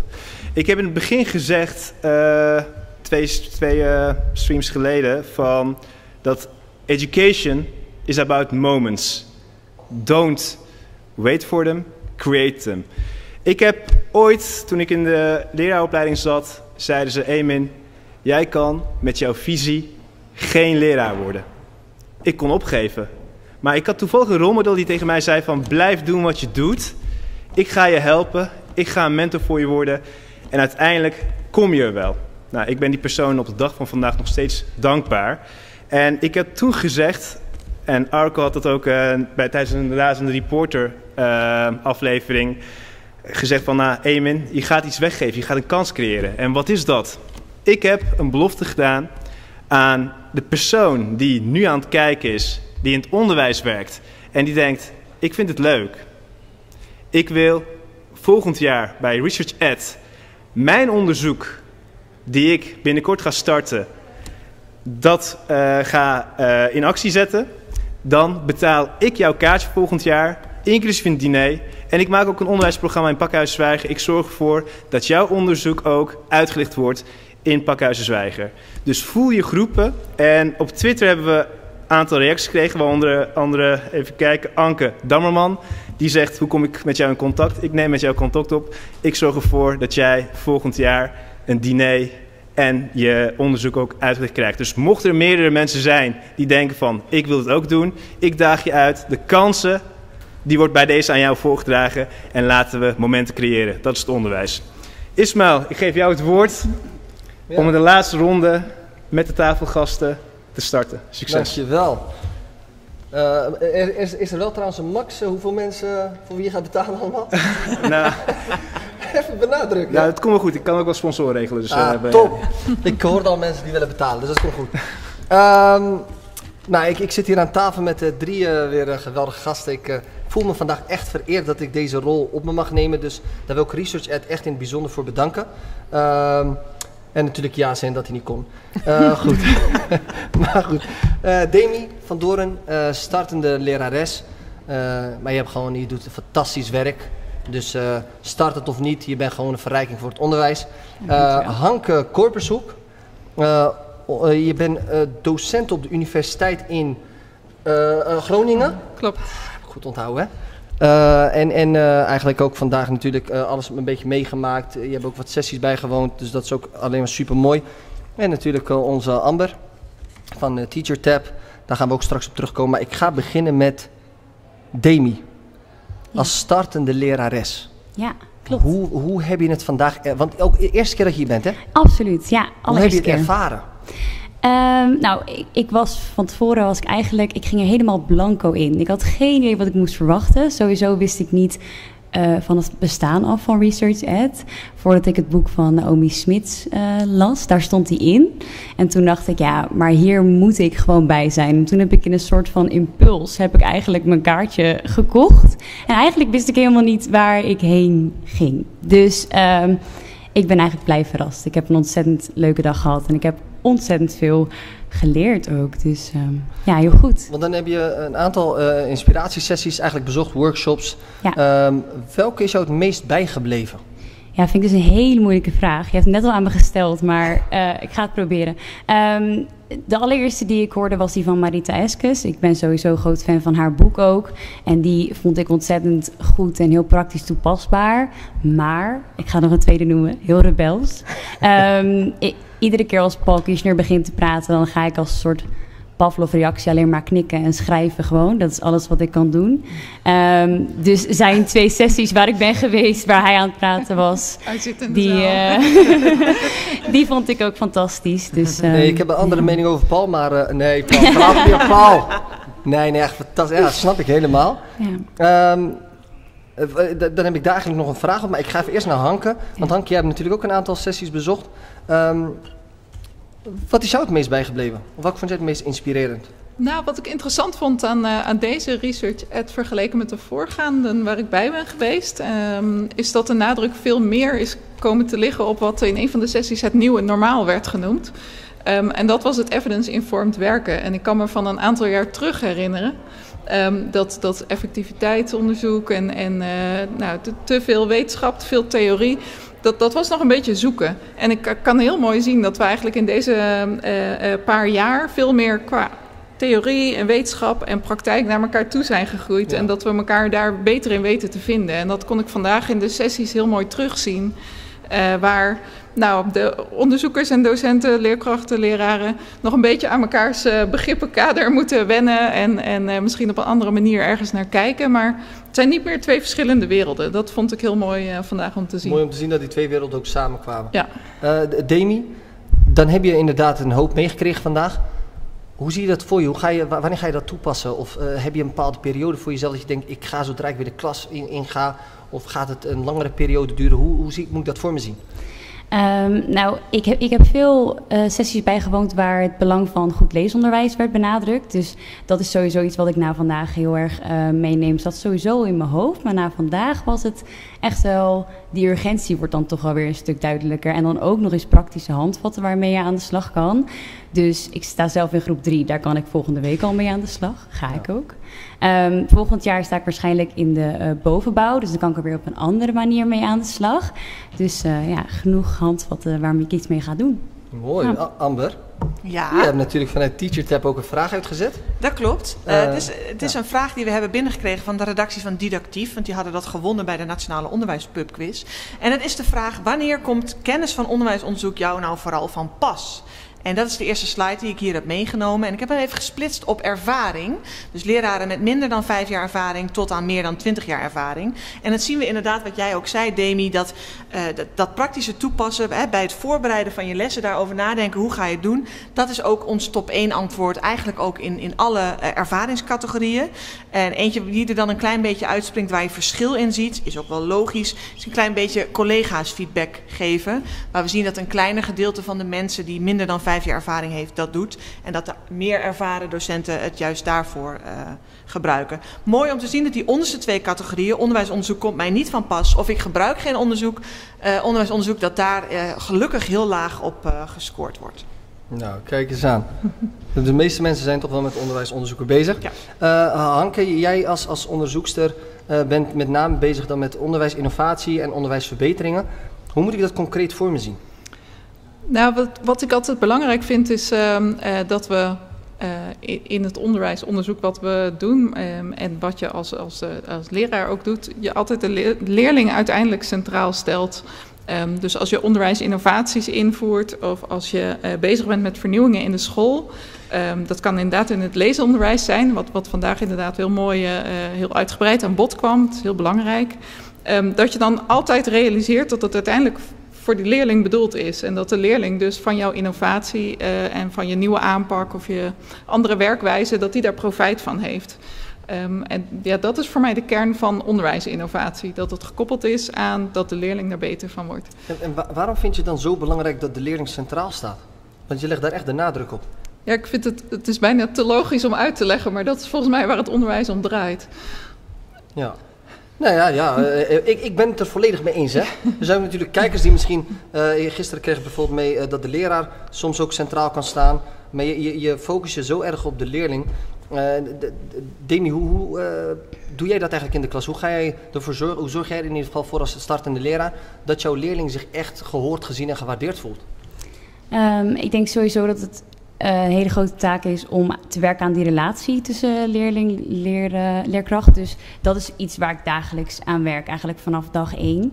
Ehm, maar als je bijvoorbeeld kijkt naar eh, de kansengelijkheid, als je het eventjes daarnaar trekt. Ik ben momenteel erg bezig met mezelf meer verdiepen in cultureel responsief onderwijs. Dus kijken naar als je die kansengelijkheid nou wil gaan bereiken. En je wil ervoor zorgen dat ieder kind zich eh, gezien, gehoord voelt op school. En ook eh, daadwerkelijk dezelfde kansen heeft op goed onderwijs. Ehm, als je dat wil creëren, dan zal je ervoor moeten zorgen dat de school ook een weerspiegeling is van ieder kind zijn situatie. Dus als je leesteksten gebruikt, dan gebruik je leesteksten die de ene keer gaan over een gezin wat er zo uitziet en de andere keer een gezin wat er zo uitziet. Zodat ieder kind er iets aan heeft en zich gezien voelt. Ja. Dat, ik denk dat dat het is. Hey, omdat je dus startende leraar bent, eh, vonden we het ook heel belangrijk om even dan weer een, eh, een vraag eh, naar voren te halen, Amber. Namelijk. Ja, ik heb niet per se een vraag over startende leraren. En nee, die over, over hoe zie Oh, je die- zelf? Ja. ja, die heb ik niet op slide. Nee, dat was, Nee, ik was nee. even afgeleid. Nee, we hebben inderdaad een vraag gesteld. Hebben we ook wel wat feedback op gekregen over of leraren nou te veel vanuit hun onderbuik werken en niet zozeer vanuit Hmm. wetenschap. Dat hebben we gevraagd en daar kwam eh, wel een beetje uit dat, dat over het algemeen er soms toch wel wordt gedacht dat er toch wel veel onderbuik gebruikt wordt. Hanke. Ja, dat is een interessante vraag. Ehm, ik denk dat heel, eh, heel veel dingen die leraren doen ehm, wel goed onderbouwd zijn, ehm, maar dat je je niet altijd bewust bent van het feit dat, dat je het doet omdat daar een goede onderbouwing voor, eh, voor is. Het handige van wel weten of dat wat je doet, jouw onderbuikgevoel, ehm, ehm, ja, ook, ook, eh, ook in, in wetenschappelijk onderzoek is, ehm, is onderzocht en, en dat daar ook evidentie voor is. Dat kan je heel erg helpen bij het verbeteren van wat je wil doen, je, je didactisch handelen. Dat je denkt, dit, dit is wat ik doe en, en daar zie ik iets in het onderwijs wat ik wil veranderen. Als je dan al weet en goed weet, ik werk volgens dit didactische model of ik gebruik deze ehm, eh, werkwijze, eh, dan kun je die verbeteren. Eh, dus je moet je bewust zijn van wat je doet eh, om te Ja. kunnen verbeteren. Zeker. Eh Emin, ik ga even terug naar jou. Eh, wat gebeurt er in de chat? In de chat eh, gebeurt er eigenlijk vrij weinig. Vrij maar, weinig?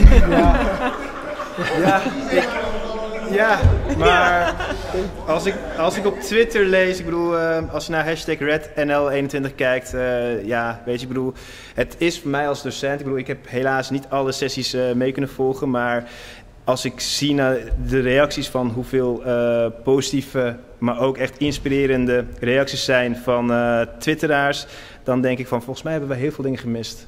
Heel veel dingen gemist. Dus, Ja. ik, dus voor mij is dat uit, uitnodigend om sowieso even alle sessies op, opnieuw te kijken. Ja, nou, eh, dat, dat, ik denk dat dat het mooie is natuurlijk van vandaag inderdaad. En vandaar dat ik ook blijf zeggen, ik ben echt, ik voel me gezegend dat ik hier mag zitten. Ehm, Amber, er was ook nog een andere vraag vanuit TeacherTab. Die Ja. ga je op het bord laten zien. Ja, precies. Ik heb even eh, een van de resultaten eh, van eh, vandaag, dus eigenlijk om half vijf dus het resultaat. Dat ging over de hitte de afgelopen week. Ehm, hoe ging het eh, met jouw leerlingen in de klas? En als we zien dat, even kijken hoor, 60, 70, bijna 80 procent zegt dat het eh, heel moeilijk werken was voor de leerlingen in de hitte. En ook soms dat het zelfs onmogelijk was om te werken in de hitte. Dus de ventilatie in scholen is nog steeds niet op orde. Ehm, is natuurlijk wel al geld voor gegeven, dus dat is misschien iets waar we nog eh, achteraan kunnen. Maar we hebben een nieuwe vraag inderdaad openstaan. En die wil ik ook even laten zien. Ik heb er natuurlijk wel even een, een, een QR-code voor als je de app nog niet op je telefoon mocht hebben. Wat is er nou voor nodig om ervoor te zorgen dat jij over drie tot vijf jaar nog steeds met plezier voor de klas staat? Dat is de vraag die wij eh, nu open hebben staan. Ja, Demi, vertel. Ehm, nou, ik denk dat dat persoonlijk ook best wel heel erg verschilt per persoon. Eh, maar voor mij, ik merk dat het voor mij heel goed is als ik werk in een omgeving waar een hele professionele cultuur is. Dus waar ik collegiale consultatie kan doen, waar ik bij collega's kan kijken en van en met hun kan leren. Ehm, dus dat heb ik heel erg nodig om mezelf te kunnen blijven ontwikkelen. En als ik me kan blijven ontwikkelen, dan sta ik met plezier voor de klas. Maar dat is eigenlijk meer omdat ik gewoon van mening ben ehm, dat als je kan denk ik de beste leraar zijn voor een leerling door een lerende leraar te zijn. Dus als ik in een omgeving werk ehm, waar ik kan blijven leren, dan kan ik over twintig jaar nog steeds met plezier voor de klas staan. Ja, dan is het ook natuurlijk heel belangrijk dat je die ruimte krijgt. Ja. Dat is heel belangrijk. Hanke, jij doet al jarenlang. Uh, ja. Je bent hartstikke jong, laten we dat even vooropstellen. um, maar uh, jij, wat, wat gaat ervoor zorgen dat we jou nog minimaal drie tot vijf jaar voor de klas hebben? Nou, dat, wat natuurlijk een interessante, interessante achtergrond is, is dat ik oorspronkelijk als basisschoolleerkracht ben opgeleid. Ehm, maar ik ben daarna onderwijskunde gaan studeren, omdat ik het onderwijs super interessant vond en niet snapte waarom we op een bepaalde manier het onderwijs inrichten. Ik dacht, er moeten nog zoveel meer manieren zijn. Um, dus het onderwijs heeft mij altijd geboeid. En het leuke was, toen ik bij de universiteit uh, bleef, uh, bleef hangen, dat we daar een academische PABO gestart zijn. Waardoor ik opeens weer mijn eigen doelgroep had van, van aankomend leerkrachten om, om hen les te geven. En ehm, ik merk heel erg um, dat je, juist doordat die groepen elk jaar wisselen, maar ook dat we studenten terugzien van jaar 1 naar jaar 4. Um, je, je ziet wat je, waar je een heel klein, heel klein stukje aan kan bijdragen. Um, en, en dat maakt dat ik dat, dat werk gewoon wil blijven doen. Dat je ziet hoe studenten in, in vier jaar tijd bij ons dan kunnen groeien. En als ik hen dan spreek over wat ze in de klas doen, op het uh, in basisschool. Um, dat ze zeggen, oh, dat, dat hoorden we bij een college en ik heb nou dit geprobeerd en dat ging helemaal mis en dat ging wel goed. Hè. Je ziet hoe ze die, die, die kennis dan meenemen en dan hoor ik alsnog wat van die basisschoolpraktijk, uh, wat, uh, wat mij ook weer vertelt, wat ik hen moet vertellen. Ja. Nee, dat is heel, vind ik heel mooi. mooi. Emin, ook een hele vraag. Nou ja, voor mij is het heel erg simpel. Uh, ik geloof sowieso in lef hebben heel veel docenten die hebben uh, mooie ideeën. Maar ideeën zijn niet om in je hoofd te hebben, maar om echt een actie te uh, voeren. En daarvoor heb je lef nodig. Dus de angstcultuur moet een beetje weg. En men moet denken van oké, ik heb een mooi idee. Zoek de like-minded people op. Mensen die gewoon met jou meedenken. En zorg ervoor dat je je idee uiteindelijk waarmaakt om samen met je team, met de mensen die je om je heen hebt, mee te groeien. Ja, en daarnaast geloof ik in levenslange leren. Dus blijf leren, blijf ontwikkelen. En uh, krijg de vertrouwen van je schoolbestuur. Krijg de vertrouwen van je uh, manager, teamleider. Als je dat hebt, ja, dan, dan, dan blijf ik in het onderwijs werken de komende 20, 30 jaar. Mooi. Ja, nee, ik, ik, ik ga hem een klein beetje anders insteken. Uh, want ik heb ook een mening hierover. Ik denk dat het heel belangrijk is dat je elkaar het licht voor de ogen gunt in het onderwijs. Uh, jaloezie is een uh, groot probleem. Wordt vaak ook een, wordt vaak niet over gesproken. ik spreek uit ervaring. ik ga er niet al te veel op in. Straks ben ik mijn baan... Nee, grapje, dan ben ik mijn baan niet kwijt. nee, nee, maar echt, ik, ik, heb, ik heb echt meegemaakt en veel docenten gesproken... die dus echt wel uh, het zij weggepest worden uh, of gewoon dat, dat, dat ze niet worden gezien, gehoord, gewaardeerd. Want we hebben het inderdaad over leerlingen, wat heel belangrijk is. Maar ook collega's onderling naar elkaar, maar ook als leidinggevende naar je docent toe. Je ziet gewoon echt wel dat, uh, vooral als je een bepaalde populariteit genereert... of je bent een favoriete leraar. Nou, Demi, volgens mij ben je sowieso een favoriete leraar op, op je school. ik zeg dat, geloof me, het is zo. maar dan zie je toch wel dat daar op een of andere manier een bepaalde, ja, misschien onbewuste jaloezie heerst, omdat mensen toch wel wat moeite mee hebben. En, en dat maakt voor mij wel, ik hoop dat dat steeds meer verandert, uh, waardoor ik in ieder geval zeg, want ik heb wel een periode echt gedacht om het onderwijs uit te gaan vanwege dat. Uh, en toen heb ik uiteindelijk toch besloten om te blijven, omdat ik zie wat die kinderen, ja, hoe waardevol met name die kids zijn. Dus ik, ik, uh, vandaar dat ik dacht, ik steek hem even anders in. Maar ik zie je me aankijken, Demi. Ben je het met me eens of denk je van... Nou, um, het is natuurlijk wel een goede vraag waar, waar die jaloezie dan denk je vandaan komt. Waar zou die dan vandaan komen, denk je? Ik ben een... Uh... Sorry, jij bent de talkshow-host, maar... Nee. ja. Ik ben een fantastische ik, ik denk leraar. dat je bedoelt, hoge nee, nee, bomen nee. vangen veel wind. Dat nee, is meer of nou, niet? Ik moet zeggen, weet je wat het is? Ik, ik ben natuurlijk in, in 2018 ben ik leraar van Java Rotterdam geworden. In mijn mm -hmm. eerste jaar dat ik voor de klas stond. Um, dat, dat bracht echt wel bij eh, de docenten die al wat langer geliefd waren binnen de school, was dat toch even van, hè, hoe dan? En, en Mhm. ik was de favoriete leraar van, van, het, van, van de school, et cetera, en dat veranderde vrij snel. Eh, Ik denk dat men soms moeite heeft met bepaalde veranderingen. Terwijl ik juist geloof in het feit dat je van elkaar heel erg kunt leren en dat je juist de handen in één moet slaan. En soms gebeurt het ook omdat je zichtbaarder bent online. Mm. Ik ben redelijk zichtbaar. Eh, ik, ik zeg ook wat het belangrijkste bij mij is, is dat ik heel erg vanuit mijn hart werk.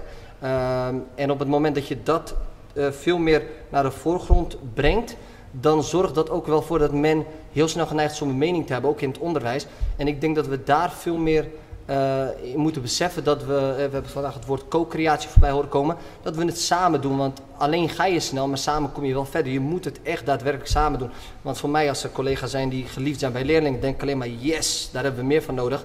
En ik ga één iemand heel kort in het zonnetje zetten, eh, nu wel op dit moment, diegene is aanwezig. Dat is namelijk Annette. Ja, ga ik toch doen, Annette. Eh, Annette, serieus, heb ik leren kennen. En, en, en dat is echt voor mij een bestuurder, of bestuurster, en met een hart voor het onderwijs die echt oprecht keihard werkt. En dat zijn de mensen, voor mij, met alle respect naar alle bestuurders, hè, want ik ken ze niet allemaal. Maar ik ken Annette en daar eh, eh, word ik in ieder geval echt super gelukkig en blij van. Dat geeft mij voldoening. Dus dat geeft mij dan weer inspiratie. Ik denk van, jawel, ook aan de top zijn er echt mensen die hard, eh, een hart hebben voor het onderwijs en die daar echt vol voor gaan. Ja. Dit was totaal niet gepland, sorry Annette, maar ik moest het doen. Een applaus voor Annette alsjeblieft, dankjewel dames en heren. Ik, ik, ga spontaan alles doen vandaag. Eh, dan gaan we richting de afsluiting met Teacher Tab. Ja. Ja. Maar die hebben we net al eh Oh ja, sorry. Zie je? Zie- je, dan ben ik spontaan alles kwijt. Maakt niet uit. Ehm, zijn er nog hele belangrijke dingen die ik wil vragen? Ja, ja, ja zeker. Hanke. Eh, welke thema's heb je dit jaar, eh, ehm, eh, had je graag willen zien tijdens Research Ad? Of denk je, daar moeten ze volgend jaar wat meer op focussen? Nou, wat ik, ehm, eh, mag ik het koppelen aan iets wat ik juist heel veel heb gezien Ja. en ehm, eh, wat ik heel mooi vond? Ik vond de aandacht voor, eh, voor leesvaardigheid, leesbevordering, leesplezier, begrijp het lezen vandaag echt heel prominent aanwezig en, en, en terecht. Dat is echt een, een, een kern wat, wat er zou moeten zijn, waar we ons echt met z'n allen heel hard voor moeten werken. Om dat voor elkaar te krijgen, dat dat, dat onderwijs op de kwaliteit van het onderwijs, leesonderwijs, echt, eh, echt eh, hoog is. Ehm, wat ik wat minder heb teruggezien en, en wat ik als uitdaging zie voor de komende jaren, is dat we ehm, met, de, met de meeste onderzoeken ook en ook de, de, focus die we hebben op de scholen. ehm, echt oog hebben voor, voor bepaalde doelgroepen leerlingen die, eh, nou zeker de afgelopen anderhalf jaar, ehm, om, wat voor reden dan ook minder goed mee konden komen. En dat, dat kan zijn vanwege thuissituatie of nou, andere, andere problematiek waar je tegenaan loopt. eh, ehm, eh, onderwijsachterstanden, kansengelijkheid. Die thema's die, ehm, ehm, die, zijn, die, die zijn er. En ik denk dat het heel goed zou zijn als we kunnen kijken of we ook daar eh, nou, de onderzoek en praktijk dichter bij elkaar kunnen krijgen. Om, om daar ook elkaar in te vinden en, en nou, gezamenlijk te zorgen voor ja, meer kansengelijkheid in het onderwijs. Dus dat, dat is wel wat ik eh, hopelijk over een paar jaar eh, eh, hier wat vaker terugzie. Mooi. Eh Demi? Ehm, nou, naast dat ik het inderdaad ook een heel mooi divers programma vond vandaag, waar ik ontzettend van heb genoten, ehm, vond ik vanochtend de keynote van Pedro vond ik fantastisch. Maar vooral het stukje ook waarin hij heel ehm, kritisch ook keek naar de dingen die we dus heel lang hebben gedacht of waar we heel lang op hebben gebouwd, wat nu dus blijkbaar ehm, ja, genuanceerd moet worden en waar anders naar gekeken moet worden. Eh, vond ik een heel interessante ehm, sessie. Dus ik denk dat als er volgend jaar een sessie zou zijn die inderdaad zou gaan over eh, waarom doen we wat we doen en kunnen we die nog onderbouwen op de manier zoals we ze nu onderbouwen, ehm, zou ik wel interessant vinden. Ja, mooi. Nee, je, je haalt een heel mooi moment aan van Pedro inderdaad. Ik heb, door Pedro heb ik eigenlijk geleerd, misschien ook weer een nuance, maar dat wetenschappers gevoel voor humor hebben. Vond ik prachtig vandaan om te zien. Ze hebben gelachen. Ik dacht, wauw, hilarisch. En het was ook leuk om te zien als Pedro dan een aantal eh, eh, zaken eh, aan het licht bracht. Dan zag je ook wel een aantal wetenschappers echt kijken van, geloofde ik daar al die tijd toch echt in? En dat maakte het zo leuk. Dus de diversiteit, inderdaad, de humor. Ik heb echt genoten. En dan ga ik echt toch, eh, eh, ik zou nog eens urenlang willen doorpraten. Ik hou ook van praten, maar ik ga de bal dan kaatsen weer naar Amy. En ik kaats het door aan de founding father van ResearchEd, Jan Tishauser.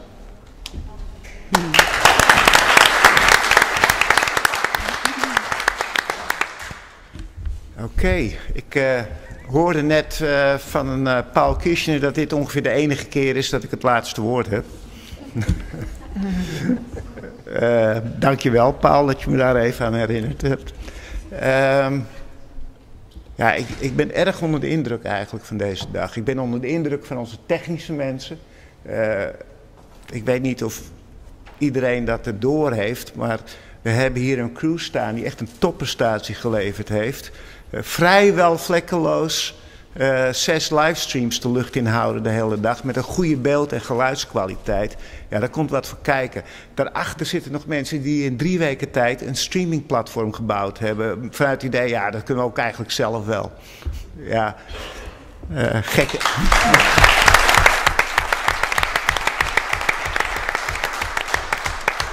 Dus, dus, nou, die hebben echt een applaus verdiend. Uh, zonder een school die ons gastvrijheid biedt en met ons meedenkt, kunnen we dit niet organiseren. Dus er is een bloemetje voor Simon en voor uh, Paul de Concierge. Die gewoon hun zaterdag weer opofferen en hier de hele dag zijn.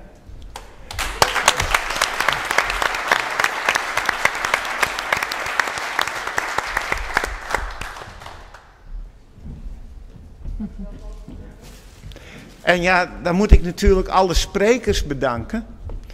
En we hebben nog één bos bloemen over. Dat is niet genoeg voor alle sprekers. Die is niet van mij. Uh, maar we hebben wel één heel prominente spreker. Paul.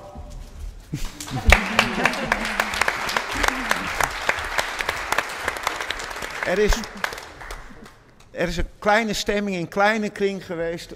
De laatste bosbloem is voor Paul. En je neemt hem in ontvangst voor alle sprekers van vandaag.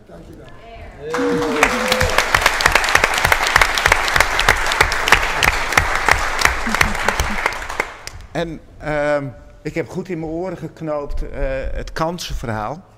En ik moet zeggen dat binnen ons bedrijf, als ik kijk naar. We hebben nu een hele diverse crew. Uh, laatst hebben we meegewerkt aan sociaal vangnet. En dat is echt een probleem in Nederland als je een migratieachtergrond hebt en je bent toevallig ook nog vrouw, uh, dan mag je gaan stapelen. Klinkt heel mooi, maar het zijn gewoon twee of drie verloren jaren. Nodeloos. Ga jij maar VMBO doen. Met een HAVO VWO eindtoets. Uh, dus Hanke, we nemen hem mee. Ik, ben daar uh, een beetje boos en een beetje verdrietig over. Goed, andere emotie. Wat was dit mooi? Wat was het mooi om elkaar te zien. Om elkaar weer. En ik, ik verontschuldig me voor de online bezoekers. Want jullie hebben hopelijk een goede dag gehad. Ik hoop dat jullie goed beeld en kwaliteit he hebben gehad met uh, niet al te veel hiccups. Maar in levende lijf elkaar ontmoeten. Ik ontdekte vandaag dat ik de directeur van het NRO, Gerard Baas, toch nooit in levende lijf ontmoet had, terwijl we al anderhalf jaar samenwerken. Dat is echt bizar. Het werkt een beetje, dat afstandsonderwijs. Een van de conclusies van Carla Halemans van vandaag was van echt onderwijs werkt zoveel beter dan afstandsonderwijs. En zij haalt dat gewoon uit de data. Dus laten we alsjeblieft zorgen dat we gezond blijven. En elkaar uh, hopelijk in januari weer in levende lijven mogen ontmoeten. Op 23 oktober, let op onze website, let op onze aankondigingen, social media. 23 oktober op de Thomas More Hogeschool gaan we de, de volgende Universiteit organiseren. En op dit moment gaan we ervan uit dat het een live event wordt.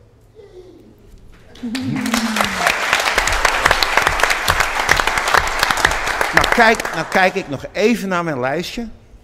Meesters met dromen. Zonder jullie was deze dag niet geslaagd natuurlijk. En nou, heel fijn dat jullie dit opgepakt hebben. Um, met, met name Ismaël ook. Fantastisch werk gedaan. Emin.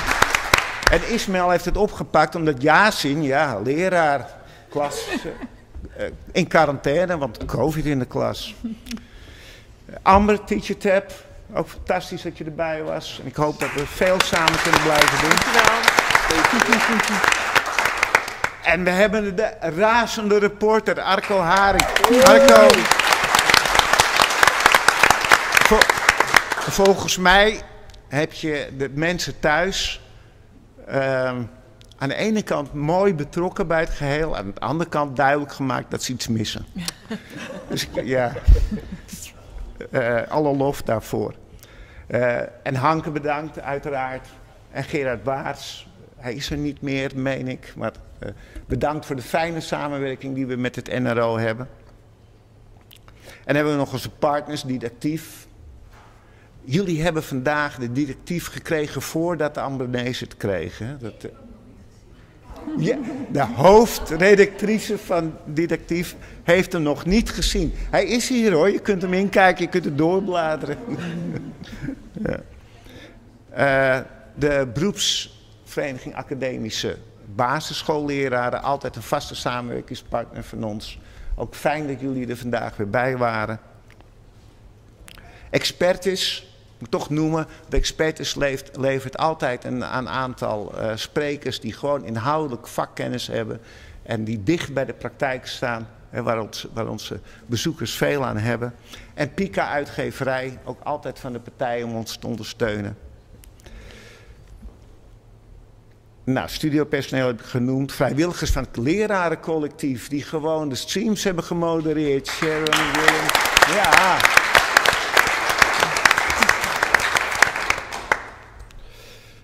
En sowieso het lerarencollectief, een goede samenwerkingspartner van ons.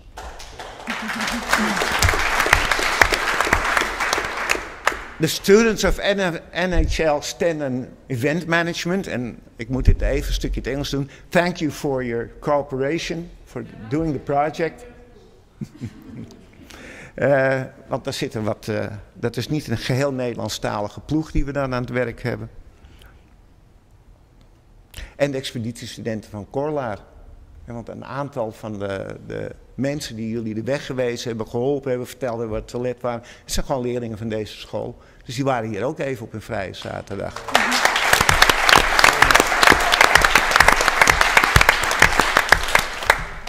Um, Jos Reulen die heeft het al een paar keer op Twitter, heeft hij deze dag het jaarlijkse onderwijsfeestje genoemd.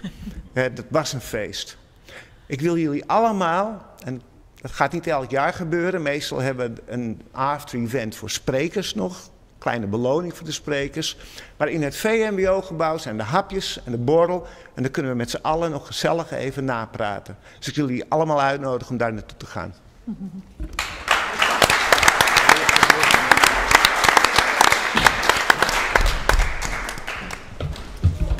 Oeh, pas op, je zit